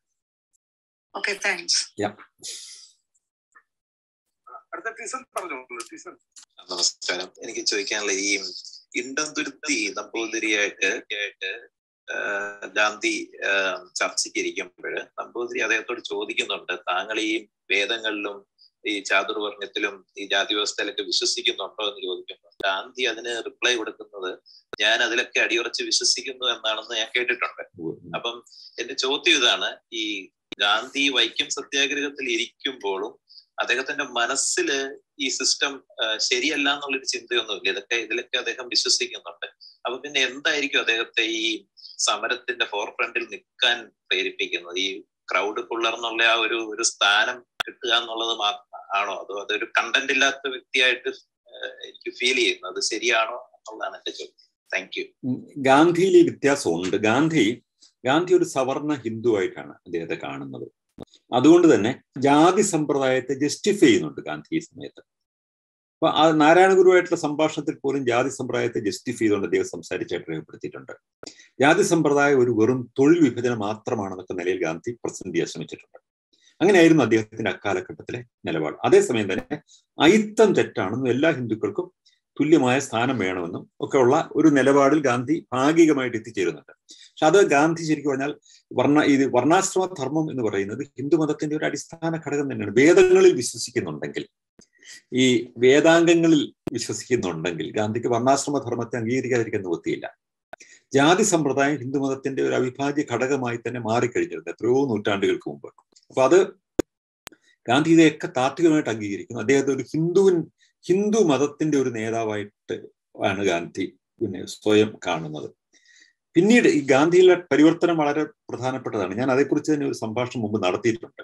ഗാന്ധി സൗത്ത് ആഫ്രിക്കയിലായിരിക്കുന്ന സമയത്ത് ഗാന്ധി ബ്ലാക്സിന്റെ റൈറ്റ്സിനെതിരായിരുന്നു ഈ ഈ വൃത്തിയില്ലാത്ത ഈ കാഫ്രിമാരെ പോലെ ഞങ്ങളെ കൂട്ടരുത്. ഞങ്ങൾ ഇന്ത്യക്കാര് വെള്ളക്കാരെ പോലെ തന്നെ കേമന്മാരാണ്. അതുകൊണ്ട് ഞങ്ങൾക്ക് തുല്യമായ സ്ഥാനം കിട്ടണം. ഞങ്ങൾ ഈ കാഫ്രിമാരെ പോലെ അല്ല. അവരോട് കൂടെയൊക്കെ ജീവിക്കുക എന്ന് പറഞ്ഞു കഴിഞ്ഞാൽ അത് മൃത്യുവിന് സമാനമാണെന്നൊക്കെ ഗാന്ധി പറഞ്ഞിട്ടുണ്ട്. അത്ര നികൃഷ്ടമായ ഈ ഒരു ഒരു എന്താ പറയുന്നത് ബ്ലാക്ക് കമ്മ്യൂണിറ്റിയോടുള്ള ഒരു ഒരു ഒരു റിജക്ഷൻ മൈൻഡ് സെറ്റ് ഉണ്ടായിരുന്ന ഒരാളാണ് ഗാന്ധി. ഈ ഗാന്ധി തന്നെ ബ്രിട്ടണിലായിരിക്കുന്ന സമയത്ത് ചാൾസ് ബ്രാട്ട്ലയിൽ ആകർഷണമായിരുന്നായിട്ട് കാണാം. ബ്രാട്ട്ലയെ പോയി കാണുന്നുണ്ട്. അവിടെ ദൈവ ദൈവനാമത്തിൽ അല്ലാതെ സത്യപ്രതിജ്ഞ ചെയ്യാൻ പറ്റാതെ വന്നതുകൊണ്ട് പാർലമെന്റ് അംഗത്വം പലതവണ നിഷേധിക്കപ്പെട്ട ചാൾസ് ബ്രാട്ട്ലെ ഗാന്ധി ആരാധനയോടുകൂടി കാണുന്ന ഒരു ഗാന്ധിയാണ് അവിടെ ബാരിസ്റ്ററായിട്ട് പഠിക്കുന്ന ഗാന്ധി. ബ്രാട്ട്ല പിന്നീട് ആ നാഷണൽ സെക്കുലർ സൊസൈറ്റി ഉണ്ടാക്കുമ്പോൾ ബ്രാട്ട്ലയെ പോയി കാണുന്നുണ്ട് ഗാന്ധി. ബ്രാട്ട്ലയുടെ കാമുകിയായിരുന്ന ആനി ബസന്റ് ആ ഗാന്ധിയോട് അന്ന് പരിചയപ്പെടുന്നു. പിന്നീട് ഗാന്ധി ഇന്ത്യയിൽ വരുമ്പോൾ ആനി ബസന്റ് ഇന്ത്യയിൽ വന്നിട്ട് ഗാന്ധിയോടൊപ്പം ചേർന്ന് ഇന്ത്യൻ സ്വാതന്ത്ര്യ സമരത്തിൽ ചേരുന്നുണ്ട്. അപ്പൊ ഗാന്ധിക്ക് ഉണ്ടാകുന്ന മാറ്റം ആ ഗാന്ധി സൗത്ത് ആഫ്രിക്കയിലേക്ക് ചെല്ലുമ്പോൾ അവിടെയുള്ള ഹിന്ദുക്കളുടെ ഹിന്ദുക്കളായ ഇന്ത്യക്കാരുടെ ഒരു നേതാവായിട്ട് മാറുകയാണ്. അദ്ദേഹം ഈ റേസിസത്തിനെ പൂർണമായും ന്യായീകരിച്ചിരുന്നു. ആ ഗാന്ധി പിന്നീട് മാറുകയാണ്. ഈ പിന്നെ വൈക്കം സത്യാഗ്രഹത്തിന്റെ ഒക്കെ കാലത്ത് ജാതി സമ്പ്രദായത്തെ താത്വികമായിട്ട് അംഗീകരിക്കുകയും വേദ ഇതിഹാസങ്ങളിലൊക്കെ വിശ്വസിക്കുകയും ഒക്കെ ചെയ്യുന്ന ഗാന്ധി. പിന്നീട് ഗാന്ധി മാറുകയാണ്. ഗാന്ധി പിന്നീട് ഈ ജാതി സമ്പ്രദായത്തെ നിരാകരിച്ച ഗാന്ധി ഡൽഹിയിലൊക്കെ വരുമ്പോൾ അദ്ദേഹം ഒരു പിന്നെ ദലിത് ബസ്തിയിലായിരുന്നു അദ്ദേഹം താമസിച്ചുകൊണ്ടിരുന്നത് മരിക്കുന്ന സമയത്ത് പോലും അവസാനം അദ്ദേഹം ആ ജണ്ടേവാനിൽ ഒരു ദലിത് ബസ്തിയിൽ താമസിച്ചുകൊണ്ടാണ് അദ്ദേഹം അങ്ങോട്ടേക്ക് വരുന്നത്. അപ്പൊ ഈ മരിക്കാനുള്ള പിന്നെ ബിർള മന്ദിറിലേക്ക് വരുന്നതിന് മുമ്പായിട്ട് അവിടെയായിരുന്നു അദ്ദേഹം താമസിച്ചുകൊണ്ടിരുന്നത്. ഇനി നമ്മൾ കാണേണ്ട ഒരു ഒരു മാറ്റം ഗാന്ധിയിലുള്ളത് എന്താണെന്ന് വെച്ച് കഴിഞ്ഞാൽ ഈ ഗാന്ധിയുടെ ഈ ട്രാൻസ്ഫോർമേഷൻ നടക്കുന്നത് ഒരു ഒരു ഒരു പീരീഡിലാണ് ട്രാൻസ്ഫോർമേഷൻ നടക്കുന്നത്. ഈ വൈക്കം സത്യാഗ്രഹമൊക്കെ വരുന്ന സമയത്ത് ഗാന്ധി പൂർണമായും മാറി കഴിഞ്ഞിട്ടില്ല ഗാന്ധി ശരിക്കും ഇതിനെ ന്യായീകരിക്കുക തന്നെയാണ്. പിന്നീട് ഗാന്ധി പറയുന്നുണ്ട് ഗാന്ധി പിന്നെ തിലകിന്റെ ശിഷ്യനായിരുന്നു ഗീതാരഹസ്യ എഴുതിയ തിലകിന്റെ ശിഷ്യനായിരുന്നു. രാമൻ എന്ന് പറയുന്ന ഒരു കഥാപാത്രം ജീവിച്ചിരുന്നോ ഇല്ലയോ എന്ന് പോലും പ്രശ്നമല്ല. രാമൻ ജീവിച്ചിരുന്നിരിക്കാൻ വഴിയൊന്നുമില്ല. പക്ഷേ രാമരാജ്യം എന്ന് പറയുന്ന ഒരു മിത്തോളജി ഒരു കൺസെപ്റ്റ് ഗാന്ധി കൊണ്ടുവരുന്നു. ഇതാണ് ഗാന്ധിയുടെ മാറ്റം എന്ന് പറയുന്നത്. ജാതി സമ്പ ഐത്തത്തിന് എതിരായിട്ട് ഗാന്ധി സമരം നടത്തുന്നു. ഇങ്ങനെ ഒരു മാറുന്ന ഗാന്ധിയുണ്ട്. ആ ഗാന്ധിയെ നെൽസൺ മണ്ടേലെ പോലത്തെ ബ്ലാക്സിന്റെ റൈറ്റിന് വേണ്ടി വാദിച്ച ഒരാൾ പറയാണ് എന്നെ ഏറ്റവും കൂടുതൽ ഇൻഫ്ലുവൻസ് ചെയ്തത് ഈ ഗാന്ധിയാണെന്ന് പറയുന്നുണ്ട്. അതുപോലെ തന്നെ മാർട്ടിൻ ലൂതർ കിങ് ജൂനിയർ പറയുന്നുണ്ട്. അദ്ദേഹത്തെ ഏറ്റവും കൂടുതൽ ഇൻഫ്ലുവൻസ് ചെയ്ത ആൾ ഗാന്ധിയുടെ മെത്തഡ്സ് എന്ന് പറയുന്നുണ്ട്. അവർക്കൊക്കെ അറിയാം. പ്രത്യേകിച്ച് മണ്ടേലയോട് ഈ പ്രശ്നം തന്നെ ചോദിക്കുന്നുണ്ട് ചില ജേർണലിസ്റ്റുകൾ ഗാന്ധി സൗത്ത് ആഫ്രിക്കയിലായിരിക്കുന്ന സമയത്ത് ബ്ലാക്സിനെതിരായിട്ട് അവർ വളരെ പിന്നോക്കക്കാരാണ്. അവരൊന്നും നമുക്ക് മനുഷ്യരെ തന്നെ കൂട്ടാൻ പറ്റുകയില്ല എന്ന് പറഞ്ഞിട്ടുണ്ടല്ലോ ഗാന്ധി. എന്ന് പറയുമ്പോൾ ആ ഗാന്ധി മാറി. ആ ഗാന്ധിക്ക് ഒരു വലിയ ട്രാൻസ്ഫോർമേഷൻ ഉണ്ടായി. ആ അങ്ങനെ മാറാൻ പറ്റിയ ഒരു ഗാന്ധിയാണ് ഞാൻ ബഹുമാനിക്കുന്നത് എന്നാണ് നെൽസൺ മണ്ടേല എന്ന് പറഞ്ഞത്. ഈ ഈ ട്രാൻസ്ഫോർമേഷൻ പീരീഡാണ് ഗാന്ധിയുടെ ഈ വൈക്കത്ത് വരുന്നത്. വൈക്കത്തേക്ക് എന്തിനാ ഗാന്ധി വന്നതെന്ന് ചോദിച്ചു കഴിഞ്ഞാൽ അതാണ് രാജഗോപാലാചാര്യയുടെ നിർബന്ധത്തിന് വഴങ്ങിയിട്ടാണ് വരുന്നത്. ഗാന്ധി പൂർണ മനസ്സോടെ അല്ല വന്നത്. അതുകൊണ്ട് തന്നെയാണ് ഈ ഈ സമരത്തെ തന്നെ നിരുത്സാഹപ്പെടുത്തിക്കൊണ്ട് ഗാന്ധി യങ് ഇന്ത്യയിൽ എഡിറ്റോറിൽ എഴുതുന്നത് പൂർണമായി നിരുത്സാഹപ്പെടുത്തിക്കൊണ്ടായിരുന്നു. ബാരിക്കേഡ് ഭേദിക്കുക എന്ന് പറയുന്നത് ക്ഷേത്രത്തിനകത്തേക്ക് കയറണം എന്ന് പറയുന്നത് അവിടെ പോയി ഭക്ഷണം കഴിക്കണം എന്ന് പറയുന്നത് ഒക്കെ തെറ്റാണെന്നാണ് ഗാന്ധി പറഞ്ഞത്. അതൊക്കെ തന്നെ അഹിംസയുടെ വഴിയല്ല എന്നൊക്കെ പറഞ്ഞ് ഗാന്ധി അതിന് ആ സമരത്തിൽ നിന്ന് പിന്മാറാനായിട്ട് കോൺഗ്രസിന് അഡ്വൈസ് ചെയ്യുന്നുണ്ട് ഗാന്ധി. ആദ്യം വന്ന ഗാന്ധി തിരിച്ചു വന്നിട്ട് കോൺഗ്രസിന് അഡ്വൈസ് ചെയ്യാണ് ഇതിന് പിന്മാറണം എന്നുള്ള അർത്ഥത്തിൽ. ഈ രീതി ശരിയല്ല. അതുകൊണ്ട് അതിന് പാലം പാകമാകുന്നവരെ നമ്മൾ മാറിയിരിക്കണം എന്ന് പറഞ്ഞ ഗാന്ധി. പിന്നീട് കുറച്ചു കഴിയുമ്പോഴേക്കും വീണ്ടും അത് ഒരു ഒരു ഒരു കോൺഫ്ലിക്റ്റിൽ സവർണറുടെ ഒരു വലിയ വിജയമായിട്ടും പെരിയാറിന്റെ വിജയമായിട്ടും വരുന്നു പറയുമ്പോഴേക്കും രാജഗോപാലാചാരി വീണ്ടും ഗാന്ധിയോട് പറയുന്നു. അപ്പൊ ഗാന്ധി വീണ്ടും വരികയാണ്. വീണ്ടും അവസാനം ഇതിന്റെ ഈ ക്രെഡിറ്റ് ഗാന്ധിയാണ് ഈ സംഭാഷണം നടത്തി ഇത് സ്ഥാപിച്ചെടുത്തെന്നുള്ള മട്ടിൽ ചരിത്രം രേഖപ്പെടുത്തി വരികയാണ്. അപ്പൊ ഈ ചോദ്യം ചോദിക്കാം. താങ്കൾ ചോദിച്ച ചോദ്യത്തിലെ ആ കുത്ത് എനിക്ക് മനസ്സിലാവുന്നുണ്ട്. ഗാന്ധി ഒരു വെറും അവസരവാദിയായിരുന്നു ഈ അവസരം മുതലെടുത്ത ഒരാൾ മാത്രമായിരുന്നു എന്ന് ചോദിച്ചാൽ അങ്ങനെ ഒരു എലിമെന്റും ഗാന്ധിയിലും ഉണ്ടായിരുന്നു ഗാന്ധി അതാ ഞാൻ പറഞ്ഞത്. ഗാന്ധി അദ്ദേഹം പറഞ്ഞ തത്വങ്ങൾക്ക് അതീതമായിട്ട് he was a shrewd politician ആ പൊളിറ്റീഷ്യൻ എന്ന നിലയിൽ അവസരങ്ങൾ തിരിച്ചറിഞ്ഞ് അത് പ്രയോജനപ്പെടുത്തിയ ഒരാളായിരുന്നു ഗാന്ധി. അപ്പൊ ഗാന്ധിയെ വെറുതെ ഒരു ഒരു ഒരു സമാധാനത്തിന്റെ പ്രവാചകൻ മാത്രമായിട്ടല്ല കാണേണ്ടത്. ഗാന്ധി ഒരു പൊളിറ്റീഷ്യൻ ആയിട്ടാണ് കാണുന്നത് ഞാൻ എപ്പോഴും പറയാറുണ്ടത് ആ പൊളിറ്റീഷ്യൻ എന്ന നിലയിൽ ഗാന്ധി എടുത്ത തീരുമാനങ്ങൾ ആപ്റ്റായിട്ട് തീരുമാനങ്ങൾ എടുക്കുകയും ട്രാൻസ്ഫോം ചെയ്യാൻ തയ്യാറെടുക്കുകയും ചെയ്യുന്നതാണ് ഗാന്ധിയുടെ മഹത്വം എന്ന് പറയുന്നത്. ഓക്കെ അല്ലേ അടുത്തത് അടുത്ത ആളിലോട്ട് മൂവ് ചെയ്യാം സജീർ? Sajeer hi okay. എന്റെ അടുത്ത് രണ്ട് ക്വസ്റ്റ്യൻ ആണ് പങ്കെടുത്തുള്ളത് പിന്നെ ഒന്നാമത്തെ ക്വസ്റ്റ്യൻ ഈ ഈ സമരത്തിൽ പിന്നെ നെഹ്റുവിന് എന്തെങ്കിലും പങ്കുണ്ടായിരുന്നു അതുപോലെ തന്നെ പിന്നെ തീവ്ര റൈറ്റ് പക്ഷമായിട്ടുള്ള പിന്നെ എന്താ പറയാ മറ്റേ സവർക്കർ അതുപോലെ തന്നെ അതുപോലുള്ള ഹൈന്ദവ ഇതായിട്ടുള്ള ആർ എസ് എസ് ഇവർക്ക് ഇവരുടെ നിലപാട് എന്തായിരുന്നു നെഹ്റുവിന്റെ നിലപാട്. ഇത് ഒരു ക്വസ്റ്റ്യനാണ് അതുപോലെ തന്നെ ഇത് കഴിഞ്ഞിട്ട് ചോദിച്ചാൽ മതിയെങ്കിൽ ഞാൻ ഇതിനകം മറുപടി പറയാം. എളുപ്പമുണ്ടല്ലോ പറയാനായിട്ട്. നെഹ്റു ഇതിനകത്തൊരു സജീവ പങ്കാളിത്തം വഹിച്ചായിട്ട് നമ്മൾ എവിടെയും കാണുന്നില്ല. നെഹ്റു ഇതിനകത്ത് ഇതിനകത്തൊരു വലിയ ഇഷ്യൂ ആയിട്ട് നെഹ്റു വരുന്നില്ല. ഇതിനകത്ത് പിന്നെ ആർ എസ് എസ് ഉണ്ടാകുന്ന ആയിരത്തി തൊള്ളായിരത്തി ഇരുപത് ഇരുപത് ഇരുപതിലോ ഇരുപത്തിനാലിലോ ഇരുപത്തഞ്ചിലോ മറ്റാണ് ആർ എസ് എസ് ഉണ്ടാകുന്നത്. അവർ ഈ കേരളത്തിലെ ഈ പ്രശ്നത്തിലേക്ക് ഗൗരവമായിട്ട് കടന്നു വരുന്നതായിട്ട് എനിക്ക് തോന്നുന്നില്ല. ആർ എസ് എസ് തമിഴ്നാട്ടിൽ ആ സമയത്ത് അവരുടെ ഒരു സമ്മേളനം നടക്കുന്നുണ്ട്. തമിഴ്നാട്ടിലെ അവിടെയുള്ള ഈ വർദ്ധിച്ചു വരുന്ന ഈ പെരിയാറിന്റെ ഒക്കെ പ്രസ്ഥാനങ്ങൾക്ക് എതിരായിട്ടുള്ള ഒരു ഒരു സ്റ്റാൻസ് നമ്മൾ കാണുന്നുണ്ട്. പക്ഷേ ഡയറക്റ്റ് ആയിട്ട് ഈ പ്രശ്നവുമായിട്ട് ബന്ധപ്പെട്ട അന്നത്തെ ഈ ഹിന്ദു പൊളിറ്റിക്സ് അല്ലെങ്കിൽ ഹിന്ദു ദേശീയത എന്ന് പറയുന്നത് ഈ പ്രശ്നത്തിലേക്ക് ബന്ധപ്പെടുത്തി വരുന്നേയില്ല. അതിന് യാതൊരു സൂചനയുമില്ല. ഈ വഴി നടക്കാനുള്ള സ്വാതന്ത്ര്യത്തിന് വേണ്ടിയിട്ടുള്ള സമരത്തിൽ ഒരു പൊളിറ്റിക്കൽ പ്രസൻസ് കാണുന്നത് അന്നത്തെ ഇന്ത്യൻ നാഷണൽ കോൺഗ്രസിന്റെത് മാത്രമാണ്. അതിന്റെ കേരളത്തിലെ ഘടകം. വേറെ ആരുടെയും കാണുന്നില്ല അത്. അടുത്ത ക്വസ്റ്റ് എന്താ പിന്നെ പറഞ്ഞല്ലോ ഈ പിന്നെ അപ്പാർട്ടിനെതിരെ ഒന്നും സംസാരിച്ചിരുന്നില്ല ആഫ്രിക്കയിൽ പക്ഷെ ഇന്ത്യയിലെത്തിയപ്പോ പിന്നെ പിന്നെ ട്രാൻസ്ഫോർമേഷൻ ഉണ്ടായി എന്ന് പറഞ്ഞല്ലോ. പിന്നെ അതായത് സത്യാഗ്രഹം വൈക്കം സത്യാഗ്രഹം അതിനുശേഷം ഒക്കെ അതിനുശേഷം ആഹ് ഒരു ആയിരത്തി തൊള്ളായിരത്തി നാൽപ്പത്തി എട്ട് ആ സമയത്തൊക്കെ അദ്ദേഹത്തിന് ഒരു ട്രാൻസ്ഫോർമേഷൻ ഉണ്ടായി എന്ന് പറഞ്ഞു. പക്ഷെ ഇതിനിടയിലാണല്ലോ പിന്നെ അംബേദ്കറുമായിട്ടുള്ള ചർച്ചകളും കാര്യങ്ങളും ഇതൊക്കെ വന്നത്. അപ്പൊ അതിന് ദലിതർക്ക് സെപ്പറേറ്റ് ഒരു ഒരു റിസർവേഷൻ കൊടുക്കണം എന്നുള്ള വിഷയത്തിൽ ഗാന്ധിക്കൊരു അതിലും ഈ ഒരു സവർണ മനോഭാവം അദ്ദേഹം കാണിച്ചിരുന്നത് അത് എവിടെയാണ് ട്രാൻസ്ഫോർമേഷൻ എവിടെയാണ് കിട്ടുന്നത് ഗാന്ധിയിലെ മാറ്റം. അത് ഗാന്ധിയിലെ ഈ പരിവർത്തനം ഞാൻ ഞാൻ വേറൊക്കെ സംസാരിച്ചിട്ടുണ്ട് ആ വിഷയം നെറ്റ് കിടപ്പുണ്ട്. അത് ഞാനത് എനിക്ക് ഞാൻ കുറെ ക്ലോസ് ആയിട്ട് വാച്ച് ചെയ്യാൻ ശ്രമിച്ചിട്ടുണ്ട്. എനിക്ക് തോന്നുന്നത് ഗാന്ധി സാഹചര്യങ്ങളോട് പ്രതികരിക്കുന്ന ഒരാളാണ് ഗാന്ധി. ഈ ഗാന്ധിയെ എതിർക്കുന്ന ആൾക്കാരുടെ നിലപാടുകൾ ഗാന്ധിയെ വിമർശിക്കുകയാണ് ഇവർ. അതെ ഇപ്പൊ നാരായണ ഗുരു ഗാന്ധിയോട് വിയോജിക്കുന്നുണ്ട്. വളരെ ശക്തമായിട്ട് വിയോജിക്കുക ചെയ്തത്. ആ ആ വിയോജിപ്പത്രം ഇല്ല എന്നൊക്കെ പറഞ്ഞ് ഇന്ന് പൊരുത്തപ്പെടുത്താൻ ശ്രമിക്കുന്നത് പക്ഷെ നാരായണ ഗുരു പറഞ്ഞ കാര്യങ്ങളെ എതിർത്തുകൊണ്ട് ഗാന്ധി യങ് ഇന്ത്യക്കകത്ത് ലേഖനം തന്നെ എഴുതി. ബാരിക്കേഡുകൾ തറന്നു പോവുക മിശ്രവാഹം മിശ്രഭോജനം മിശ്ര ഭോജനം നടത്തുക അവിടെ ചെന്നിട്ട് നിങ്ങൾ ആരുടെയെങ്കിലും അയിത്തം നിങ്ങൾ ചെന്നാൽ പോകുമെങ്കിൽ അവരുടെ അയിത്തം പോകട്ടെ അതാണ് വേണ്ടതെന്നൊക്കെ നാരായണ ഗുരു പറയുമ്പോൾ അങ്ങനെയൊന്നും അരുത് എന്നുള്ള മട്ടിലാണ്. അതൊക്കെ അഹിംസയുടെ മാർഗമല്ല എന്നൊക്കെ പറഞ്ഞ് ഗാന്ധി അതിനെ എതിർത്തുകൊണ്ടാണ് എഴുതുന്നത്. ഈ ഗാന്ധി തന്നെ ഈ സമരത്തിന്റെ അവസാന ഘട്ടമാകുമ്പോഴേക്ക് ഈ സമരത്തിന്റെ ഒത്തുതീർപ്പ് സംഭാഷണത്തിന് വേണ്ടി ഗാന്ധി തന്നെ വരുന്നു. അപ്പൊ വരുമ്പോഴും ഗാന്ധി ഈ നമ്പൂരിയുടെ വീട്ടിൽ പോകുമ്പോഴൊക്കെ തന്നെ ഗാന്ധി അങ്ങോട്ടേക്ക് ചെല്ലുന്നു. അദ്ദേഹം ഇങ്ങോട്ട് വരകയില്ല. അങ്ങോട്ട് ചെല്ലുന്നു. അവിടെ ഇരുന്നു. അവിടെ വീട്ടിനകത്ത് പോലും കയറാൻ സമ്മതിക്കില്ല. വരാതെ ഇരുന്ന് ഗാന്ധി സംസാരിക്കുന്നു. ഈ പറയുന്ന ഹിന്ദു ജാത്യാചാരങ്ങളുടെ മുഴുവൻ ഘടനയെ അംഗീകരിക്കുന്ന ഒരു ഗാന്ധിയാണ് ആ കാലഘട്ടത്തിൽ. ആയിരത്തി തൊള്ളായിരത്തി ഇരുപതുകളിലെ ഗാന്ധി. ഗാന്ധി പിന്നീട് അംബേദ്കറും ഗാന്ധിയും തമ്മിലുള്ള വലിയൊരു കോൺഫ്ലിക്റ്റും പീരീഡ് ഉണ്ട് ഗാന്ധി ഏറ്റുമുട്ടിയിട്ടുള്ള ആൾക്കാരായിരിക്കണം അംബേദ്കറുമായിട്ട് ഏറ്റുമുട്ടി. പിന്നെ അദ്ദേഹത്തിന് സ്വീകാരനല്ലാത്ത മറ്റൊരാളാരായിരുന്നു സുഭാഷ് ചന്ദ്രബോസ് ആയിരുന്നു. സുഭാഷ് ചന്ദ്രബോസിനെ ഗാന്ധിയുടെ സ്ഥാനാർത്ഥിക്ക് എതിരായിട്ട് സുഭാഷ് ചന്ദ്രബോസിന് എതിരായിട്ട് കോൺഗ്രസ് പ്രസിഡന്റ് സ്ഥാനത്തേക്ക് ഗാന്ധി ഗാന്ധിയുടെ സ്ഥാനാർത്ഥിയെ നിർത്തി. അയാളെ തോപ്പിച്ചിട്ടാണ് സുഭാഷ് ചന്ദ്രബോസ് അധികാരത്തിൽ വരുന്നത്. കോൺഗ്രസിന്റെ നേതൃത്വത്തിലേക്ക് വരുന്നത്. പക്ഷെ അവിടെ ഇരിക്കാൻ ഗാന്ധിക്ക് അത്ര വലിയ ഇൻഫ്ലുവൻസ് ആയിരുന്നു. അവിടെ ഇരിക്കാൻ സമ്മതിച്ചില്ല. ഈ അതുപോലെ തന്നെ അംബേദ്കറുമായിട്ടുള്ള ഗാന്ധിയുടെ ഏറ്റുമുട്ടൽ. അംബേദ്കർ അതിനിശ്ചിതമായി ഗാന്ധി വിമർശിക്കുന്നുണ്ട്. അംബേദ്കറുടെ നിലപാടുകൾ വളരെ വ്യക്തമായിരുന്നു.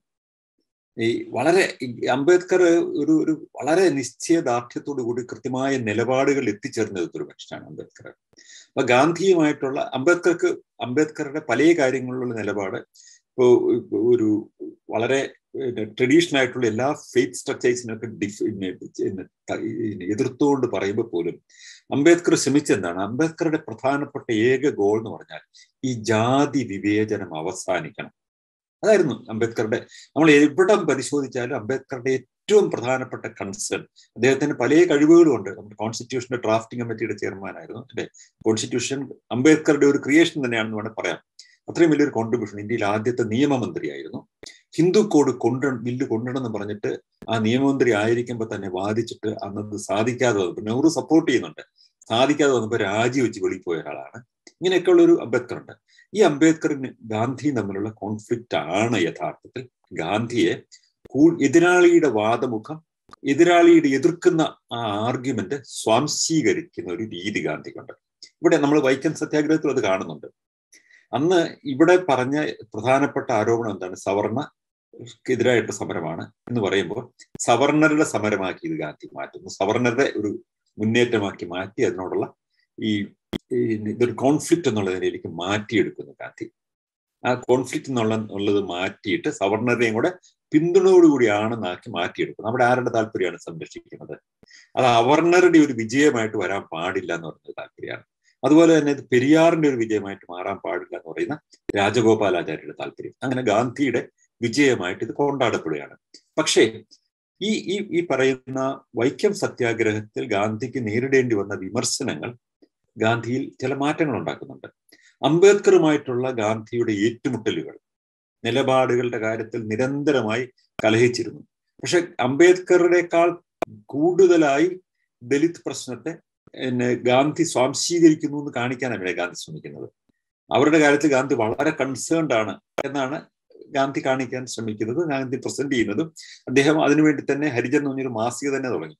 ഹരിയുടെ ജനം എന്ന് പറയുന്നതിനെ ആക്ഷേപിച്ചുകൊണ്ടുള്ള വേറൊരു വാദമൊക്കെ ഉണ്ടെങ്കിൽ പോലും ആ അർത്ഥത്തിലല്ല ഗാന്ധി ഉപയോഗിച്ചതെന്നുള്ളത് വളരെ വ്യക്തമാണ്. അദ്ദേഹം അങ്ങനെ ഒരു ദുരുദ്ദേശത്തോടു കൂടി ആ പേര് പറഞ്ഞു എന്ന് ഞാൻ ഇപ്പോഴും കരുതുന്നില്ല. അങ്ങനെ ഒരു ആക്ഷേപം കൊണ്ടുവന്നിട്ടുണ്ട് ആ ഹരിജൻ എന്ന് പറഞ്ഞാൽ ദേവദാസികളുടെ പുത്രൻ എന്ന അർത്ഥത്തിലാണ് എന്ന് പറയുന്നതുകൊണ്ട് ഹരിജൻ എന്നുള്ള പദം കൊള്ളുകയില്ല. പകരം ദലിത് എന്നുള്ള പദം ഉപയോഗിക്കണമെന്ന് പറയുന്ന വാദമുണ്ട്. പക്ഷെ അതൊരു മനഃപൂർവമാണെന്ന് എനിക്ക് ഇപ്പോഴും തോന്നുന്നില്ല. ഗാന്ധിയുടെ ട്രാൻസ് മാറ്റം എന്ന് പറഞ്ഞാൽ എതിർക്കുന്ന ആൾക്കാരുടെ നിലപാടുകൾ ഗാന്ധി ചെന്ന് ഉള്ളിൽ എവിടെയോ കൊള്ളുന്നുണ്ട് ഗാന്ധിയുടെ. എന്നിട്ട് ഗാന്ധി ആ എതിർപ്പിനെ അതിജീവിക്കാൻ വേണ്ടി ആ വാദമുഖം ഗാന്ധി തന്നെ ഏറ്റെടുക്കും. ഇതാണ് ഗാന്ധിയുടെ ട്രാൻസ്ഫോർമേഷൻ എന്ന് പറയുന്ന ഒരു അന്തര പരിവർത്തനം ഗാന്ധിയിൽ ഇങ്ങനെ നിരന്തരം നടക്കുന്നുണ്ട്. അവിടെയാണ് ഗാന്ധിയിൽ ഈ മാറുന്ന ഗാന്ധി ഗാന്ധിയുടെ പരിണാമം എന്ന് പറഞ്ഞിട്ട് എന്റെ ഒരു ഇത് ഈ വിഷയം എക്സാക്ട്ലി ഗാന്ധി എന്ന് പറയുന്ന ഒരു ഒരു വ്യക്തിയുടെ ഈ ട്രാൻസ്ഫോർമേഷൻ ഈ ആഭ്യന്തര വൈരുദ്ധ്യങ്ങളിലൂടെ കടന്നു പോവുകയും എതിരാളികൾ പറയുന്ന ആശയങ്ങളെ കൊണ്ടിട്ട് ഗാന്ധി തന്നെ പരിണമിക്കുന്ന ഒരു ഗാന്ധി. നെറ്റിൽ കിടപ്പുണ്ട്. റാഷണലിസ്റ്റ് വെബ്സൈറ്റിൽ കാണുമത് ഗാന്ധിയുടെ പരിണാമം എന്ന് പറഞ്ഞിട്ട് ഒരു ഒരു ഒരു വീഡിയോ ഉണ്ട്. ഇതാണ് ആ വിഷയം. ഇത് ഗാന്ധി കാണാൻ പറ്റും. അതിനകത്ത് ആരുടെയൊക്കെ സ്വാധീനം ഗാന്ധിയിൽ ഉണ്ടായിട്ടുണ്ടെന്ന് വെച്ചാൽ ഗാന്ധി എതിർത്ത എല്ലാവരുടെയും സ്വാധീനം ഗാന്ധി കാണാൻ പറ്റും. രവീന്ദ്രനാഥ ടാഗോറിന്റെ സ്വാധീനം കാണാൻ പറ്റും. നാരായണ ഗുരുവിന്റെ സ്വാധീനം കാണാൻ പറ്റും. അതുപോലെ തന്നെ അംബേദ്കറുടെ സ്വാധീനം ഗാന്ധി കാണാൻ പറ്റും. ഇതൊക്കെ ഇവരൊക്കെ തന്നെ ഗാന്ധി അവരെ എതിർക്കുമ്പോൾ തന്നെ അവർ അവർ അവരുടെ വാദമുഖങ്ങൾക്കൊക്കെ മറുപടി സ്വയം മാറിക്കൊണ്ട് മറുപടി പറയാനാണ് ഗാന്ധി നോക്കുന്നത്. അതാണ് ഒരു സെൽഫ് ട്രാൻസ്ഫോമിങ് ഗാന്ധി എന്ന് പറയുന്ന ഒരു പ്രോസസ്സ് അതൊരു പൊളിറ്റീഷ്യനെ സംബന്ധിച്ചിടത്തോളം വളരെ പ്രധാനപ്പെട്ടതാണ്. പറയുന്ന കാര്യങ്ങൾ ഇങ്ങനെ പിടിച്ച് കടിച്ചു കിടക്കുകയല്ല. ആ ഗൗരവമുള്ള പ്രശ്നങ്ങളിൽ അഡ്രസ്സ് ചെയ്യാൻ പറ്റുമ്പോൾ അത് അത് വിമർശനം ഉൾക്കൊണ്ടുകൊണ്ട് സ്വയം മാറുകയാണ് ഗാന്ധി ചെയ്യുന്നത്. അവിടെയാണ് ഗാന്ധിയുടെ രാഷ്ട്രീയക്കാരന്റെ മഹത്വം തന്നെ ഉണ്ടായി വരുന്നത്. നമ്മൾ ഇന്നിപ്പോ ഗാന്ധി ഇല്ല. ഇപ്പൊ ഗാന്ധി നമ്മൾക്ക് നമുക്ക് കീറുമൂറി പരി പരിശോധിക്കാം അല്ലെ? അനലിസ്റ്റുകളായിട്ട് നമുക്ക് പരിശോധിക്കാം. അപ്പൊ അങ്ങനെ കാണുമ്പോൾ ഗാന്ധിക്ക് ഒരു മഹത്വം ഉണ്ട്. ആ മഹത്വം ഇതാണ്. അദ്ദേഹത്തിന്റെ നിലപാടുകൾ മാറ്റാനും തിരുത്താനും തിരുത്തി മുന്നേറാനുമുള്ള ഒരു ധൈര്യമുണ്ട് ഗാന്ധി പിടിച്ചു നിൽക്കുന്നില്ല എവിടെയും.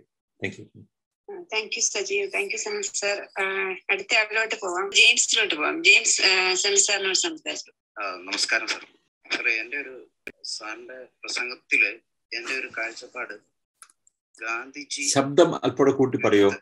ആ, ഗാന്ധിജി ഇതിൽ ഗാന്ധിജി എടുത്ത തീരുമാനമാണ് ഏറ്റവും ബെറ്റർ എന്നാണെന്ന് എനിക്ക് മനസ്സിലാക്കാൻ കഴിയുന്നത്. കാരണം അദ്ദേഹം സവർണരെയും കൂടെ കൂടെ കൂട്ടി എന്നുള്ളത് അദ്ദേഹത്തിന്റെ നേതൃ പാഠവുമാണ് കാണിക്കുന്നത്. കാരണം ഇത് ശ്രീനാരായണ ഗുരുവിന്റെ തീരുമാനപ്രകാരം മുന്നോട്ട് നീങ്ങിയായിരുന്നെങ്കിൽ അവിടെ ഭയങ്കര രക്തരൂഷിതമായ ഒരു ഇത് ഒരു ഭയങ്കര കോൺഫ്ലിക്റ്റ് ഉണ്ടായി ഉണ്ടാവുകയും ഒരുപാട് ഈഴവരുടെ ജീവൻ പോവുകയും ചെയ്തേനെ. പക്ഷെ ഈ സമരത്തിനൊരു വിജയം ഉണ്ടാകുമോ എന്ന് സംശയമാണ് ആയിരുന്നു. പക്ഷെ ഗാന്ധിജി ഇതെല്ലാം മനസ്സിലാക്കിക്കൊണ്ടാണ് അദ്ദേഹം ഈ ഒരു ഇതിലേക്ക് ഇങ്ങനെയുള്ള തീരുമാനം എടുത്തത് കൊണ്ടാണ് ആ അത് വിജയത്തിലേക്ക് എത്തിയത് എന്നാണ് എന്റെ ഒരു കാഴ്ചപ്പാട്. എന്റെ ഒരു ചോദ്യം. എന്റെ ഒരു ചോദ്യം എന്ന് പറഞ്ഞാൽ കേരളത്തിൽ ഒരു ഗാന്ധിജിയുടെ തുല്യമായ ഒരു നേതാവിനെ നമ്മൾക്ക് ചൂണ്ടിക്കാണിക്കാൻ പറ്റും. ഇപ്പോഴുള്ളതെല്ലാം അതാത് ജാതിയുടെ നേതാക്കന്മാരല്ലേ? അതാണ് എന്റെ ഒരു ചോദ്യം. നോക്കൂ അവസാനം പറഞ്ഞ ആദ്യം മറുപടി നമുക്ക് ഇപ്പൊ ഒരു അംബേദ്കർക്ക് തുല്യനായ ഒരാളെ കേരളത്തിൽ കാണിക്കാൻ പറ്റുമോ? ഗാന്ധിക്ക് തുല്യനായ ഒരാളെ കാണിക്കാൻ പറ്റുമോ? നെഹ്റുവിന് തുല്യനായ ഒരാളെ കാണിക്കാൻ പറ്റുമോ എന്ന് ചോദിച്ചു കഴിഞ്ഞാൽ അങ്ങനെ നമുക്ക് നോക്കിക്കഴിഞ്ഞാൽ ആരെയും എവിടെയും കാണിക്കാൻ പറ്റില്ല. കാരണം ഈ ആൾക്കാരൊക്കെ തന്നെ പിന്നെ കടന്നു വരുന്നത് നമ്മൾ അവരെ അവരുടെ പിന്നെ ചരിത്ര സാഹചര്യത്തിലെ അവരുടെ പരിമിതികളും അവരുടെ സാധ്യതകളും അവർ പ്രയോജനപ്പെടുത്തി എന്ന നിലയിൽ തന്നെയാണ് കാണേണ്ടത്. മറിച്ച് ഇത് ഒരു മറ്റൊരു മഹാരഥനുമായി താരതമ്യപ്പെടുത്തിക്കൊണ്ട് അവരെ നമ്മൾ നോക്കുമ്പോൾ ചിലപ്പോൾ നമുക്ക് തോന്നും അങ്ങനെയൊന്നും അല്ലല്ലോ തോന്നും. എന്തിനാ നമുക്കൊരു നെഹ്റു ഉണ്ടാകുന്നത്? നമുക്ക് നമ്മുടേതായ സാഹചര്യങ്ങളോട് പ്രതികരിക്കുന്ന പിന്നെ റെസ്പോണ്ട് ചെയ്യുന്ന ആൾക്കാർ തന്നെയല്ലേ ഉണ്ടാവേണ്ടി വരുന്നത്. അപ്പൊ അങ്ങനെ നമ്മൾ നോക്കേണ്ട കാര്യമില്ല. ഇനി മറിച്ച് ഈ ആദ്യം പറഞ്ഞ സംഗതി വളരെ റിലവന്റ് ആയിട്ടൊരു ചോദ്യമാണ്. വളരെ റിലവന്റ് ആണ്. എന്തുകൊണ്ട് ഒരു പിന്നെ സവർണറുടെ പ്രാതിനിധ്യം ഉണ്ടായിരുന്നില്ലെങ്കിൽ ഈ സമരത്തെ ഒരു ഈഴവർക്കെതിരായിട്ടുള്ള ഒരു വലിയ യുദ്ധമായിട്ട് മാറ്റുകയല്ലായിരുന്നു എന്ന് ചോദിച്ചു കഴിഞ്ഞാൽ ഉണ്ടാകാമായിരിക്കാം. അത് സത്യമാണല്ലോ. ഇപ്പൊ ഇതിനകത്ത് ഈ ഈഴവരായ ആൾക്കാരെ അവർ തെരഞ്ഞു പിടിച്ച് സമരത്തിന് വരുന്ന ആൾക്കാരെ പച്ചച്ചുണ്ണാമ്പ് കൊണ്ട് കണ്ണിനകത്ത് എഴുതുക അങ്ങനെ കണ്ണ് കാഴ്ച ശക്തി കളയുക അടിക്കുക അടിച്ചു കൊല്ലുക എന്നൊക്കെ പറയുന്ന തരത്തിലേക്ക് ഈ കോൺഫ്ലിക്റ്റ് പോകുന്ന ഒരു സമയത്താണ് നാടകീയമായിട്ട് മന്നത്ത് പത്മനാഭന്റെ നേതൃത്വത്തിൽ ഒരു വലിയ ഒപ്പുചേരണം നടക്കുകയും ഒരു വലിയ ജാഥയായിട്ട് വരികയും ചെയ്യുന്നത്. അത് ഗാന്ധിയുടെ ഇൻഫ്ലുവൻസ് ആണെന്ന് സൂചിപ്പിക്കാൻ നമുക്ക് ചരിത്രപരമായ എവിഡൻസ് ഒന്നുമില്ല. അത് ഒരുപക്ഷെ അന്നത്തെ അന്നത്തെ കോൺഗ്രസിന്റെ നേതൃത്വത്തിന്റെ ഒരു ഒരു ഒരു സ്ട്രാറ്റജി കൂടെ ആയിക്കൂടെ? കാരണം ഗാന്ധി പറഞ്ഞിട്ടാണ് മന്നം അത് ചെയ്തത് എന്ന് നമുക്ക് എവിടെയും നമ്മൾ ഞാൻ വായിച്ചിട്ടില്ല. വേറെ അന്നത്തെ കോൺഗ്രസ് നേതാക്കന്മാരിൽ പിന്നെ ഇവരൊക്കെ തന്നെ അന്നത്തെ പ്രധാനപ്പെട്ട കോൺഗ്രസിന്റെ പിന്നെ നേതൃത്വവുമായി ബന്ധപ്പെട്ട് ക്ലോസ് ആയിട്ട് പോകുന്ന ആൾക്കാരാണ്. ഇവരിൽ ഒരു വലിയ വിഭാഗം തന്നെ നോക്കണം. ആദ്യം തന്നെ ഇതിനു വേണ്ടിയിട്ട് അസംബ്ലി ഒരു പ്രമേയം വരുമ്പോൾ ഒരു വോട്ടിന് തോറ്റു പോവുകയാണ്. അന്ന് എസ് എൻ ഡി പിയുടെ സെക്രട്ടറിയാണ് പ്രമേയം അസംബ്ലിയിൽ അവതരിപ്പിക്കുന്നത്. ഒരു വോട്ടിന് തോറ്റുപോയി. പിന്നീട് ഒരു ഒരു ഓർഡർ ആയിട്ടാണ് ഇത് വരുന്നത്. അതിന്റെ പശ്ചാത്തലമായിട്ട് സവർണ ജാഥ നടന്നു. ആ സവർണ ജാഥ നടന്നത് നല്ലതായിരുന്നു എന്ന് ചോദിച്ചു കഴിഞ്ഞാൽ സ്ട്രാറ്റജിക്കലി അത് വലിയ നല്ല സംഭവം തന്നെയായിരുന്നു. യാതൊരു സംശയമില്ല ജെയിംസ്. അത് തീർച്ചയായിട്ടും നല്ല അങ്ങനെ നടന്നതുകൊണ്ടാണ് ഈ പറയുന്ന വലിയ രക്തരൂഷിതമല്ലാതെ സവർണരെയും കൂടെ അല്ലെങ്കിൽ അവരുടെ ഒരു പൊളിറ്റിക്സ് വേറെ പറയാം. ഈ അവർക്ക് മുഖം രക്ഷിക്കാൻ ഒരു അവസരം കൂടി കൊടുക്കട്ടെ. നമ്മൾ ഒരു ഒരു കോൺഫ്ലിക്റ്റ് ഉണ്ടായി കഴിഞ്ഞിട്ട് അതിനൊരു പരിഹാരം ഉണ്ടാക്കുമ്പോൾ അവർക്കൊരു എസ്കേപ്പ് റൂട്ട് കൊടുക്കണം. ഒരു മുഖം രക്ഷിക്കാൻ ഒരു അവസരം കൊടുക്കണം. എല്ലാ കോൺഫ്ലിക്ട് റെസൊല്യൂഷനകത്തും നമ്മൾ എതിരാളിയെ പൂർണമായും തകർത്തുകളെ അല്ല നമ്മൾ ഉദ്ദേശിക്കുന്നതെങ്കിൽ അവർക്ക് കോൺഫ്ലിക്ട് റെസൊല്യൂഷന്റെ ഭാഗമായിട്ട് അവർക്കൊരു വേ ഔട്ട് കൂടി നമ്മൾ കൊടുക്കണം. ആ വേ ഔട്ട് കൊടുക്കാൻ പറ്റി എന്നുള്ളതാണ് യഥാർത്ഥത്തിൽ ഇവിടെ സാധിച്ചൊരു സംഗതി. അപ്പൊ അത് സവർണറുടെ പരാജയമായിട്ട് അല്ലാതെ ഇത് കൊണ്ടുവന്നു.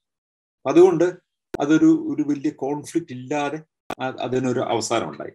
എന്നിട്ട് പോലും ഈ അവരുടെ താല്പര്യം സംരക്ഷിക്കാൻ വേണ്ടിയിട്ട് ഒരു ഒരു വഴി അവർക്ക് തുറന്നു കൊടുത്തുകൊണ്ട് രണ്ട് കവാടം ഇപ്പറ തുറന്നു കൊടുക്കുകയൊക്കെ ചെയ്യുന്ന പല തരത്തിൽ രീതിയുണ്ട്. നമുക്ക് സമാനമായിട്ട് വേണമെങ്കിൽ വേറെ സാഹചര്യം നോക്കാം.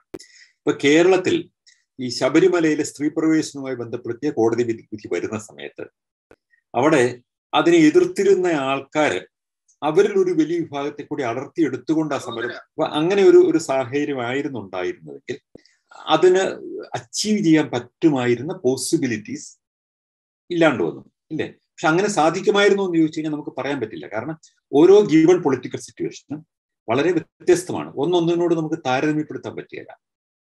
കാരണം അങ്ങനെയാണ് രാഷ്ട്രീയത്തിലോ അല്ലെങ്കിൽ സാമൂഹ്യ സാഹചര്യത്തിലോ ചരിത്രത്തിലോ നമുക്ക് മറ്റൊരവസരത്തിൽ ആയിരുന്നത് പോലെ ഇപ്പോഴായില്ലല്ലോ നമുക്ക് പറയാൻ പറ്റില്ല. കാരണം ഓരോ സാഹചര്യവും വ്യത്യസ്തമാണ്. അതിന്റെ തനത് രീതി തന്നെ വ്യത്യസ്തമാണ്. തീർച്ചയായിട്ടും സവർണറുടെ പ്രാതിനിധ്യം ഉണ്ടായത് ഈ കോൺഫ്ലിക്ട് റെസൊല്യൂഷൻ വളരെ നല്ല കാര്യമായി തന്നെയാണ് ഞാൻ കണക്കാക്കുന്നത്. Thank you thank you James ഒരു കാര്യം കൂടെ. സാറേ ഇതര മത വിഭാഗങ്ങളെ ഗാന്ധിജി ഒഴിവാക്കിയത് ഏറ്റവും നല്ലൊരു കാര്യമാണ് ആണെന്നാണ് എന്റെ ഒരു വിലയിരുത്തൽ. കാരണം അവരൊക്കെ ഗൂഢമായ അജണ്ടയുമായിട്ട് വന്നവരായിരിക്കാം. ആവണമെന്നില്ല. ഉദാഹരണത്തിന് അബ്ദുൾ റഹ്മാൻ എന്ന് പറയുന്ന ആൾ ഒരു ഗൂഢ ആലോചനയില്ല ഗാന്ധിയുടെ വിശ്വസ്ത ശിഷ്യനായിരുന്നു. യങ് ഇന്ത്യയുടെ പത്രാധിപ സമിതിയിൽ ഉണ്ടായിരുന്ന ഒരാളാണ്. അദ്ദേഹം മുസ്ലിം മതമായിട്ടോ മുസ്ലിം ഇസ്ലാം മതമായിട്ടൊന്നും യാതൊരു ബന്ധവും ഉണ്ടായിരുന്നില്ല ഗാന്ധിയുടെ പത്രത്തിന്റെ ഗാന്ധി പിന്നെ പ്രസിദ്ധീകരിച്ചിരുന്ന പത്രത്തിന്റെ പത്രാധിപ സമിതിയിൽ ഉണ്ടായിരുന്ന ഗാന്ധി അസിസ്റ്റ് ചെയ്തുകൊണ്ടിരുന്ന ഒരാളാണ് അദ്ദേഹം. അതായിരുന്നു ഒരു മുസ്ലിം അതിനകത്തുണ്ടായിരുന്നു സിഖുകാർ വന്നതോ? സിഖുകാർ സർവസാഹോദര്യത്തിൽ വിശ്വസിക്കുന്നു എന്ന് പറയുന്ന ഒരു സ്പിരിറ്റുമായിട്ടാണ് അവർ കുറച്ച് പേര് വന്നത്. ഇരുപത്തഞ്ച് പേരോ മറ്റോ വന്നുള്ളൂ. പിന്നെ ഉണ്ടായിരുന്നത് കോൺഗ്രസിന്റെ ഇത് കോൺഗ്രസിന്റെ പരിപാടിയാണ്. അപ്പൊ കോൺഗ്രസിന്റെ നേതാക്കന്മാരായ ക്രിസ്ത്യാനികളാണ് അതിനകത്ത് ഉണ്ടായിരുന്നത്. അല്ലാതെ ക്രിസ്ത്യൻ മിഷണറിമാരൊന്നും അതിനകത്ത് വന്നിട്ടില്ല. അവരാരും പ്രദേശം ഈ പരിപാടിയിലൊന്നും അവർക്ക് യാതൊരു താല്പര്യം ഉണ്ടായിരുന്നില്ല. കോൺഗ്രസിന്റെ നേതാക്കന്മാരായിരുന്നു ക്രിസ്ത്യാനികളായ ആൾക്കാരുണ്ടായിരുന്നു അതിനകത്ത്.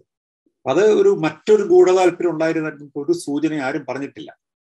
പക്ഷെ അങ്ങനെ ഒരു വ്യാഖ്യാനം വരാം എന്നാണ് അന്ന് പറഞ്ഞത്. അതുകൊണ്ട് സിഖുകാരെ മാറ്റി നിർത്തുന്നത് പറഞ്ഞതിന്റെ ഒരു കാരണം മറ്റുള്ളവരുടെ കാര്യമല്ല. ഇത് കേരളത്തിലെ കാര്യമാണ്. എന്ന നിലയിൽ ഗാന്ധി കൊണ്ടുവരുന്നതിന്റെ ഒരു കാരണം തന്നെ ഈ പെരിയാർ ഇ രാമസ്വാമി ഒന്ന് മാറ്റി നിർത്തുക എന്ന് പറയുന്ന ലക്ഷ്യമായിരുന്നു എന്ന് പറയുന്ന ഒരു വിലയിരുത്തലാണ് തമിഴ് ചരിത്രകാരന്മാരെല്ലാവരും തന്നെ പറയും okay thank you James next നിജാസിലോട്ട് പോവാം. ഹലോ നിജാസ് വിപിൻ നമസ്കാരം. എനിക്ക് രണ്ട് ചോദ്യങ്ങളുണ്ട്. ആദ്യത്തെ ചോദ്യം എന്ന് പറഞ്ഞു കഴിഞ്ഞാൽ ഈ ഈ ഇത് വഴി വഴി തുറന്നു കൊടുക്കുന്ന ആ ഒരു സമരമാക്കി മാറ്റായിരുന്നു ക്രിസ്ത്യൻസിനെയും മുസ്ലിംസിനെയും മാറ്റി നിർത്തി അങ്ങനെ ഒരു ആശയം ഇതിന്റെ അകത്ത് ഉണ്ടായിരുന്നു. രണ്ടാമത്തെ ചോദ്യം എന്ന് പറഞ്ഞു കഴിഞ്ഞു കഴിഞ്ഞാൽ ഈ ഈ എന്താണ് ശ്രീനാരായണ ഗുരുവിനെ ഇതിൽ തടയുന്നു. അതിന്റെ പേരിൽ ഒരു ഒരു ബാക്ക് സ്റ്റോറി കൂടി ഇങ്ങനെ കേൾക്കുന്നുണ്ട്. ശ്രീനാരായണ ഗുരുവിൽ ഈ വഴി ഉപയോഗിക്കുന്നതിൽ തടയുന്നു.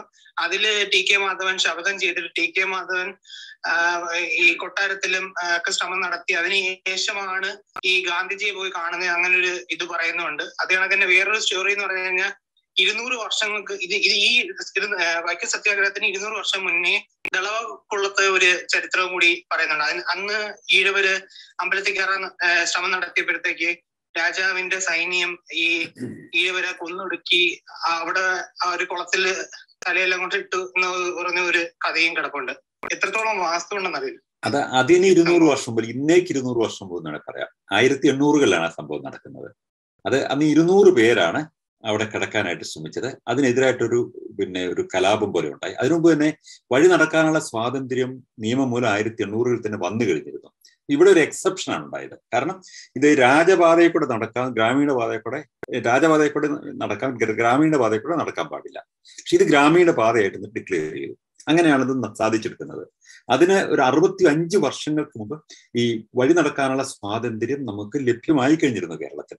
ആ ലഭ്യമായി കഴിഞ്ഞ സാഹചര്യത്തിലാണ് ഈ ഇരുന്നൂറോളം വരുന്ന ഈഴവരായ ആൾക്കാർ അതിൽ നടക്കാൻ ശ്രമിക്കുന്നതും. അതിനെതിരായിട്ട് ഈ സൈന്യം വന്നിട്ട് അവരെ ആക്രമിക്കുന്നത് ഈ ദളവാക്കുളത്തിലേക്ക് അവരെ തള്ളിയിടുന്നു ഞാനത് പറഞ്ഞപ്പോൾ അത് പറഞ്ഞിരുന്നു ആ പ്രശ്നം. അങ്ങനെ ഒരു സംഭവം ഉണ്ടായിട്ടുണ്ട്. ശരിയാണ് വളരെ ശരിയാണത്. പിന്നെ ഈ ഈ അതിനകത്ത് ഗാന്ധിയുടെ യങ് ഇന്ത്യയുടെ പത്രാധിപ സമിതിയിലുണ്ടായിരുന്ന അബ്ദുൽ ഖാദർ അതിനകത്ത് പങ്കെടുക്കുമ്പോൾ അല്ലെങ്കിൽ കോൺഗ്രസിന്റെ നേതൃത്വത്തിൽ ഉണ്ടായിരുന്ന ക്രിസ്ത്യാനികൾ പങ്കെടുക്കുമ്പോൾ അതിലൊരു പ്രാധാന്യം ഉണ്ട് അവരും കൂടി പങ്കെടുക്കുന്നതെന്നാണ് എനിക്ക് തോന്നുന്നത്. കാരണം ഈ മറ്റേ ഈ റോഡിൽ കൂടി നടക്കാൻ അനുമതി ഈ അബ്ദുൽ ഖാദറിനുണ്ട്. മുസ്ലിങ്ങൾക്ക് ആ റോഡിൽ കൂടെ നടക്കാം. ക്രിസ്ത്യാനികൾക്ക് ആ റോഡിൽ കൂടെ നടക്കാം. പക്ഷേ ഈഴവർ തൊട്ട് താഴോട്ടുള്ള ഹിന്ദുക്കൾക്ക് നടക്കാൻ മേല. ഇതാണ് പ്രശ്നം. അപ്പൊ ഈ സവർണ ജാഥയ്ക്ക് ഒരു പ്രാധാന്യം ഉണ്ടെങ്കിൽ ഇപ്പൊ സവർണർ ഈ പറയുന്നെങ്കിൽ ഈ വഴി കൂടെ നടക്കാൻ അനുമതിയുള്ള മുസ്ലിം സമുദായത്തിൽപ്പെട്ട ഒരാൾ അല്ലെങ്കിൽ ഈ ഇതിനകത്തോട് അടു നടക്കാൻ അനുമതിയുള്ള ക്രിസ്തു മത വിഭാഗത്തിൽപ്പെട്ട ഒരാൾ അവർ കോൺഗ്രസ് നേതാക്കളും കൂടി ആയിരിക്കുന്ന സാഹചര്യത്തിൽ അവർ പങ്കെടുക്കുന്നതിന് ഒരു സ്ട്രാറ്റജിക് ഇമ്പോർട്ടൻസ് ഉണ്ട്. അതിനകത്തൊരു കുഴപ്പം അത് ചെയ്യേണ്ടതായിരുന്നു എന്നാണ് എനിക്ക് ഇപ്പോഴും തോന്നുന്നത് കാരണം അങ്ങനെ ചെയ്യുന്നത് വഴി അതൊരു പൊതുസമൂഹത്തിന്റെ പൊതുവായ ഒരു ആവശ്യമായി തന്നെ വളർന്നു വരാമായിരുന്നു. ഈ സവർണർ പങ്കെടുക്കുമ്പോൾ ഉണ്ടാകുന്നത് പോലെ തന്നെ ഒരു അച്ചീവ്മെന്റ് ഇവർ വന്ന് പങ്കെടുക്കുമ്പോഴും ഉണ്ട്. കാരണം അവർക്ക് അവിടെ നടക്കാൻ തടസ്സമൊന്നുമില്ല. എങ്കിലും അവർ പറയാണ് അത് എല്ലാവർക്കും അവകാശപ്പെട്ടാണ്. എല്ലാ മനുഷ്യർക്കും വേണ്ടിയിട്ടുള്ളതാണെന്ന് അവർ പറയുമ്പോൾ അതിനൊരു പ്രാധാന്യം ഇല്ലേ? സവർണ ജാതിക്കുള്ള അതേ പ്രാധാന്യം തന്നെ ഉണ്ട് അതിനകത്ത്. അല്ല അതിൽ ഒരു ഒരു വ്യക്തത കൂടി വരുത്തിയാണ് ഈ മൂന്ന് റോഡുകൾ മാത്രം തുറന്നു കൊടുത്തു ആയിരത്തി തൊള്ളായിരത്തി മുപ്പത്തി ആറിലാണ് വേറൊരു റോഡ് തുറന്നു കൊടുത്തതെന്ന് പറയുന്നുണ്ട് ഒരു ഈസ്റ്റ് റോഡ്. അത് ആ റോഡ് ബ്രാഹ്മണസിന് മാത്രമേ ഉപയോഗിക്കാൻ പറ്റുള്ളൂ എന്ന് ഒരു ഇതും കൂടി കിടക്കുന്നുണ്ട്. അതും കൂടി ഒന്ന് വ്യക്തമാക്കണം അതൊക്കെ ഞാൻ മുമ്പ് സംസാരിച്ച സമയത്ത് പറഞ്ഞതാണ്. അന്ന് തുറന്നു കൊടുക്കുമ്പോൾ മൂന്ന് റോഡുകളും കൂടിയല്ല ആകെ മൂന്ന് റോഡുകൾ രണ്ട് റോഡുകൾ തുറന്നു കൊടുക്കുകയും അതിനകത്ത് മറുവശത്തുള്ള ഒരു വഴി ഈ ഒരു പ്രത്യേകമായിട്ട് സൂക്ഷിക്കുകയും ചെയ്യും. പക്ഷെ ആ ക്ഷേത്രത്തിന്റെ അടുത്തോടെ നടന്നു പോകുന്ന പ്രധാന നിരത്തിലൂടെ പോകുന്നതിന് തടസ്സം ഉണ്ടായില്ല. അതാ ഞാൻ പറഞ്ഞത്. അന്ന് അവരെയും കൂടെ തൃപ്തിപ്പെടുത്താൻ വേണ്ടി അങ്ങനെ ഒരു ഓപ്ഷൻ കൂടി വെച്ചോണ്ടാണ് ഇത് ചെയ്തത്. ഞാനത് പറഞ്ഞിരുന്നു ആ സംഭവം. അത് പിന്നീടാണ് മാറിയത്. യു ആർ വെരി റൈറ്റ് അങ്ങനെയൊക്കെയുള്ള ഒരുപാട് ഒത്തുതീർപ്പുകൾ ഇതിനകത്ത് ഉണ്ടായിരുന്നു. അത് ശരിയാണ്. താങ്കൾ പറഞ്ഞ വളരെ ശരിയാണ്. അത് ഫാക്ച്വൽ ആയിട്ടുള്ള സംഗതിയാണ്. Thank you Vipin Sunil sir thank you അടുത്തത് ജോഷിയിലോട്ട് പോകാം ഹായ് ജോഷി. താങ്ക് യു എന്റെ ഒരു സംശയം എന്താ പറയാ? എന്റെ ഒരു നിരീക്ഷണത്തിൽ മതമാറ്റ ഭീഷണി മാത്രമാണ് ഈ സമരത്തിന്റെ വിജയത്തിന്റെ ഒരു ഘടകം. ഒരേ ഒരു ഘടകമായിട്ട് ഞാൻ കാണുന്നത്. പിന്നെ ഞാൻ ഉദ്ദേശിക്കുന്ന വേറെ സ്ഥലം ഇതൊരു വേണ്ടാത്ത സമരമായിരുന്നു എന്നാണ് എന്റെ അഭിപ്രായത്തിൽ. കാരണം നോക്കാത്ത ദൈവത്തെ എന്തിനാ തൊഴാൻ പോണേന്ന് നമ്മൾ പണ്ട് ചോദിക്കലുണ്ടായിരുന്നു. ഈ അവർണൻ എന്തിനാ സവർണന്റെ കൂടെ പോകേണ്ട ആവശ്യം? എന്നാണ് സ്വയം ഹിന്ദുവായി പ്രഖ്യാപിക്കേണ്ട ആവശ്യം?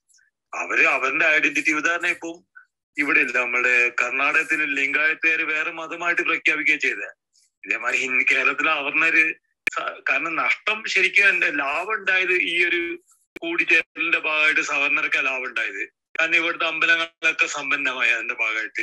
ഇപ്പൊ തന്നെ ഗുരുവായൂർ ഏറ്റവും കൂടുതൽ പൈസ കൊണ്ട് ഇടുന്നത് ഇവിടുത്തെ അവർണനാ. ജനസംഖ്യയിൽ എൺപത്തഞ്ച് ശതമാനം അവർണനാണ് ഗുരുവായൂർ ഏറ്റവും കൂടുതൽ പണം കൊണ്ട് ഇടുന്നത്. ശരിക്കും ഇതുകൊണ്ട് ഈ ഒരു കൂട്ടിച്ചേരലുകൊണ്ട് നഷ്ടം ഉണ്ടായത് അവർണന തന്നെയാണ്. ഓക്കെ എന്റെ നിരീക്ഷണമാണ്. താങ്ക് അല്ല അത് ഒരർത്ഥത്തിൽ അതും ശരിയല്ലേ? നമുക്ക് നമ്മളെ എന്നെ കാണാനായിട്ട് വരേണ്ടതില്ല എന്ന് പറയുന്ന ഒരു ദൈവം ഉണ്ടെങ്കിൽ ആ ദൈവത്തിന്റെ പ്രതിനിധി അങ്ങനെ പറയുന്നുണ്ടെങ്കിൽ ആ ദൈവത്തെ കാണണമെന്ന് ചടിച്ചുകൊണ്ട് ഇവർ പോകേണ്ട യാതൊരു കാര്യമില്ല അതൊരു അതൊരു യുക്തിവാദ പക്ഷത്തുള്ള നാസ്തിക പക്ഷത്തുള്ള ഒരു ചിന്തയാണ് അല്ലേ? പക്ഷേ മറുവശത്തൊരു വശമുണ്ട്. ഇനി ഇവരെ ഹിന്ദുക്കളായിട്ട് അടയാളപ്പെടുത്തിയിരിക്കുന്ന ആൾക്കാരിൽ അവിടെ ഒരു വിവേചനം നടക്കുമ്പോൾ യുക്തിവാദികൾക്ക് ആർക്കും അവിടെ അമ്പലത്തിൽ കയറണമെന്ന് താല്പര്യമില്ല.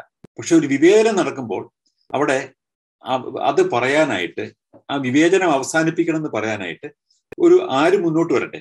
ഇപ്പൊ നാസ്തികനായ യുക്തിവാദിയായ പെരിയാർ വരുന്നതും അതുപോലെ തന്നെ ഈ കോൺഗ്രസിന്റെ നേതാക്കളായ ക്രിസ്ത്യാനികൾ വരുന്നതും ഒക്കെ തന്നെ ഈ ഒരു സ്പിരിറ്റിലാണ്.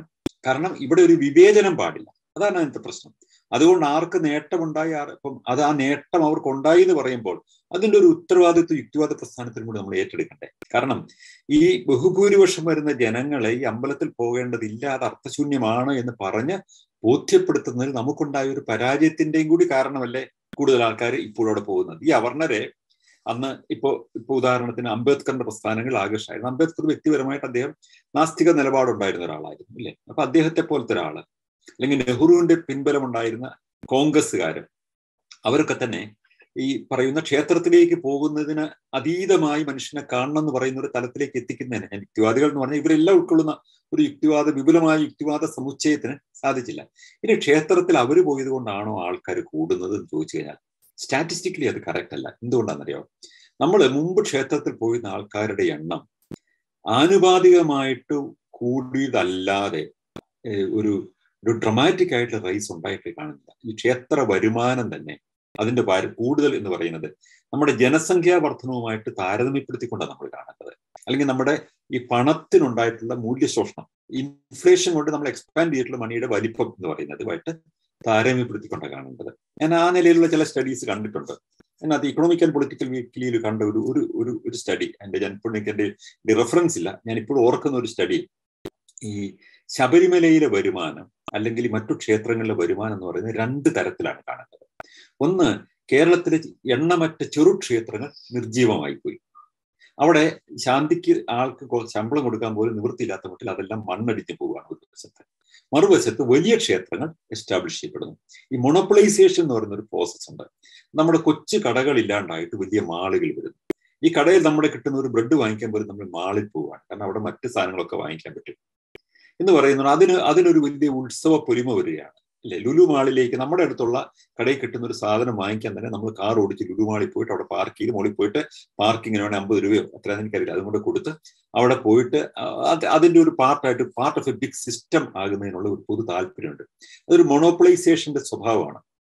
അപ്പൊ ഈ കൊച്ചു കൊച്ചു ചെറുകിട കടകളൊക്കെ തന്നെ അന്യവൽക്കരിക്കപ്പെടുകയും വലിയ മാളുകൾ വികസിക്കുകയും ചെയ്യുന്നത് പോലെ ഈ കൊച്ചു കൊച്ചു പ്രാദേശിക ക്ഷേത്രങ്ങളൊക്കെ തന്നെ അവഗണിക്കപ്പെടുകയും മൊണോപ്പൊളൈസ് ചെയ്യുന്ന മൂന്നോ നാലോ ക്ഷേത്രങ്ങൾ. അത് ഗുരുവായൂര് ശബരിമല ചോറ്റാനിക്കര എന്നൊക്കെ പറയുന്ന കുറച്ച് ക്ഷേത്രങ്ങൾ. അല്ലെങ്കിൽ പുതുതായി എമർജി വന്നിരിക്കുന്ന വർഷം തോറും ഒരു ആറ്റുകാൽ എന്നൊക്കെ പറയുന്ന കുറച്ച് ക്ഷേത്രങ്ങൾ ഒരു മൊണോപ്പൊളി ക്യാരക്ടറായിട്ട് വളർന്നു വരികയും ചെയ്യുന്നുണ്ട്. അപ്പൊ ആകെ ജനസംഖ്യയിൽ ഹിന്ദു ജനസംഖ്യയിൽ എത്ര ശതമാനം അമ്പലത്തിൽ പോയിരുന്നു അല്ലെങ്കിൽ ഇപ്പോൾ പോകുന്നത് വെച്ചാൽ ഷിഫ്റ്റ് ഇവിടെ നിന്നൊരു ഷിഫ്റ്റ് ഇങ്ങോട്ട് ഉണ്ടായിട്ടുള്ളതാണോ പ്രധാനപ്പെട്ട സംഗതി? കാണേണ്ട ഒരു സംഗതി അതാണെന്നാണ് ആ ലേഖനത്തിൽ പറയുന്നത്. രണ്ടാമത് പറയുന്നത് ഈ പറയുന്ന വർധനവ് എന്ന് പറയുന്നത് ഈ പിന്നെ നോക്കൂ ഈ കേരളത്തിൽ ഇരുപത്തിനാല് ശതമാനം ആൾക്കാർ ഈഴവ സമുദായത്തിൽപ്പെട്ട ആൾക്കാരാണ്. കുറേയേറെ ആൾക്കാർ മറ്റ് താഴ്ത്തപ്പെട്ട സമൂഹങ്ങളിൽപ്പെട്ട ആൾക്കാരുണ്ട്. നോക്കൂ അതെല്ലാം കൂടെ ആകെയുള്ള ഹിന്ദുക്കളിലെ ഒരു വലിയ ശതമാനം ഒരു മുപ്പത് മുപ്പത്തഞ്ച് ശതമാനം. ഈ വരുന്ന നമ്മുടെ ആകെ ജനസംഖ്യയുടെ തന്നെ മുപ്പത് മുപ്പത്തഞ്ച് ശതമാനം എന്ന് പറയുന്നത് അസ്പിരിച്ചരായിട്ട് മുമ്പ് കരുതപ്പെട്ടുന്ന ആൾക്കാരാണ്. അവർ മുഴുവൻ ചേരുമ്പോൾ ഉണ്ടാകുന്ന ഒരു റൈസ് ഓഫ് ഹിന്ദു പോപ്പുലേഷൻ അല്ലെങ്കിൽ ക്ഷേത്ര സന്ദർശകരായ ഹിന്ദു പോപ്പുലേഷൻ എന്ന് പറഞ്ഞാൽ രണ്ടിരട്ടിയോ മൂന്നിരട്ടിയോ ഇല്ലേ? അങ്ങനെ അവരെല്ലാം കൂടെ പണം കൊടുത്തിരുന്നെങ്കിൽ പ്രൊപ്പോർഷനായിട്ടായിട്ട് നമ്മൾ കാണേണ്ടത് ഈ അന്നത്തെ പ്രൊപ്പോർഷനേറ്റ് ആയിട്ടുള്ള വളർച്ചയ്ക്ക് അപ്പുറത്തായിട്ട് രണ്ടിരട്ടിയോ മൂന്നിരട്ടിയോ വളർച്ച ഉണ്ടായിട്ടുണ്ടോ എന്നുള്ളതൊന്ന് രണ്ട് നമ്മുടെ മൊത്തത്തിലുള്ള ക്ഷേത്രങ്ങളുടെ വരുമാനത്തോടെ മറ്റു ഒരു വശത്തുള്ള തകർച്ചയുമായി താരതമ്യപ്പെടുത്തുമ്പോൾ ഉണ്ടാകുന്ന ഒരു വളർച്ചയ്ക്ക് അപ്പുറത്തായിട്ടുള്ള വളർച്ച ഉണ്ടായിട്ടുണ്ട്. ഈ രണ്ട് അളവുകോലുകൾ കൂടി ഉപയോഗിച്ചുകൊണ്ട് മെഷർ ചെയ്തെങ്കിൽ ആ പറയുന്ന ഇത് ശരിയായിട്ട് വരികയുള്ളൂ. പൊതുവേ തന്നെ ക്ഷേത്രത്തിൽ പോയിട്ട് പണം കൊടുക്കുന്ന ആൾക്കാരുടെ രീതി കുറഞ്ഞു വന്നിട്ടുണ്ട്. ശബരിമലയാണ് നമ്മുടെ ഏറ്റവും കൂടുതൽ ഏൺ ചെയ്യുന്ന ക്ഷേത്രം എന്ന് പറയുന്നത്. അവിടെ അരവണ വാങ്ങിക്കുന്നതിനാണ് കൂടുതൽ പണം കൊടുക്കുന്നത്. അല്ലെങ്കിൽ ശബരിമലയിലെ മറ്റൊരു പ്രധാന വരുമാനം ഈ കടകൾ വാടകയ്ക്ക് കൊടുക്കുന്നതുകൊണ്ടാണ്. അതിന്റെ ലേലത്തുകയാണ് പ്രധാനപ്പെട്ട ഒരു വരുമാനം. ഇതെല്ലാം കൂടെ കൂടുന്നതാണ് ശബരിമലയുടെ വരുമാനം എന്ന് പറയുന്നത്. അതുകൊണ്ട് ക്ഷേത്രത്തിൽ ആൾക്കാർ പോയിട്ട് അവർ കാണിക്കയിടുന്നത് കൊണ്ടോ അല്ലെങ്കിൽ ഈ മുമ്പ് അവിടെ കയറാൻ പറ്റാതിരുന്ന ആൾക്കാർ ചെന്നിപ്പോൾ കാണിക്കയിടുന്നത് കൊണ്ടോ ആണ് ഈ ക്ഷേത്രത്തിന്റെ വരുമാനം കൂടിയെന്നുള്ളത് സ്റ്റാറ്റിസ്റ്റിക്കലി സപ്പോർട്ടഡ് അല്ല ആ പൊസിഷൻ പക്ഷെ അവരത് ചെയ്യേണ്ടിയിരുന്നില്ല. അവർ അങ്ങോട്ടല്ല പോകേണ്ടിയിരുന്നു. ഈ ദൈവങ്ങളെയൊക്കെ നിരാകരിച്ചുകൊണ്ട് ഉള്ള ഒരു ഒരു പുതു ലോകത്തിലേക്കായിരുന്നു അവർ വരേണ്ടിയിരുന്നു എന്നുള്ള നിലപാട് വളരെ വളരെ ശരിയാണ്. നൂറ് ശതമാനം ഞാൻ യോജിക്കുന്നു അതിനോട്. താങ്ക് യു സതീഷ് സനൽ ഇത് മോഡറേറ്റേഴ്സിൽ ആർക്കെങ്കിലും ചോദിക്കാനുണ്ടോ? ഉണ്ട് എനിക്ക് എനിക്കൊരു ചോദ്യമുണ്ട്. സരൺ സർ ആക്ച്വലി നമുക്ക് ഈ ജാതി വ്യവസ്ഥക്കെതിരെ ഒരു വക്യം സത്യാഗ്രഹം വിജയിച്ചു. അത് നമ്മളെല്ലാം പഠിച്ചു. പക്ഷെ ഇന്നും ഈ ജാതി ആചരിക്കുന്നത് ഈ പറയുന്ന ജാതികൾക്കിടയിൽ വളരെയധികം തന്നെ ഉണ്ട്. അതിനെതിരെ ഇനി ഒരു സത്യാഗ്രഹത്തിന് സ്കോപ്പില്ല. നമുക്ക് എന്തൊക്കെ ചെയ്യാൻ പറ്റും? വളരെ വളരെ റിലവന്റ് ആയിട്ട് ചോദ്യമാണ്. നമുക്കൊരു ഒരു ഒരു ദിവസം ഒരു മീറ്റിംഗ് ഇതിനെ വെച്ച് ഒരു പൊതു അഭിപ്രായം കൂടി കേൾക്കേണ്ട ഒരു വിഷയമാണ്.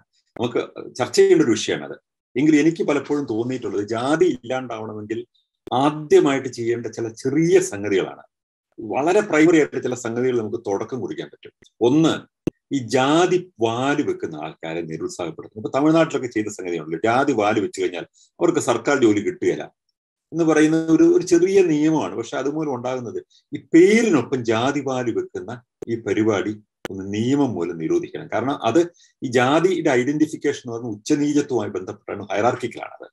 ആ ഹെറാർക്കിക്കൽ ഡിവിഷൻ ഉണ്ട്. ആർക്ക് ഏത് ജാതി വേണേലും ആയിക്കോട്ടെ. പക്ഷെ ജാതി പേരിന്റെ കൂടെ ജാതി വെക്കുന്നതാണ് ജാതിയുടെ ഐഡന്റിഫിക്കേഷൻ ഒരു മാർഗം എന്ന് പറയുന്നത്. അതൊന്ന് ഞാൻ ഞാൻ ചെറിയ ഉദാഹരണം പറയാം. പിന്നൊന്ന് വേണ്ടത് നമുക്ക് കമ്മ്യൂണിറ്റി ഈറ്റിംഗ് എന്ന് പറയുന്നത് വളരെ പ്രധാനപ്പെട്ട ഒരു സംഗതിയാണ്. ഈ ജാതി മാത്രമല്ല വേറെ ഉണ്ട് ഒരുപാട് വിവേചനം. മതത്തിന്റെ പേരിലുള്ള വിവേചനം. മതത്തിന്റെ പേരിലുള്ള മാറ്റി നിർത്തലുണ്ട്. ഈ ഈ മിശ്ര ഭോജനം എന്ന് പറയുന്ന ഒരു പരിപാടി അന്ന് ഈ പിന്നെ സഹോദരനയ്യപ്പൻ ആയിരത്തി തൊള്ളായിരത്തി പതിനേഴ് ചെയ്ത സംഗതിക്ക് ഇന്ന് പോലും അതിന് റിലവൻസ് ഉണ്ട്.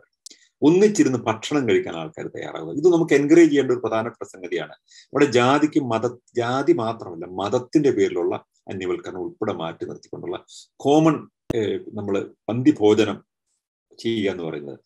കേൾക്കുമ്പോൾ വളരെ നിസ്സാരമെന്ന് തോന്നും. പിന്നെ ഒന്ന് ചെയ്യേണ്ടത് ഒരു ഗൗരവമുള്ള ഒരു തീരുമാനമാണ് വ്യക്തികൾ പ്രത്യേകിച്ച് യുവാക്കൾ എടുക്കേണ്ടത് അവരൊരു ഇണയെ കണ്ടെത്തുമ്പോൾ പരസ്പരം ഇഷ്ടപ്പെടുന്ന ഇണകളെ തിരഞ്ഞെടുക്കുന്ന സമയത്ത് ജാതിയും മതവും നോക്കാതെ അവർക്ക് ഇഷ്ടപ്പെടുന്ന ഇണയോടൊപ്പം ജീവിക്കാനുള്ള ഒരു സാഹചര്യം ഉണ്ടാവണം. അതിന് കൂടുതൽ റെസ്പെക്ടബിലിറ്റി വേണം. അതിന് സോഷ്യൽ അക്സെപ്റ്റൻസ് ഉണ്ടാവണം. വളരെ പ്രധാനപ്പെട്ട ഒരു സംഗതിയാണ്. ഇന്ന് നമ്മുടെ പത്രത്തിനകത്തുള്ള പരസ്യങ്ങൾക്കകത്ത് നോക്കി ഈ ജാതി പറഞ്ഞുകൊണ്ടുള്ള പരസ്യങ്ങൾ. ഇപ്പൊ സ്ത്രീധന നിയമം മൂലം നിരോധിച്ച ഒരു സ്ഥലത്ത് ആയിരത്തി തൊള്ളായിരത്തി അറുപതിൽ സ്ത്രീധന നിയമം മൂലം നിരോധിച്ചാണ് എത്രയാണ് സ്ത്രീയുടെ പിന്നെ ധനം എന്ന് പരസ്യത്തിൽ പറയുന്ന പരസ്യങ്ങൾ നമുക്ക് മാതൃഭൂമിയിലും മനോരമയിലും കേരളത്തിലും ഒക്കെ തന്നെ വായിക്കാൻ പറ്റും. ഇൻഡയറക്റ്റ് ആയിട്ടും ഡയറക്റ്റ് ആയിട്ടും ഒക്കെ തന്നെ പറയുന്ന സംഗതികൾ. ഇപ്പൊ സ്ത്രീധനം നിരോധിച്ചതിന്റെ സ്ത്രീധനം നിലനിൽക്കുന്നുണ്ട്. ഈ ജാതി വിവാഹങ്ങൾ വിവാഹങ്ങളൊക്കെ പറ്റി പരസ്യം ചെയ്യുമ്പോൾ മാട്രിമണി എന്ന് പറയുന്ന ഐഡിയ തന്നെ സ്വന്തം ജാതിയിൽപ്പെട്ട ആൾക്കാരെ മാത്രമേ കല്യാണം കഴിക്കാവുള്ളൂ എന്ന് പറയുന്ന ഒരു ആശയം സ്റ്റെബിലൈസ് ചെയ്യപ്പെടുകയാണ് ഈ പരസ്യങ്ങൾ വഴി. ഒരാൾ പരസ്പരം ഇഷ്ടപ്പെടുമ്പോൾ അത് സ്വന്തം ജാതിപ്പെട്ട ആളെ ആളാണ് അല്ലെങ്കിൽ ജനിച്ച ജാതിപ്പെട്ട ആളാണെന്നുള്ളതുകൊണ്ട് മാറ്റി നിർത്തുന്നതല്ല ഞാൻ പറയുന്നത്. ഇഷ്ടപ്പെടുക എന്നുള്ളതിനാണ് പ്രാധാന്യം. അപ്പൊ ഇഷ്ടപ്പെടുമ്പോൾ ജാതിയും മതവും ഒന്നും പ്രശ്നമല്ല എന്ന് പറയുന്ന ഒരു പുതിയ കൾച്ചർ ഉണ്ടാവണം. എങ്ങനെയാണ് കൾച്ചർ ഉണ്ടാവുന്നത്? അതിന് അതിനെ നമ്മൾ മനസ് അത്തരം മാതൃകകൾ നമുക്ക് വിജയകരമായ മാതൃകകൾ നമുക്ക് ചൂണ്ടിക്കാണിക്കണം. ഒട്ടേറെ വിജയകരമായ മാതൃകയുണ്ട് നമ്മുടെ മുന്നിൽ. പക്ഷെ ഒരു പബ്ലിക് അണ്ടർസ്റ്റാൻഡിങ് എങ്ങനെയാണ്? പബ്ലിക് അണ്ടർസ്റ്റാൻഡിങ് എന്ന് പറയുന്നത് ഓ ജാതി മാറി കല്യാണം കഴിച്ചാലോ? അത് പരാജയമായി പോകും ഉറപ്പാണ്. പക്ഷെ വാസ്തവം അങ്ങനെയല്ല. ഫാക്ട്സ് ആർ സോ ഡിഫറന്റ് ജാതി മാറി കല്യാണം കഴിച്ച ആൾക്കാർ മതം മാറി കല്യാണം കഴിച്ച ആൾക്കാർക്ക് വളരെ വിജയകരമായി വളരെ സക്സസ്ഫുൾ ആയിട്ടാണ് ജീവിക്കുന്നത്. പ്രണയവിവാഹങ്ങൾ പരാജയമാകുന്നു എന്ന് പറയുന്നത് ഒരു തെറ്റായ സംഭവമാണ്. അങ്ങനെയല്ല. മറ്റു വിവാഹങ്ങൾ പരാജയമാകുന്നതുമായി താരതമ്യപ്പെടുത്തുമ്പോൾ ഒട്ടും കൂടുതലായിട്ട് പ്രണയവിവാഹങ്ങൾ പരാജയപ്പെടുന്നില്ല കാരണം പ്രണയവിവാഹങ്ങൾക്കുള്ള ഒരു ഗുണം എന്ന് വെച്ചാൽ പരസ്പരം തിരിച്ചറിഞ്ഞ് പരസ്പരം ഇഷ്ടപ്പെട്ടാണ് ഇവർ കല്യാണം കഴിക്കുന്നത്. ബഹുഭൂരിപക്ഷം കല്യാണം കഴിക്കുന്നു കല്യാണം കഴിച്ചു കഴിഞ്ഞിട്ട് ഇന്നത്തെ നിലയിൽ ആലോചിച്ച് നടക്കുന്ന ജാതി വിവാഹങ്ങൾക്കകത്ത് കല്യാണം കഴിച്ചു കഴിഞ്ഞിട്ടാണ് ഇവർ പരസ്പരം തിരിച്ചറിയുന്നത് പോലും. പിന്നെ അവർക്ക് നിവൃത്തിയില്ല. They are I mean bound to live in that structure അത് മാറണം. അപ്പൊ അത് മാറുന്നതിന് എന്താ എവിടെ മാറ്റം വരുത്തേണ്ടത്? നിർബന്ധിച്ചാരെയും ഈ മിക്സഡ് മാരേജ് കഴിപ്പിക്കാൻ പറ്റുകയില്ല മൈൻഡ് സെറ്റ് മാറണം. ആ മൈൻഡ് സെറ്റ് മാറുന്നതിന് അനുഗുണമായ പബ്ലിക് ക്യാമ്പയിനിങ് നടക്കണം. ഇത് കൂടാതെ ജാതിയുടെയും മതത്തിന്റെയും പേരിലുള്ള വിവേചനം ഡിസ്ക്രിമിനേഷൻ ഒഴിവാക്കണം. ഏതെങ്കിലും ജാതിയോ മതത്തെയോ ഡിസ്ക്രിമിനേറ്റ് ചെയ്യുന്നത് തെറ്റാണെന്നുള്ള ഒരു സോഷ്യൽ അറ്റ്മോസ്ഫിയർ ഉണ്ടാകണം നമുക്ക് നമ്മുടെ കൂട്ടുകാര് ഈ താഴ്ത്തപ്പെട്ട ജാതിയിലുള്ളവരാണെങ്കിൽ അങ്ങനെ സമൂഹം കരുതുന്ന ആൾക്കാരാണെങ്കിൽ അവരെ നമ്മുടെ കൂടെ കൂട്ടാൻ നമുക്ക് സാധിക്കണം.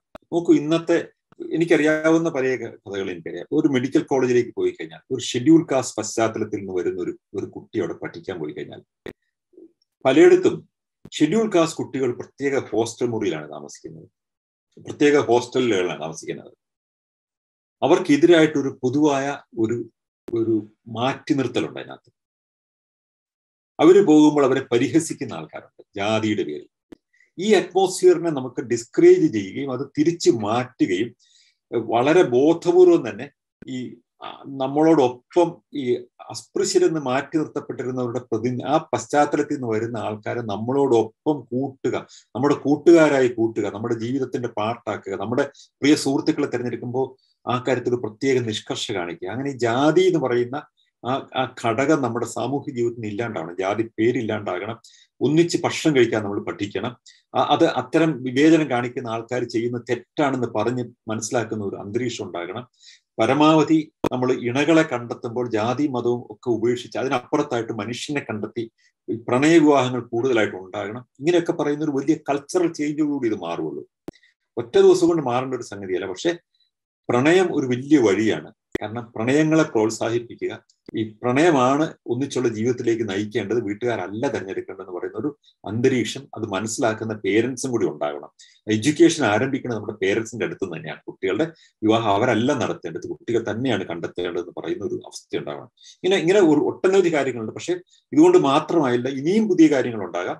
നമുക്കത് ഡിസ്കസ് ചെയ്യണം നമുക്കത് വീണ്ടും വീണ്ടും ഡിസ്കസ് ചെയ്യേണ്ട ഒരു സംഗതിയാണ്. കാരണം പുതിയ ഒട്ടേറെ വഴികൾ നമുക്ക് കണ്ടുപിടിക്കണം. കാരണം ഒരുപക്ഷെ നമ്മുടെ സമൂഹത്തിൽ ഏറ്റവും വലിയ തിന്മ ജാതി സമ്പ്രദായമാണ്. മറ്റൊരു വലിയ തിന്മ ഞാൻ മതം ആ ദൈവം എന്നൊക്കെ പറയുന്നതിന് മാറ്റി നിർത്തിയിട്ടാണ് ഇതിന്റെ മതത്തിന്റെ പേരിലും ജാതിയുടെ പേരിലുള്ള വിവേചനമാണ്. ജെൻഡറിന്റെ പേരിലുള്ള വിവേചനമാണ്. ഈ വിവേചനങ്ങൾക്ക് അതീതമായി മനുഷ്യനെ നമുക്ക് ഒന്നായി കാണാൻ പറ്റുക എന്നുള്ളതാണ് ഏറ്റവും പ്രധാനപ്പെട്ട സംഗതി. എല്ലാ വിവേചനങ്ങൾക്കും അതീതമായിട്ട് നമ്മളെല്ലാം മനുഷ്യരാണ്. നമുക്കെല്ലാം ഒന്നിച്ച് ജീവിക്കണം. ഇവിടെ ഒരു വിവേചനവും വേണ്ട. ആർക്കും ഒരു വ്യത്യാസവും ഇല്ല. ഈ അവസ്ഥ ഉണ്ടാവണം. അതാണ് ഏറ്റവും പ്രധാനം. അങ്ങോട്ടും ഇങ്ങോട്ടും നമുക്ക് സഹിക്കാനും ക്ഷമിക്കാനും ടോളറൻസ് ഉണ്ടാകാനും പഠിക്കണം. നമ്മളോട് വിരുദ്ധമായ അഭിപ്രായം പറയുന്ന ആൾക്കാർ നമ്മുടെ ശത്രുക്കളല്ല. മറ്റൊരു മതത്തിൽ വിശ്വസിക്കുന്നത് നമ്മുടെ ശത്രുക്കളല്ല. ഈ ഒരു അന്തരീക്ഷമാണ് നമുക്ക് സഹിഷ്ണുത വളർന്നു വരണം. ഇതൊക്കെയാണ് എന്റെ വഴികൾ എന്ന് പറയുന്നത്. സാറേ. അതിന്റെ കൂടെ ഞാനിപ്പോൾ കരുതിയിരിക്കുന്നത് ഈ ക്ലബ് ഹൗസിൽ തന്നെ ജാതി വാരി വെച്ച് വരുന്നവരെ ഞാൻ അപ്പൊ കണ്ടു കഴിഞ്ഞാൽ അപ്പൊ തന്നെ അപമാനിക്കാൻ ശ്രമിക്കാറുണ്ട്. കാരണം അതൊരു ആവശ്യമാണെന്ന് ഞാൻ കരുതുന്നു. അവിടെ ഇപ്പൊ ഞാൻ മാന്യത നോക്കാറുമില്ല. ജാതിവാൽ വെച്ച് വരുന്ന ആൾക്കാരെ പറഞ്ഞ് നിരുത്സാഹപ്പെടുത്തേണ്ട ആവശ്യമാണ്. കാരണം അവരെ തന്നെ ബോധ്യപ്പെടുത്തണം.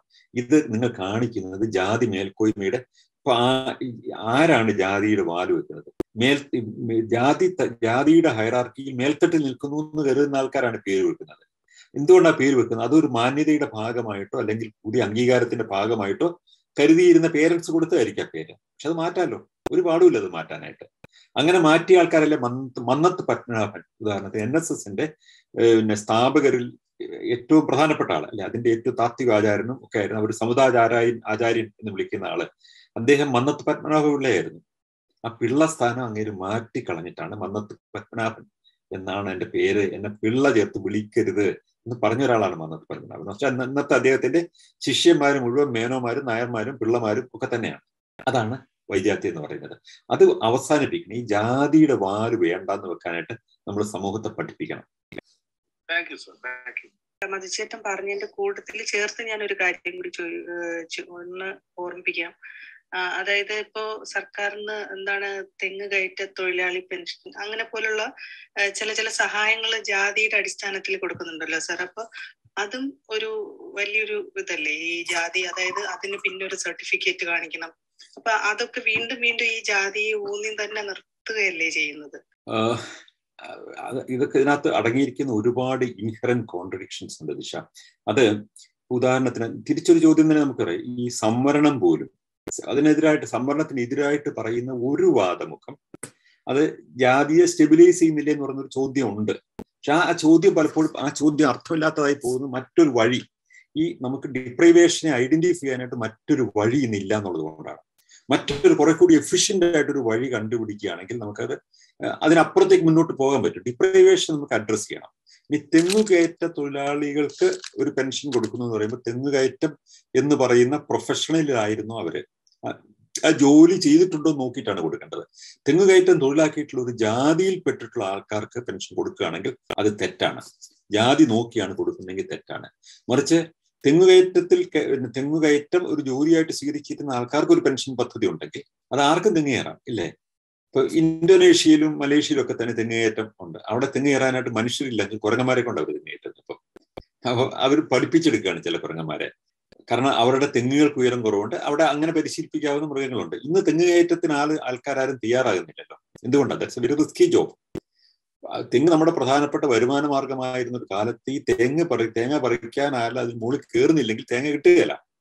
വീഴുന്ന തേങ്ങ കൊണ്ട് കിട്ടുകയില്ല. അപ്പൊ അവർക്ക് അവരുടെ റിസ്ക് അതിനകത്തുള്ളതൊക്കെ വളരെ വലുതല്ലേ? അപ്പൊ അവർക്ക് ഒരു പെൻഷൻ കൊടുക്കുന്നത് കൊണ്ട് റിസ്ക് വളരെ റിസ്ക് ഉള്ള ഒരു ജോലി ചെയ്യുന്നത് കൊണ്ട് അവർക്ക് ഒരു പെൻഷൻ കൊടുക്കുന്നതുകൊണ്ട് ഒരു കുഴപ്പമുണ്ടെന്ന് എനിക്ക് തോന്നുന്നില്ല. പക്ഷെ അതിന് ജാതി സർട്ടിഫിക്കറ്റ് കൊണ്ടുവരണം.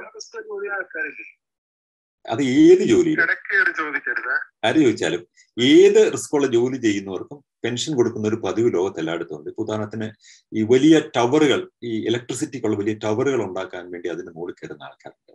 ജോലിയുടെ പാർട്ടായിട്ട് ചെയ്യുന്ന ആൾക്കാർക്കുണ്ട്. അവർക്ക് കിട്ടുന്ന പെൻഷൻ ഇവിടെ ഫിന്നലിന്റെ കാര്യം എനിക്കറിയാം. അവർക്ക് കിട്ടുന്ന പെൻഷൻ സാധാരണ ആൾക്കാർക്ക് കിട്ടുന്നതിന്റെ മൂന്ന് ഇരട്ടിയാണ് അവർക്ക് കിട്ടുന്ന പെൻഷൻ. അതിനകത്ത് അടങ്ങിയിരിക്കുന്ന റിസ്ക് ആണ് അതിനകത്തൊരു പ്രധാനപ്പെട്ട കാരണം. അല്ലെങ്കിൽ ആൾക്കാരെ അങ്ങനെയുള്ള റിസ്ക് ആയിട്ട് ജോലി ചെയ്യുന്ന ആൾക്കാർക്ക് അതിനെ പ്രൊട്ടക്ട് ചെയ്യാനുള്ള സംവിധാനങ്ങൾ ഒരു ഒരു വെൽഫെയർ സ്റ്റേറ്റ് ഉണ്ടാകണം. അതിനകത്തൊന്നും ഒരു കുഴപ്പമില്ല.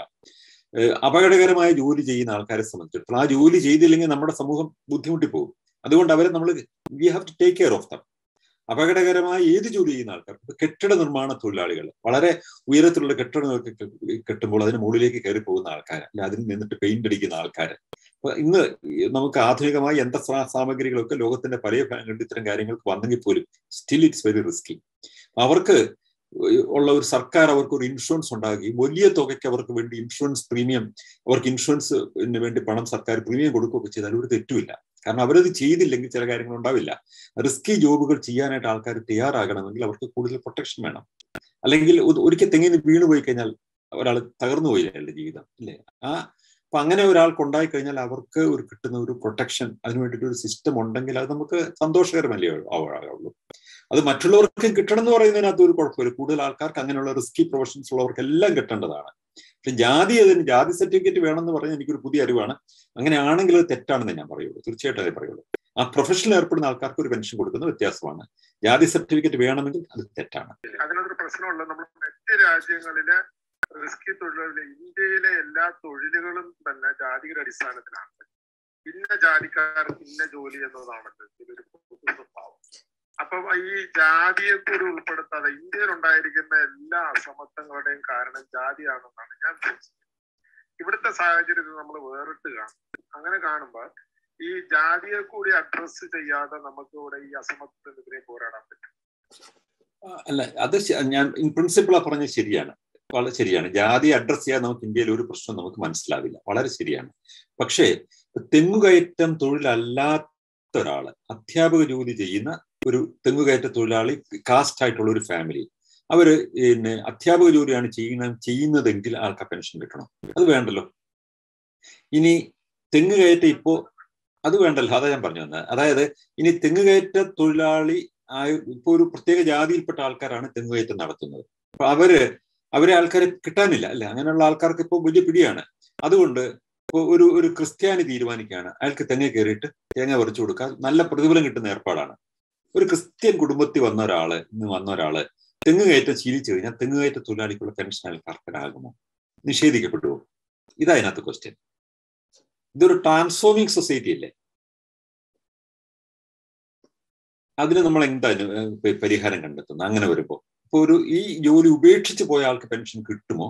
മറ്റൊരു ജാതിയിൽപ്പെട്ട ഒരാൾ ജോലി ചെയ്താൽ അയാൾക്ക് പെൻഷൻ കിട്ടാതിരിക്കുമോ? അങ്ങനെ വരുന്നുണ്ടെങ്കിൽ അതിനകത്തൊരു വിവേചനമുണ്ട്. ജാതിയെ കാണാതെ ജാതി എന്ന് പറയുന്ന ഒരു യാഥാർത്ഥ്യം തിരിച്ചറിയാതെ ജാതി അഡ്രസ് ചെയ്യാതെ നമുക്ക് ഇന്ത്യൻ പ്രശ്നങ്ങൾ മനസ്സിലാവില്ല എന്നുള്ള നൂറ് ശതമാനം യോജിക്കുന്നുണ്ട്. പക്ഷെ ഈ ഈ റിസ്കി പ്രൊഫഷൻസ് ചെയ്യുന്ന ആൾക്കാരെ എവിടെയും പ്രൊട്ടക്ട് ചെയ്യാന്ന് പറയുന്നത് ഒരു ഒരു ലോകവ്യാപകമായി തന്നെ ഒരു നയമാണ് എല്ലായിടത്തും. അത് നമ്മുടെ നാട്ടിൽ തെങ്ങ് കയറ്റത്തിൽ ഏർപ്പെട്ടിരിക്കുന്ന ആൾക്കാർ റിസ്കി പ്രൊഫഷൻ തന്നെയാണ്. പക്ഷെ അതുകൊണ്ട് തെങ്ങുകയറ്റം ചെയ്യാതെ അധ്യാപക ജോലി ചെയ്യുന്ന ആൾക്കാർക്ക് ജാതിയുടെ പേരിൽ തെങ്ങുകയറ്റ തൊഴിലാളിക്കുള്ള പെൻഷൻ കിട്ടാൻ പാടില്ല. അതാണ് അതിനകത്ത് പോയിന്റ് എന്ന് പറയുന്നത്. ഓക്കെ അടുത്ത ആളിലേക്ക് പോകാമല്ലോ അതെ അതെ അതെ. ക്ഷേത്രപ്രവേശന വിളംബരത്തിന് കാരണമായത് വൈക്കം സത്യാഗ്രഹമാണല്ലോ അല്ലെ? അപ്പോ അതിന് അതിന്റെ വിജയത്തിന് വേറെയും ചില കാരണങ്ങൾ ഉണ്ടായതായി കണ്ടിട്ടുണ്ട്. അതായത് അന്നത്തെ അത് ദിവാൻ അതിന് കിട്ടിയ വിവരം അനുസരിച്ച് കൂട്ടത്തോടെ മതം മാറ്റം ഉണ്ടാകാൻ സാധ്യതയുണ്ടെന്നും. രാജാവ് അത് കൂടി കണക്കിലെടുത്താണ് ഈ കൽപ്പന പുറപ്പെടുവിച്ചതെന്ന് കേട്ടിട്ടുണ്ട്.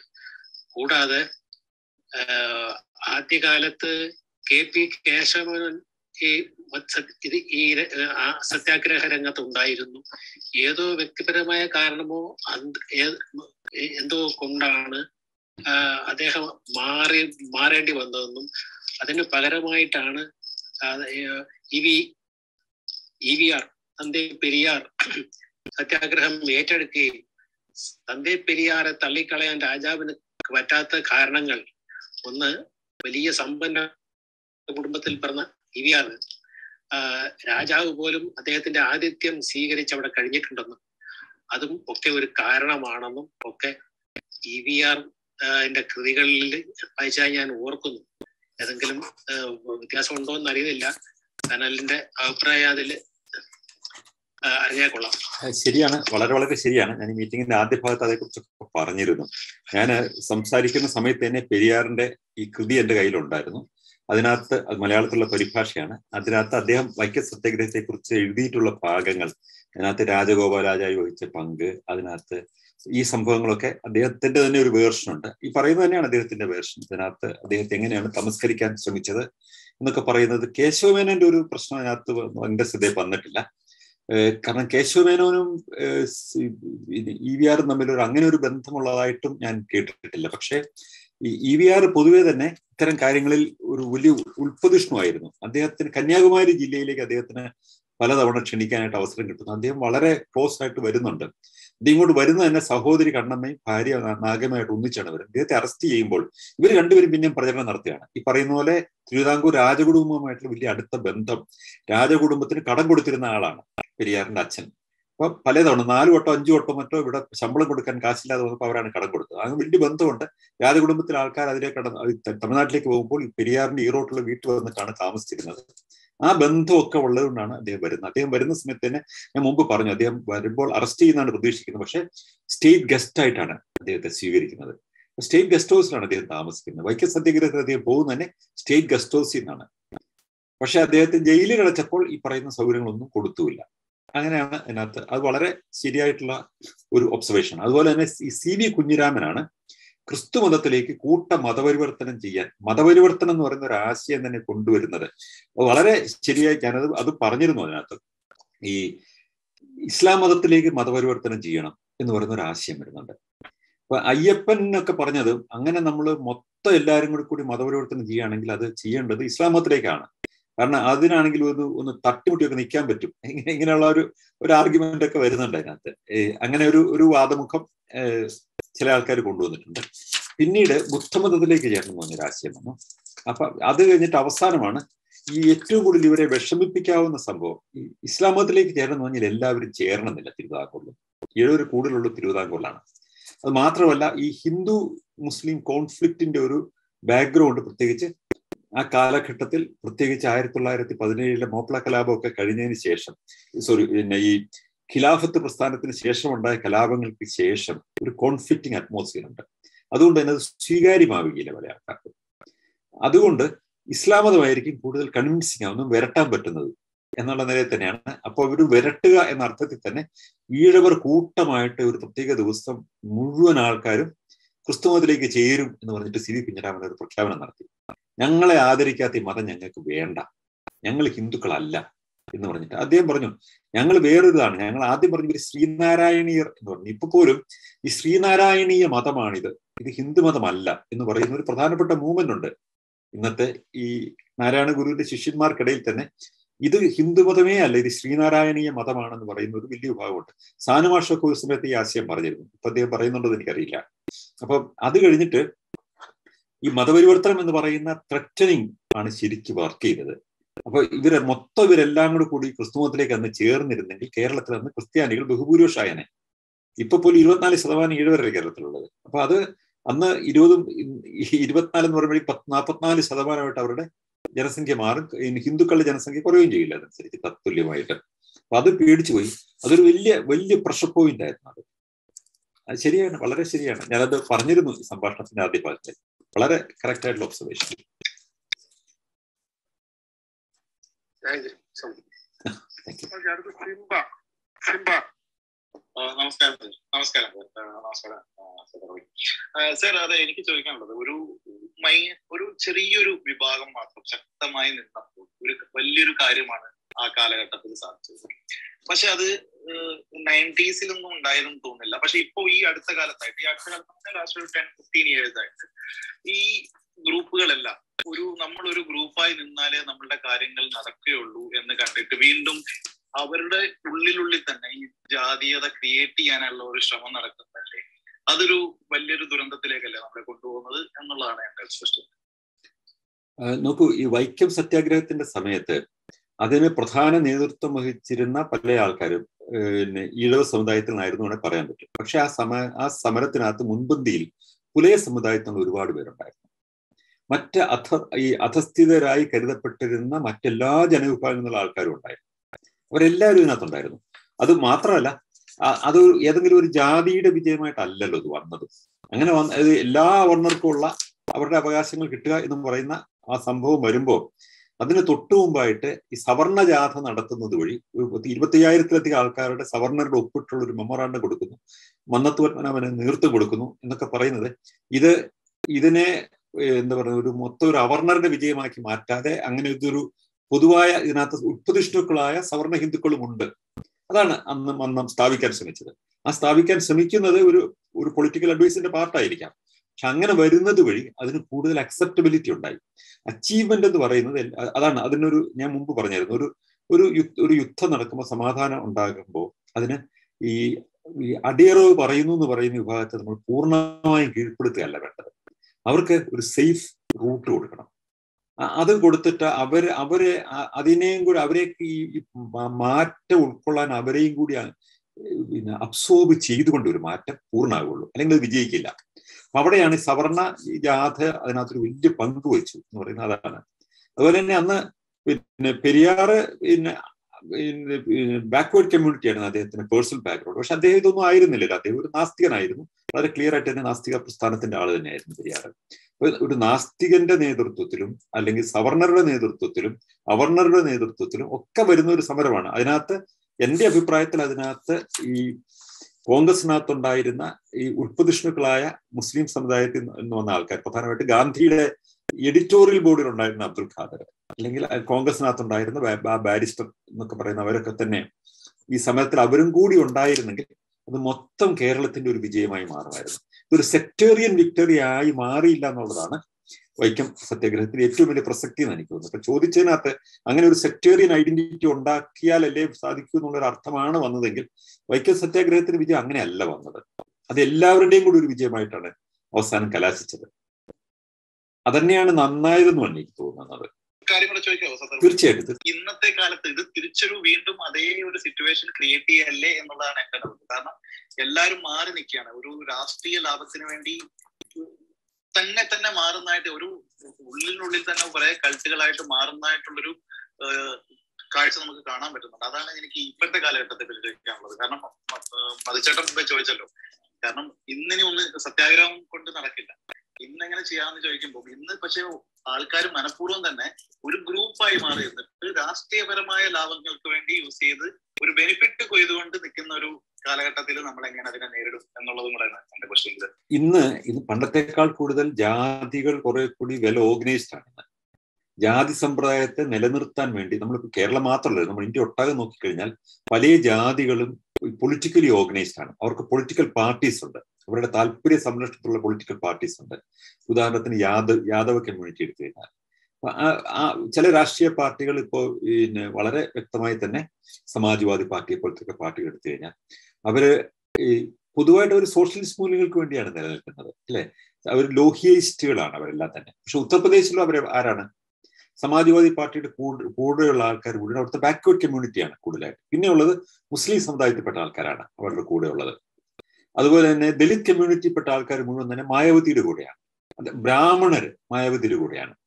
ഇങ്ങനെ ഇങ്ങനെ ഇങ്ങനെ ഒരു ഒരു ഒരു കാസ്റ്റ് ഐഡന്റിറ്റിയുടെ പേരിൽ തന്നെ ആൾക്കാർ അലൈൻ ചെയ്യുന്നുണ്ട്. കോൺഗ്രസിന്റെ കൂടെ മുമ്പ് ബ്രാഹ്മണരും ദലിത്തുകളും കോൺഗ്രസിനോടൊപ്പമായിരുന്നു. ഇന്ന് ബ്രാഹ്മണരും ദലിത്തുകളും മായാവതിയുടെ ഒപ്പമാണ്. അപ്പൊ ഈ ഐഡന്റിറ്റി എന്ന് പറയുന്ന അവരുടെ രാഷ്ട്രീയ ദർശനത്തിൽ ഇല്ല. രാഷ്ട്രീയ ദർശനത്തിൽ ഉദാഹരണത്തിന് സമാജ്വാദി പാർട്ടിക്ക് ഈ പറയുന്ന ഒരു മതപരമായ പൊസിഷനും ഇല്ല. അത് സോഷ്യലിസ്റ്റാണ് അവർ പറയുന്നത്. സമാജ്വാദി എന്ന് പറഞ്ഞാൽ തന്നെ സോഷ്യലിസ്റ്റ് എന്നാണ് പദത്തിന്റെ അർത്ഥം തന്നെ. പക്ഷെ ഈ ഈ പറയുന്ന തരത്തിലുള്ള ഐഡന്റിറ്റി ഇതിനകത്തെല്ലാം കടന്നു വരുന്നുണ്ട്. അത് ഇപ്പൊ ഏത് പ്രസ്ഥാനം എടുത്താലും കേരളത്തിലെ കേരള കോൺഗ്രസ്. കേരള കോൺഗ്രസ് ക്രിസ്ത്യാനികളുടെ പാർട്ടിയാണെന്ന് പറയുന്നില്ല. എന്നാൽ മധ്യ കേരളത്തിലെ സുറിയാനി ക്രിസ്ത്യാനികളുടെ താല്പര്യമാണ് അത് സംരക്ഷിക്കുന്നത് എന്നുള്ള ഒരു പൊതുബോധമുണ്ട് അല്ലെ? ഈ പറയുന്ന രീതിയിലുള്ള പൊളിറ്റിക്കൽ ക്ലൗട്ട് ഓരോ കമ്മ്യൂണിറ്റിക്കും ഡെവലപ്പ് ചെയ്തിട്ടുണ്ട്. ആ പൊളിറ്റിക്കൽ ഇപ്പൊ മതത്തിന്റെ പേര് പറഞ്ഞിട്ട് ഒറ്റ പാർട്ടിയുള്ളൂ മുസ്ലിം ലീഗ് എന്ന് പറഞ്ഞ ഒറ്റ പാർട്ടിയുള്ളൂ. ബാക്കി എല്ലാ പാർട്ടികളും മറ്റു പേരുകളാണ് S D P I socialist ഡെമോക്രസിയാണ് അവർ പറയുന്നത്. സോഷ്യലിസ്റ്റ് ഡെമോക്രസി എന്ന് പറഞ്ഞാൽ ഇന്ന് ഫിൻലൻഡിലും സ്വീഡനിലും ഒക്കെ ഉള്ള വ്യവസ്ഥിതിയാണ് സോഷ്യൽ ഡെമോക്രസി എന്ന് പറയുന്നത്. അപ്പൊ സോഷ്യൽ ഡെമോക്രസിയുടെ പേരിൽ ഒരു പാർട്ടി ഉണ്ടാകുന്നു. പക്ഷെ അവർ സംരക്ഷിക്കുന്നത് ഇസ്ലാമിസ്റ്റ് താല്പര്യങ്ങളാണ്.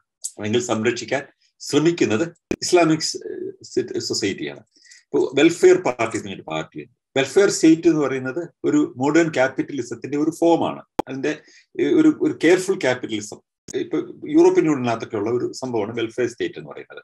പക്ഷെ വെൽഫെയർ പാർട്ടി അധികാരത്തിൽ വന്നാൽ അവർ നടപ്പിലാക്കാൻ പോകുന്നത് വെൽഫെയർ സ്റ്റേറ്റ് എന്ന സങ്കല്പമാണോ? അതോ ഒരു മതാധിപത്യ സങ്കല്പമാണോ? ഈ ചോദ്യമില്ലേ? ഇതാണ് ഈ ഇവരൊക്കെ തന്നെ കൺസീൽഡ് ആയിട്ടാണ് ഇവർ നിൽക്കുന്നത്. അവരുടെ യഥാർത്ഥ ഐഡന്റിറ്റി മറച്ചു വെച്ചുകൊണ്ട് ഇപ്പൊ സോഷ്യൽ സോഷ്യൽ ഡെമോക്രസിയെ പോലത്തെ ആശയങ്ങൾ വെൽഫെയർ സ്റ്റേറ്റ് എന്ന് പറയുന്ന ആശയം ഒക്കെയാണ് ഇവരുടെ ഒഫീഷ്യൽ പൊസിഷൻ എന്ന് പറയുകയും ഈ മത താല്പര്യങ്ങൾ സംരക്ഷിക്കുന്ന പാർട്ടികളായിട്ട് ഇവർ മാറുകയും ചെയ്യുന്നുണ്ട്. ഇവിടെയാണ് താങ്കൾ ചോദിച്ച ചോദ്യം വളരെ പ്രസക്തമാകുന്നത്. ഇന്ന് അങ്ങനെയല്ലേ എന്ന് ചോദിച്ചാൽ അങ്ങനെയാണ്. അതിന് പകരമായിട്ട് ഒരു ഓൾട്ടർനേറ്റീവ് പൊളിറ്റിക്സ് വളർന്നു വരണം. ആ ഓൾട്ടർനേറ്റീവ് പൊളിറ്റിക്സിനകത്ത് ഇത്തരം വിഭജനങ്ങൾക്ക് അതീതമായി മനുഷ്യനെ കാണുന്ന ഒരു അവസ്ഥ ഉണ്ടാവണം അത് ഒരു വർഗത്തിന്റെയോ ജാതിയുടെയോ ഭാഷയുടെയോ ദേശത്തിന്റെ പ്രാദേശിക ദേശീയതയോ ഒന്നും താല്പര്യത്തിനില്ലാതെ തന്നെ പൊതുവായ പരിപാടികളുടെ അടിസ്ഥാനത്തിൽ എല്ലാ ജനങ്ങളെയും അബ്സോർബ് ചെയ്യുന്ന ഒരു രാഷ്ട്രീയം ഉണ്ടായി വരണം. അവിടെ ഒരു ഒരു ജനങ്ങളുടെ വെൽഫെയർ മാത്രമായിരിക്കണം അതിനകത്ത് മാനദണ്ഡമായിട്ട് വരുന്നത്. അങ്ങനെ ഉണ്ടോ എന്ന് ചോദിച്ചാൽ അങ്ങനെ ഉണ്ടാവാമല്ലോ. തീർച്ചയായിട്ടും ഉണ്ടാകാം. അല്ലെങ്കിൽ ഇന്നുള്ള ഏത് പാർട്ടിക്കും അങ്ങനെ പരിവർത്തനപ്പെടാം. അപ്പൊ അങ്ങനെ വന്നെങ്കിൽ മാത്രമേ അതിന് ഒരു അല്ലെങ്കിൽ ഒരു മതത്തിന്റെ താല്പര്യമാണ് ഒരു രാഷ്ട്രീയ പാർട്ടി ലക്ഷ്യമാക്കുന്നതെങ്കിൽ ആ പാർട്ടിക്ക് ഒരു മുഴുവൻ ജനതയും പ്രതിനിധീകരിക്കാൻ പറ്റില്ല. അല്ലെങ്കിൽ ഒരു ജാതിയുടെ താല്പര്യത്തിലേക്ക് സംരക്ഷിക്കുന്നതായിട്ട് ഒരു പാർട്ടി മാറിക്കഴിഞ്ഞാൽ അവർക്ക് ജനങ്ങളുടെ മുഴുവൻ പ്രതിനിധികളായി മാറാൻ പറ്റില്ല. അവിടെ എല്ലാ ജനങ്ങളുടെയും താല്പര്യം ഇതിനൊക്കെ അതീതമായിട്ടുണ്ടാവുന്ന തരത്തിലുള്ള ഒരു പുതിയ രാഷ്ട്രീയം എമർജ് ചെയ്യണം. അങ്ങനെ ഒരു രാഷ്ട്രീയത്തിന് എമർജൻസ് ആണ് നമ്മുടെ കാലഘട്ടത്തിന്റെ ഒരു വലിയ ആവശ്യം എന്ന് പറയുന്നത്. അപ്പൊ നമ്മുടെ ഇന്നത്തെ സാഹചര്യങ്ങൾ ഒട്ടും മെച്ചമൊന്നുമല്ല. തീർച്ചയായിട്ടും താങ്കൾ പറഞ്ഞ വളരെ ശരിയാണ്. അന്നത്തെ സാഹചര്യങ്ങളുടെ മറ്റൊരു പരിണമിച്ച രൂപം മാത്രമാണ് ഇന്നുള്ളത്. അതിന് രൂപം മാറി കാലത്തിനനുസരിച്ച് എന്ന് മാത്രമേ ഉള്ളൂ. Thank you sir thank you thank you Sanal sir നമസ്കാരം. നമസ്കാരം. നമസ്കാരം. ചരിത്രമായ ഞാൻ കൗതുകത്തോടെ ശബരിമല കുന്നിലേക്ക് നോക്കിയ. ഈ വൈക്കത്തുണ്ടായ ഒരു നവീകരണ പ്രവർത്തനത്തിന് പതിറ്റാണ്ടുകൾ എടുത്തെങ്കിൽ എനിക്കൊന്ന് ശബരിമലയിലൊന്ന് ആർത്തവത്തെ പഴിച്ചു കയറ്റാതിരിക്കുകയും പിന്നീട് ഒരു കോടതി വിധി വരികയും തൊട്ടടുത്ത വർഷമാണ് രണ്ടു മൂന്ന് പെൺപുലികൾ അവിടെ കയറുന്നത്. അത് എനിക്ക് തോന്നുന്നത് ഈ വൈക്കത്തുണ്ടായ അത്രയും പതിറ്റാണ്ടുകൾ നീണ്ടിട നീണ്ടു നിൽക്കേണ്ടി വരുമെന്ന് എനിക്ക് തോന്നുന്നില്ല. ഒരു പരിവർത്തനം ശബരിമലയിൽ. വിദൂര ഭാവിയിൽ ഏറ്റവും അടുത്ത സമയത്ത് തന്നെ നമുക്ക് അവിടെ സ്ത്രീകൾ ഇങ്ങനെ ഇളകി മറിയുന്നത് നമുക്ക് കാണാം എന്നെനിക്ക് തോന്നുന്നു അതാണ് എനിക്ക് ഇതിനെ കൂട്ടിച്ചേർത്ത് പറയുമ്പോൾ ഉണ്ടാവുന്ന ഒരു കൗതുകമാണ്. മറ്റൊന്ന് ഈ ചരിത്രത്തെ നിഷേധിച്ചു കൊണ്ടുപോകുന്ന ഒരു കാലം കൂടിയാണ്. ഈ വൈക്കത്തെ കൂട്ടി യോജിപ്പിക്കുന്ന ചരിത്രം കൂട്ടി യോജിപ്പിക്കുന്ന ഒരുപാട് ഇലമെന്റുകളുണ്ട് അതെല്ലാം മിത്താണെന്ന് നിഷേധിക്കുന്ന കേരളത്തിൽ കാണുന്നത് ദളവാക്കുളം തന്നെ സാറ് പരാമർശിച്ചു. അത് ഒഴിച്ചു കുളം പോയി തൊട്ടടുത്ത് നങ്ങേലിയുണ്ട് മുലച്ചിപ്പറമ്പുണ്ട്. നങ്ങേലിയെ ചരിത്രത്തിൽ എടുത്ത് സാറ് പിന്നെ ഇപ്പൊ അവിടെ നടന്ന ചില കിരാത പ്രവർത്തനങ്ങളെ കുറിച്ച് പറഞ്ഞു. ഒന്ന് ഈ സമരാനുകൂലികളായ ആളുകൾ ആളുകളെ പിടിച്ചിട്ട് അവരുടെ കണ്ണ് കണ്ണിൽ ചുണ്ണാമ്പ് തേച്ച് അന്തരാക്കുന്ന ഒരു ജോലി ഒരു പ്രവണത ഉണ്ടായിരുന്നു.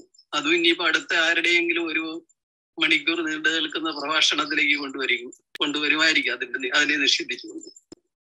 സാറ് പറഞ്ഞ കൂട്ടത്തിൽ എന്റെ ഒരു ചോദ്യം ഇത് മാത്രം ഈ മന്നത്തിനെ കുറിച്ച് സാർ പറഞ്ഞു. എനിക്ക് തോന്നുന്നത് മന്നത്തിന് അങ്ങനെ പാദം എന്ന് പറഞ്ഞാൽ അച്ഛാന്ന് വിളിക്കാനുള്ള ഒരു അവസരം കിട്ടിയില്ല എന്നുള്ളൊരു സങ്കടം ഉണ്ടായിരുന്നു എനിക്ക് തോന്നുന്നു. ഓക്കെ താങ്ക് യു മന്നത്തിന് അവസാനം പറഞ്ഞേരി വരാം. പിന്നെ എലിപ്പിനോർ ഒന്ന് ശബ്ദമൊക്കെ ഒന്ന് കേൾക്കാൻ പറ്റിയ ഒത്തിരി സന്തോഷം. എത്രയോ പഴയ സുഹൃത്തുക്കളാണ്. മന്നത്തിന് മന്നത്തിന്റെ മന്നം പറയുന്നുണ്ടല്ലോ. മന്നത്തിന്റെ ആത്മകഥയിൽ അദ്ദേഹം പറയുന്നുണ്ട്. അദ്ദേഹത്തിന് സ്വന്തം അച്ഛനെ അച്ഛാന്ന് വിളിക്കാൻ പറ്റിയിരുന്നില്ലാത്തൊരു മനുഷ്യനാണ്. അങ്ങനത്തെ ഒരു ആ പാരമ്പര്യത്തിൽ വളർന്നു വന്ന ഒരുപാട് അന്നത്തെ നായർ യുവാക്കളുടെ വേദനയിൽ നിന്നും കൂടിയാണ് അദ്ദേഹത്തിന്റെ സാമൂഹ്യ പരിഷ്കരണ പ്രസ്ഥാനം ഉയർന്നു വരുന്നത്. നമ്മൾ ചരിത്രത്തിൽ ഒന്നിനെയും നമ്മൾ നിഷേധിക്കരുതെന്ന് എനിക്ക് തോന്നുന്നു. കാരണം നമുക്ക് ചരിത്രത്തിൽ ഇപ്പൊ മന്നം ചെയ്തിട്ടുള്ള ഏതെങ്കിലും കാര്യങ്ങൾ നമുക്ക് രാഷ്ട്രീയമായി ഇഷ്ടപ്പെട്ടിട്ടില്ലെങ്കിൽ മന്നത്തിന്റെ റോൾ നമ്മൾ അതുകൊണ്ട് തമസ്കരിക്കല്ല വേണ്ടത്. മന്ന ഒരു വലിയ കാര്യം ചെയ്തിട്ടുണ്ട്. ഈ അന്ന് അന്നത്തെ ഒരുപാട് അന്ധവിശ്വാസങ്ങൾ നായർ സമുദായം അന്ന് ആണ്ടുപോയിരുന്ന ഒരുപാട് അന്ധവിശ്വാസങ്ങളെ തിരുത്തിയത് അതിനുള്ളിൽ നിന്ന് തന്നെ മന്നത്തിന്റെ ഒരു വലിയ ശ്രമം അതിനകത്തുണ്ട്. ഒട്ടേറെ ഒട്ടേറെ ആചാര നിബദ്ധമായിരുന്നു അവരുടെ ജീവിതം. അതിനെ അകത്ത് നിന്നിട്ട് അതിനെ എതിർത്തപ്പോൾ അതിന് മന്നോക്കം അതിന് നേരിടേണ്ടി വന്ന എതിർപ്പുകൾ നായർ സമുദായത്തിൽ നിന്ന് അന്ന് നേരിടേണ്ടി വന്ന എതിർപ്പുകളൊക്കെ വളരെ വലുതായിരുന്നു. അതിനോടൊക്കെ പടപൊരുതി തന്നെയാണ് അവർ അത് സാധിച്ചെടുത്തത്. പക്ഷെ അത് കഴിഞ്ഞിട്ട് അവർ അവർ ആ പടപൊരുതി മാറ്റിയ സംഗതികളുടെ ആ പാരമ്പര്യത്തിൽ നിന്ന് മാറിയിട്ട് ഈ യാഥാസ്ഥിതിയിലേക്ക് പോകുന്ന മട്ടിലേക്ക് ഈ പ്രസ്ഥാനം അങ്ങോട്ട് കൂപ്പുകുത്തിയപ്പോഴാണ് അതിന്റെ വാല്യൂ നമ്മൾ തിരിച്ചറിയാതെ പോകുന്നത്. പിന്നെ മന്നത്തിന്റെ പൊളിറ്റിക്കൽ പൊസിഷൻ കേരളത്തിലെ പ്രിഡോമിനന്റ് പൊളിറ്റിക്സിന് സ്വീകാര്യമല്ലാത്ത ചില നിലപാടുകൾ അദ്ദേഹം എടുത്തു. ഉദാഹരണത്തിന് വിമോചന സമരകാലത്തെ നിലപാടുകൾ കമ്മ്യൂണിസ്റ്റുകളെ മുഴുവൻ അദ്ദേഹത്തെ എതിർക്കുന്നവരാക്കി മാറ്റി. അപ്പൊ പക്ഷേ മന്നത്തിന്റെ ഒരു ഒരു രീതിയും ശൈലിയും ഒക്കെ തന്നെ ഒരു വലിയ ചലനമുണ്ടാക്കിയ ഒരു രാഷ്ട്രീയ നേതാവ് തന്നെയാണ്. അദ്ദേഹം അദ്ദേഹം രാഷ്ട്രീയ നേതാവ് എന്നുള്ളിടത്തു നിന്ന് മാറിയിട്ട് അദ്ദേഹം ഒരു സമുദായത്തിന്റെ പരിഷ്കരണത്തിന് ഈ റിഫർമേഷൻ എന്ന് പറയുന്ന തരത്തിലുള്ള ഒരു പരിഷ്കരണം നമ്മുടെ പല സമുദായങ്ങളിൽ നടക്കുന്നുണ്ട്. അപ്പൊ അത് അതിനകത്ത് ചില ആൾക്കാർ ആ സമുദായത്തിന്റെ പക്ഷത്ത് തന്നെ നിന്നു ഇനിയിപ്പോ വീട്ടി ഭട്ടതിരിപ്പാട് നടത്തു നോക്കിയ ഇ എം എസ് നമ്പൂതിരിപ്പാട്. അവരൊക്കെ തന്നെ ആദ്യം ചെയ്യുന്നത് ഉണ്ണി നമ്പൂതിരി പ്രസ്ഥാനത്തിൽ കടന്നു വന്നിട്ട് അതിനകത്ത് നടക്കുന്ന എന്തെല്ലാം അന്ധവിശ്വാസങ്ങളും അനാചാരങ്ങളും ഉണ്ടായിരുന്നു. അവിടുത്തെ അന്തർജനങ്ങളോട് അവർ ചെയ്തിരുന്ന രീതി അവർക്ക് അവരെ മറക്കുടയ്ക്കകത്ത് പിന്നെ നിർത്തിയിരുന്ന ഒരു ആ കാലഘട്ടം. ഈ അനുജന്മാർക്ക് കല്യാണം കഴിക്കാൻ പറ്റുകയില്ല എന്ന് പറയുന്ന അത് ഒരു സ്ഥിതി. ഇതിനൊക്കെ എതിരായിട്ട് ഇവർ വിത്തുകാളകളായിട്ട് നമ്മുടെ പുരുഷന്മാരെ ഇങ്ങനെ നടത്തിയിരിക്കുന്ന ഈ രീതി മാറണം എന്ന് പറഞ്ഞ് അതിനെതിരായിട്ട് ആഞ്ഞടിച്ചത് വിട്ടിപ്പെട്ടതിരിപ്പാട് എം ആർ പി ഒക്കെ കൂടിയിട്ടാണ്. അത് അങ്ങനെയുള്ള മാറ്റങ്ങൾ. അതാണ് ശരിക്കും പറഞ്ഞാൽ കേരളത്തിലെ നവോത്ഥാനം എന്ന് പറയുന്നതിന് അത് നമ്മൾ ഇപ്പൊ ഇപ്പൊ നമ്മൾ കാണുന്നത് നാരായണ ഗുരുവിനെ മാത്രമാണ് കാണുന്നത്. അദ്ദേഹം അതിനൊരു സമാനതകളില്ലാത്ത ഔന്നത്യമുള്ള ഒരു മനുഷ്യനാണ്. നാരായണ ഗുരു അയ്യങ്കാളിയും പണ്ഡിറ്റ് കർപ്പൂരും ഒക്കെ തന്നെയാണ്. പക്ഷെ അതുപോലെ തന്നെ പ്രധാനപ്പെട്ടതാണ് ഈ ഇ എം എസ് നമ്പൂതിരിപ്പാടും പിന്നെ എം ആർ ബിയും വി ടി ഭട്ടതിരിപ്പാടും ഒക്കെ നമ്പൂതിരി സമുദായത്തിനായി നടത്തിയ പരിഷ്കരണം. മന്നത്ത് പത്മനാഭനെ പോലത്തെ ആൾക്കാർ നായർ സമുദായത്തിൽ നടത്തിയ പരിഷ്കരണം. ഇതെല്ലാം ഉൾക്കൊള്ളുന്നതാണ് നമ്മുടെ കേരളത്തിലെ മൊത്തത്തിൽ ഉണ്ടായ മാറ്റം എന്ന് പറയുന്നത്. കാരണം ഈ പരിഷ്കരണ ശ്രമങ്ങൾ അത് പലയിടത്തും നടക്കുന്നുണ്ട്. ക്രൈസ്തവ മതത്തിനകത്ത് പോലും അതിനകത്തുള്ള പഴയ യാഥാസ്ഥിതിക ബോധത്തിൽ നിന്ന് മാറ്റാൻ വേണ്ടിയിട്ട് നടക്കുന്ന ചില നവീകരണ ശ്രമങ്ങളുണ്ട്. ചില പരിഷ്കരണ ശ്രമങ്ങൾ അതിനകത്ത് ഒരുപാട് നടക്കുന്നുണ്ട്. ഇതെല്ലാം തന്നെ പ്രധാനപ്പെട്ടാണ് ഇസ്ലാം മതത്തിനകത്ത് ഇസ്ലാം മതത്തിനകത്ത് എന്തെല്ലാം പരിഷ്കരണ ശ്രമങ്ങൾ നടന്നിട്ടുണ്ട്. ഇപ്പൊ ഒരു തിരിച്ചുപോക്ക് നമുക്ക് കാണാൻ പറ്റുമെങ്കിലും ഈ പരിഷ്കരണ ശ്രമങ്ങളിലൂടെ തന്നെ അത് മുന്നോട്ട് ഒരുപാട് വന്നിട്ടുണ്ട് ഒരു സമയത്ത്. അപ്പൊ ഇത്തരം കാര്യങ്ങൾക്ക് ഒരു വീണ്ടും മുൻതൂക്കം വരികയും ഈ പരിഷ്കരണങ്ങൾ നടക്കുകയും ചെയ്യുകയാണെങ്കിൽ ആ പ്രക്രിയ മുന്നോട്ട് പോകും. അപ്പോൾ പിന്നെ പിന്നെ പുനവൂര് പറഞ്ഞ ഒരു കലാപരമായി പറയാൻ ശ്രമിച്ചത് വൈക്കത്ത് നിന്നിട്ട് ശബരിമല കുന്നിലേക്ക് നോക്കുമ്പോൾ തോന്നുന്ന ഫീലിംഗ് എന്ന് പറയുന്നത് ചരിത്രത്തിന്റെ ചില അടയാളപ്പെടുത്തലുകളൊക്കെ തന്നെയാണ്. ഇപ്പൊ ഇന്നിപ്പോ ഉണ്ടാകുന്ന ഒരു ഒരു എന്റെ ഒരു ഒരു വിചാരം ശബരിമലയിലെ ക്ഷേത്രത്തിൽ സ്ത്രീകൾക്കും കൂടി പോകാൻ പറ്റുകയാണെങ്കിൽ ആർത്തവത്തിന്റെ പേരിൽ അല്ലെങ്കിൽ ആർത്തവത്തിന്റെ പേരിൽ അവർക്ക് പോകാൻ പറ്റില്ല എന്ന് പറയുന്ന വിശ്വാസത്തെ അതിജീവിക്കാനായിട്ട് നിയമത്തിന്റെ വഴികളിലൂടെ അവർക്ക് സാധിക്കുകയാണെങ്കിൽ അതുകൊണ്ട് വിശ്വാസം കൂടും എന്നതുകൊണ്ട് നമ്മൾ അതിനോട് മുഖം തിരിഞ്ഞ് നിൽക്കുകയല്ല വേണ്ടത്. വിവേചനം എവിടെ നടന്നാലും. അത് വിശ്വാസത്തിന്റെ മേഖലയിലാണെങ്കിൽ പോലും വിവേചനത്തിനെതിരായിട്ട് സംസാരിക്കാവുന്ന ഒരു അവസ്ഥയാണ് നമുക്ക് ഉണ്ടാകേണ്ടത് അത് എവിടെ വിവേചനം ഉണ്ടായാലും. നമ്മൾ അതിന്റെ പങ്കാളികളല്ലെങ്കിൽ ഞാൻ ശബരിമല വിശ്വാസിയല്ല. പക്ഷേ അവിടെ ഒരു വിവേചനം നടക്കുന്നതിനെതിരായിട്ട് ഒരു പൊതുവികാരം ഉണ്ടാകുകയാണെങ്കിൽ ഞാൻ അതിന്റെ കൂടെ നിൽക്കുകയുള്ളൂ. ക്ഷേത്രത്തിൽ ഞാൻ പോവുകയില്ല. പക്ഷെ ക്ഷേത്രത്തിൽ ആരെയെങ്കിലും പോകണമെന്ന് ആഗ്രഹിക്കുന്ന ഒരാൾക്ക് പോകാൻ പറ്റുന്നില്ലെങ്കിൽ അതിനകത്ത് വിവേചനം ഉണ്ട്. അതുകൊണ്ട് തന്നെയാണ് യേശുദാസിന് ഗുരുവായൂർ ക്ഷേത്രത്തിൽ പോകണമെന്ന് ആഗ്രഹമുണ്ടെങ്കിൽ പോകുന്നത് തടയുന്ന നിയമമുണ്ടെങ്കിൽ അത് തെറ്റാണെന്ന് ഞാൻ പറയുന്നത്. ഇത് അത് വളരെ പ്രാധാന്യമുള്ള ഒരു സംഗതികളാണ് കാരണം ഈ ഫണ്ടമെന്റൽ ഫ്രീഡത്തെ ഡിനൈ ചെയ്യാനായിട്ട് ആർക്കും അധികാരമില്ല. നമുക്ക് നമ്മുടെ ആശയങ്ങൾ മാത്രമല്ല എല്ലാ ആശയങ്ങളും പുലർത്താൻ എല്ലാവർക്കും സ്വാതന്ത്ര്യമുണ്ട്. അത് പുലർത്താനും അത് നടപ്പിലാക്കാനും അത് ജീവിതത്തിൽ ഇംപ്ലിമെന്റ് ചെയ്യാനും അതിനെ ഡിഫെൻഡ് ചെയ്യാനും എല്ലാവർക്കും അവകാശമുണ്ട്. അത് റെസ്പെക്ട് ചെയ്യുന്ന ഒരു സമൂഹമാണ് ഏറ്റവും പ്രധാനപ്പെട്ട ഒരു സമൂഹം. അത് അച്ചീവ് ചെയ്യുന്നതോടൊപ്പം തന്നെ നമുക്ക് ഈ ഇതിനകത്തുള്ള ഏതാണ് ശരി എന്നുള്ള ഒരു യുദ്ധം എന്ന് പറയുന്നതും ഈ പരസ്പര ബഹുമാനത്തോടു കൂടി നമ്മൾ എല്ലാവരും മുന്നോട്ട് പോകുന്ന ഒരു സാഹചര്യത്തിലാണ് അത് കൂടുതൽ മീനിങ് ഫുൾ ആവുള്ളൂ anyway thank you very much അത് ഈ ഇതൊക്കെ ഒന്ന് ഓർമ്മയിലേക്ക് കൊണ്ടുവരാൻ പറ്റിയതുകൊണ്ട്. നമുക്ക് ഇത് അവസാനിപ്പിച്ചാലോ? പ്രത്യേകിച്ച് എനിക്ക് ഏറ്റവും പ്രധാനമായിട്ട് എനിക്ക് തോന്നിയത് ഈ വൈക്കം സത്യാഗ്രഹം പോലത്തെ പ്രശ്നങ്ങൾ ചരിത്രത്തിലെ നമ്മൾ അധികം വലിയ ഒരു ഒരു പബ്ലിക് അറ്റൻഷൻ അധികമായി കടന്നു വരാത്തതും അതേസമയം തന്നെ നമ്മളിങ്ങനെ ഈ പൊലിമയോടെ കേൾക്കുന്നതുമായ കുറെ പിന്നെ ചരിത്ര മുഹൂർത്തങ്ങളുണ്ട്. എന്താണ് വൈക്കം സത്യാഗ്രഹം? എന്താണ് ആ വൈക്കം സത്യാഗ്രഹത്തിൽ യഥാർത്ഥത്തിൽ നടന്നത്? എന്തിനു വേണ്ടിയായിരുന്നു സമരം? എന്ന് പോലും തിരിച്ചറിയാത്ത ഒരു വലിയ ശതമാനം ആൾക്കാർ ഇന്ന് നമ്മുടെ സമൂഹത്തിലുണ്ട്.